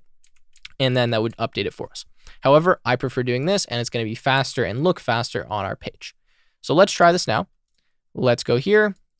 Let me click this. It actually closed, and then we have undefined, undefined, and then hello world. Okay, so this is a bit of an issue. Uh, our first name and last name are not being updated as I hoped they were going to be updated. So I will show you how to fix this, but I was hoping it wasn't going to happen. So let's go back to edit and notice these are both undefined. Now, if I manually change them, and I change them, say Tim Ruscica here, and now I submit, we should see that this closes and it does actually update for us. The issue is if I don't modify them at all and then I hit submit, okay, uh, oh, okay, it actually looks like it didn't make it go to undefined. Although, let's see if I go post and Tim, if they're undefined now. No, okay, they're not undefined. Hmm, that's weird why they were undefined before. Let's, mm, let's try this one more time. Let's submit. And there we go. So now they're all they all go to undefined. So again, this is kind of weird, but what's actually happening here is that the state for some reason is not going to be holding the correct profile data when we don't make any changes to it. So just to kind of debug this a little bit, let's print out the first name and the last name. So let's print out first name and last name as well as the bio here when we don't make any changes just to see what they're equal to before we add them into our form data. Uh, and then we can hopefully fix this problem. So let's refresh. We're going to have to sign in again just because we've refreshed the app. So let's sign in as Tim. Let's go here. Okay, let's hit edit. Now let's make a change that's going to persist. So Tim Ruscica, hello. Okay, submit. Tim Ruscica, hello. Okay, that's what the state is. Nice. It updated. Now let's just go post and Tim just so that we get a fresh API call to get everything here. Okay, now let's go edit and let's not make a change and hit submit. Now notice they all become undefined. Now I'm not a React expert and so I don't know why for some reason the state is not getting what the, uh, what do you call it? what the props are because the props where my profile data is is first name, last name, and bio. So I assumed it was going to store that data, but for some reason it's not. So really there's no point of us even putting that in there because, well, clearly it's not the correct data. So what I'm going to have to do is check if the state is empty. And if the state is empty, then I'm going to have to replace first name, last name, and bio with the current profile data from inside of here. So really the fix involves this. We're going to say if and then we're going to say first name is equal to an empty string, or we could just say something like if not first name, really up to you how you want to do it. Then we're going to say set first name, and then this is going to be profile data dot first name. Now, this is only going to trigger if we don't manually make a change to, change to first name. So that's fine. If we do make a change, it won't trigger. Then this is going to be last name, and we're going to say set last name, and we're going to say profile data dot and this should be last name. And then lastly here, we're going to go with bio. Okay, and then we'll say set bio. And this can be profile data dot and then bio. Now, alternatively, I'm thinking that there's probably a world where we can do this inside of a use effect where we just set the first name, set the last name, and set the bio equal to this information as soon as this information comes into us. I'm assuming what's happening is that originally when the profile data is passed, it's actually empty to the component and then it's not being refreshed. And so that's why uh, we're getting kind of the empty state here because if we go to profile, actually, I think this makes sense. I think I've just figured it out here. Uh, the update profile is not going to be done immediately because we're sending an API request. So it takes a second to get this data. So immediately when we actually start rendering this edit profile and we pass the profile data, we're passing empty profile data. And that means when I go to edit profile here and I set the initial state, I'm setting it with empty profile data. And so I'm getting undefined. So now if we just set it as an empty string and then we update it using the profile data once we've hit the update profile button, we should be good to go. Again, we could probably do this in a use effect, but I think this is fine for now. Okay, so let's save this. Let's go back here and let's give this a try. So let's refresh. We're going to have to re-sign in. So let's sign in as Tim. Log in. Okay, let's go to our profile. Let's go edit. Let's change this to something that makes sense. So Tim, Ruscica, Okay. Hello world. Okay, submit. And let's make a change now and let's just submit with no changes. Okay, so submit and that looks good. Now let's go back to the profile. So post Tim and it does not show undefined. Awesome. So that's exactly what we are looking for. Looks like we are able to edit the profile successfully. Let's try changing the image now. So let's go with the young man's face. Okay, submit. And let's see if it works. And there we go we get it. Uh, oh, okay. So this time, the first name, last name, and bio are gone. Okay, so it looks like we do have an issue. Uh, we're going to have to fix that. So let's try this one more time, though, just so I can make sure I get the issue correct. So Tim Ruscica, say bio. Okay, let's submit. All right, when we submit, we get that. Let's go here. Let's go back to the profile. Okay, so we're getting all that. But now if I choose a file here, so let's update the file and let's submit. For some reason, it cleared my first name, last name, and bio. Okay, so that's annoying. Let's just make sure that actually is occurring and it's not from our callback function. Okay, so it is actually persisting in the database. Let me have a look and I'll be right back. All right, so I've just fixed the problem, but it did require a few major changes. So when we're looking at our state here, notice that I just have these as empty strings. Okay, then for use effect, I've added this in here to edit profile. So I imported it first, right? And then what I'm doing is I'm setting the first name, setting the last name, and setting the bio whenever the profile data changes. So whenever we load the new profile data from our profile component, then it will force this to update here. And so we'll force update the state. Then what I'm doing here uh, is I'm just appending all these things in the same way that we had before. However, when I call the callback function, I'm no longer passing the new data.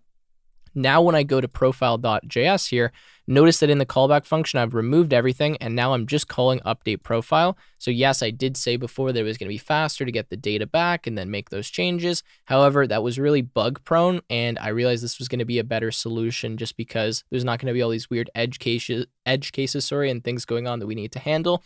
So even though the other way will be faster and we should try to come up with a way to do that, for the purpose of this video, we're just going to recall the update profile, and that's going to force another API request, which will now give us all of the new data in the format that we're used to expecting, and then we can just update the profile using that. Uh, and that means we won't have any data inconsistency issues as well. So for hide edit callback, I'm no longer taking a parameter, and I'm just calling update profile. So those are really all the changes that I made. Uh, another change I made is that if you go here, notice that I have first underscore name, not first name. So that was one of the causes of a lot of our issues was I had camel case as opposed to snake case. And so hopefully you guys can understand all of those fixes. Again, code will be available from the description in case I lost you here. Uh, but I think we should be good to go now. So let's come back here. Uh, let's refresh the page and let's give this another test. Okay, so let's go Tim. Let's go here. Now I have undefined because I was messing with this before. Anyways, let's change this to be Tim. Let's go, hey, let's submit. And now we get the correct stuff. Okay, now let's make another change. And actually, let's just submit the current data that we have.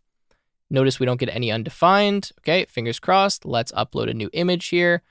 Okay, let's try this. And yes, awesome. Everything is working we can now move on to adding followers. Okay, so we've updated the profile. A lot of the hard stuff is done now. We just want a way to be able to uh, follow and unfollow accounts. So actually not overly complicated to do that. We're going to do that from the profile page. So we can now close the edit profile page. We're done with that. However, I want to go into my API calls and I want to write those and then I want to write the corresponding backend API endpoints uh, that we'll need and then that way we can just work in the profile file for the remainder of the video. So let's write some functions that can add and delete a follower. So I'm going to say functions dot add follower is equal to we want to take the user that we're going to add the follower for, and then we want to take the following ID. So who are we following? Okay. Then we're going to come here and we're going to going to return, and this is going to be functions dot. We need to get the user ID of the user that we want to add the follower for. We're then going to say dot then We've already looked at this before, but we're going to get our IDs.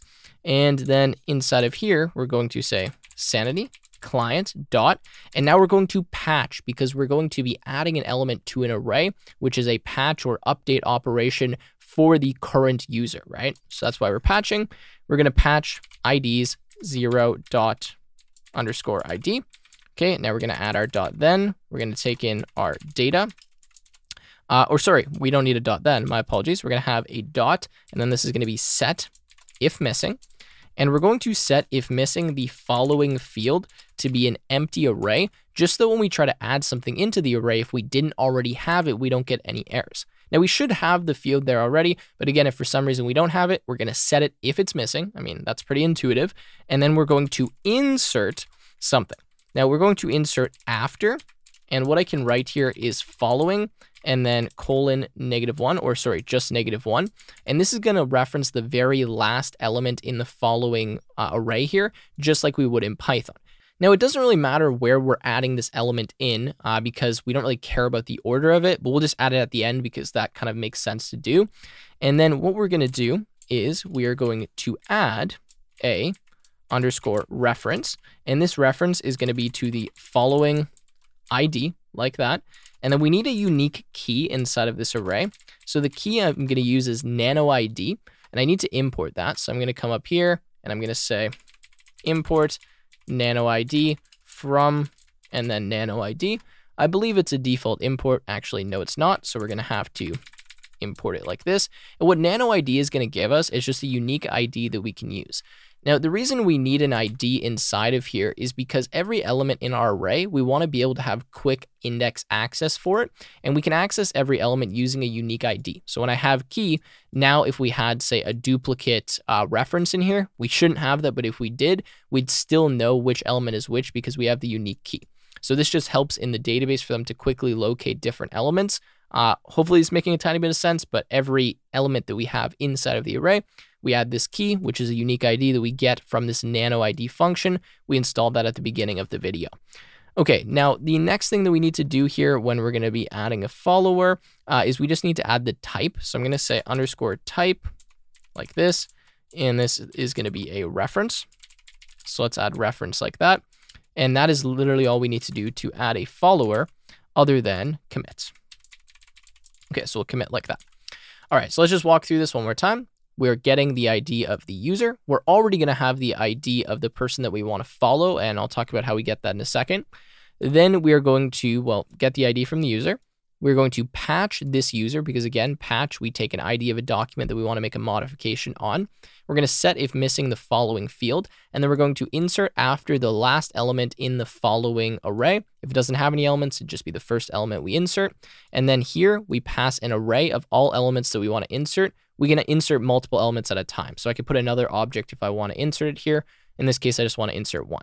So I'm inserting a reference to the following ID because the reference type or the type of this array is reference, right? And then I'm saying key, nano ID, the unique ID of a key. And then I'm saying type reference, and we're all good to add a follower. Okay, now in a similar way, we're going to remove a follower. So I'm going to say functions dot remove follower. This is going to be equal to user and following ID as well. And then inside of here, we're going to return the Sanity client. And then this is going to be dot patch. And again, we're going to have to get the user ID actually. So first I'm going to say return functions dot get user ID. We're going to get the user ID of the user. I'm going to say dot then. This is going to be IDs. And then here we're going to say sanity client dot patch. This is going to be IDs zero dot underscore ID. Okay, let's save that. And then after the dot patch, we are going to say unset. So this is how we actually remove something and we're going to unset the field that we want uh, in this array. So I'm going to say inside of here, following like that, and then this is going to be underscore ref, and then the ref is going to be equal to a string, and this string, I'm actually going to have to, sorry, make this backticks just so that we can insert what I need here. So we're going to have a string, and I'm going to go with following ID like that inside of parentheses or not parentheses, sorry, this is going to be squiggly brackets. Okay, so let's save that so it goes down on the next line. So what we're doing here is saying, okay, we are going to get the user ID. We are going to patch that user, so make an update on it. And then we're going to unset, and we're going to unset following, and then at this key. So really following is the array, and we just want to unset one element from that array, which is really removing it from the array. The element we want to remove is the one that has a reference, which is equal to the following ID. So that's why we're putting it here. And then we need a backtick so we could embed this directly inside of here. Then of course, just like before, we need to commit. And once we make a commit, it will update it in the database. And there we go. Okay, so now that we have done that, we just need to go to index.js and we need to write the corresponding, uh, what do you call it, uh, endpoints here for remove follower and add follower. So I'm going to say app dot, and then we when we want to add a follower, it's going to be post. So I'm going to say post, and then this will be slash add follower. Again, you can maybe make this a patch request if you want, but we'll just keep it as post. It's not really a big deal. And I will go here with request and response.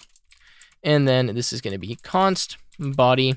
And I want to say request dot body because I need to get a few things here. Specifically, I need the user as well as the ID of the person that I want to follow.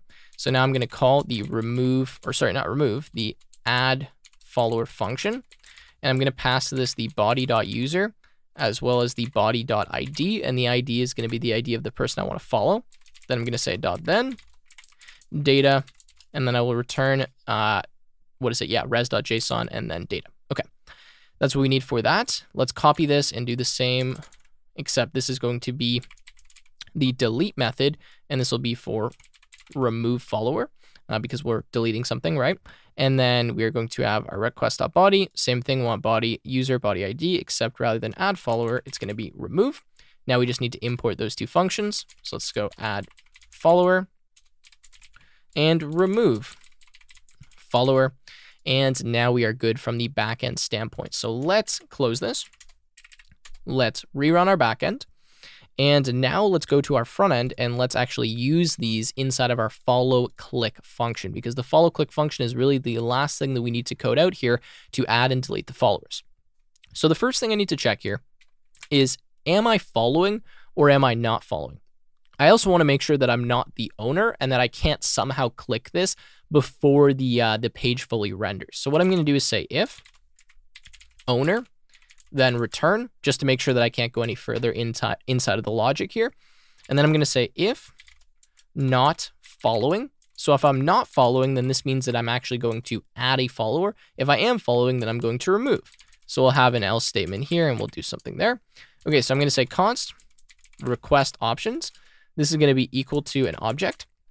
Now the method is going to be post Okay, again, you could have made that patch. Uh, some of you are probably going to argue in the comments that I should have changed some of the methods, but that's fine. We'll go with post. And then I need to add a header here. Uh, and the header that I want to add is content and then type. And this is going to be application JSON because I'm going to be sending JSON data.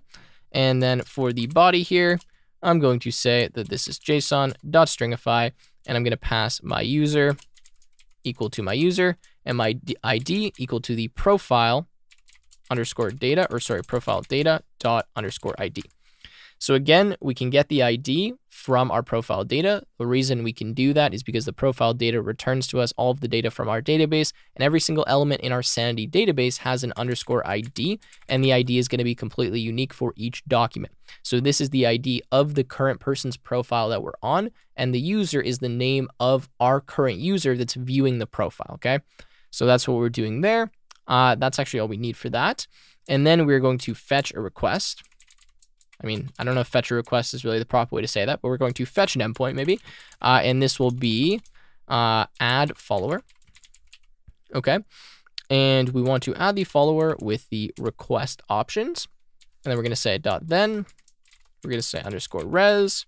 And we don't actually care about the response here. I mean, I will still return the res.json and then I will say dot then data, and then I'll do something here. But I'm actually just going to update the profile once this occurs uh, to set the new following count. So you'll see what I mean here, but I'm going to say update profile and then params.username like that. Okay, so what we're doing when we add a follower, right, is we don't care about the response here. Uh, it just doesn't matter to us what it is because we can just update the profile, then that will update the follower count of this user to go up by one when we follow them. There's no other updates that we need to make. And so again, we'll just do update profile. Okay, so add follower, request options, that's post request, application JSON, we're sending the user and the profile data ID. This will add the follower for us. Assuming all of that works, we'll follow successfully. And then we don't actually need to like add an alert onto the screen because when we call update profile, it will actually call this uh, update following for us. And then you'll see that we'll set the following to be true, which means the button's gonna change. And so that will kind of be the uh, what do you call it the response to the user or the information to the user. Now just so i don't get yelled at i can do underscore data here just to say i'm not using that variable and now that's fine. Okay so otherwise if i'm not adding a follower i'm deleting a follower. So let me copy this here and we're going to change the type to be delete. And then rather than add follower i'm going to say remove follower. And then we'll do the same thing with update profile here.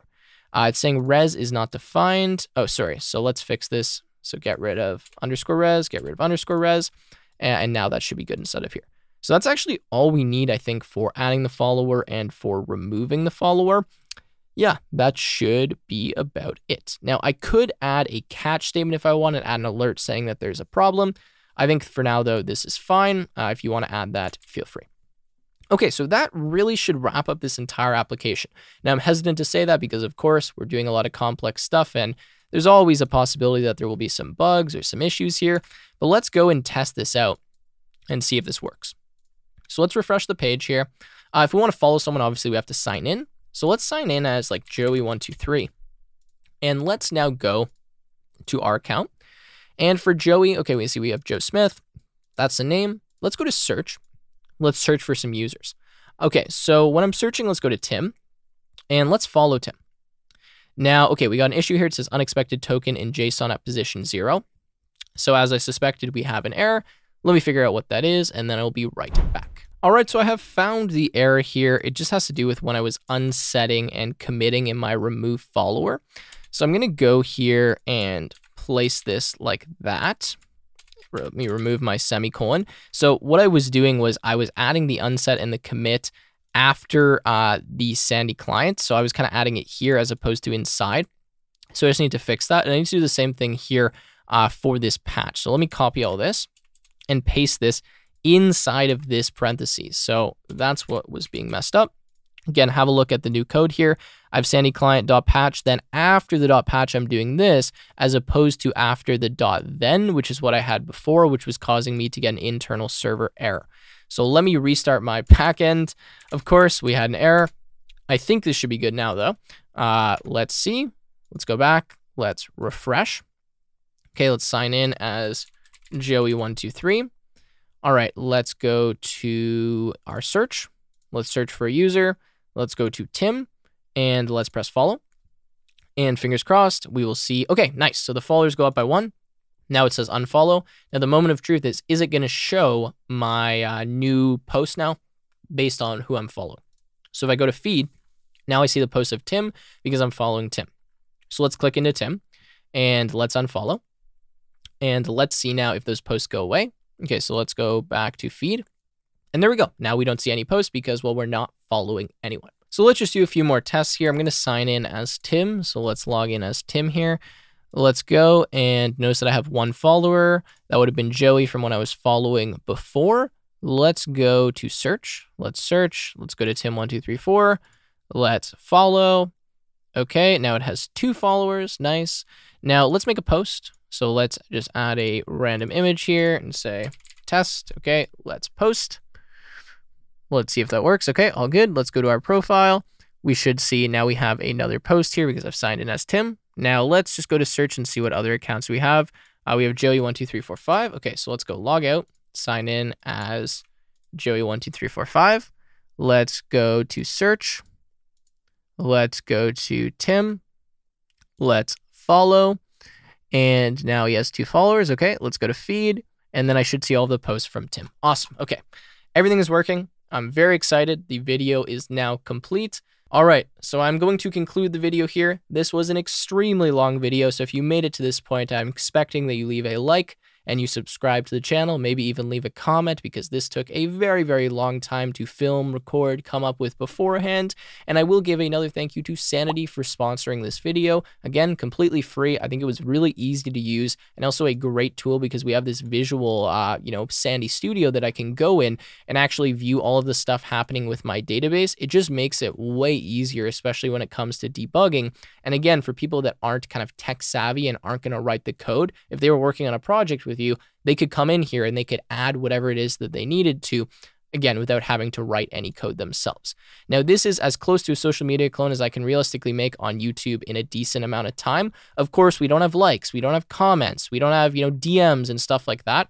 But with the tools in this video, you should be able to add those features and extend this to really create whatever you want. Of course, the styling is not as good as you hopefully want it to be, but you can mess around with that. It's very time consuming to do CSS styling as you briefly saw in this video. Anyways, if you made it this far, please do like the video, please do subscribe, maybe even leave a comment, and I hope to see you in another YouTube video.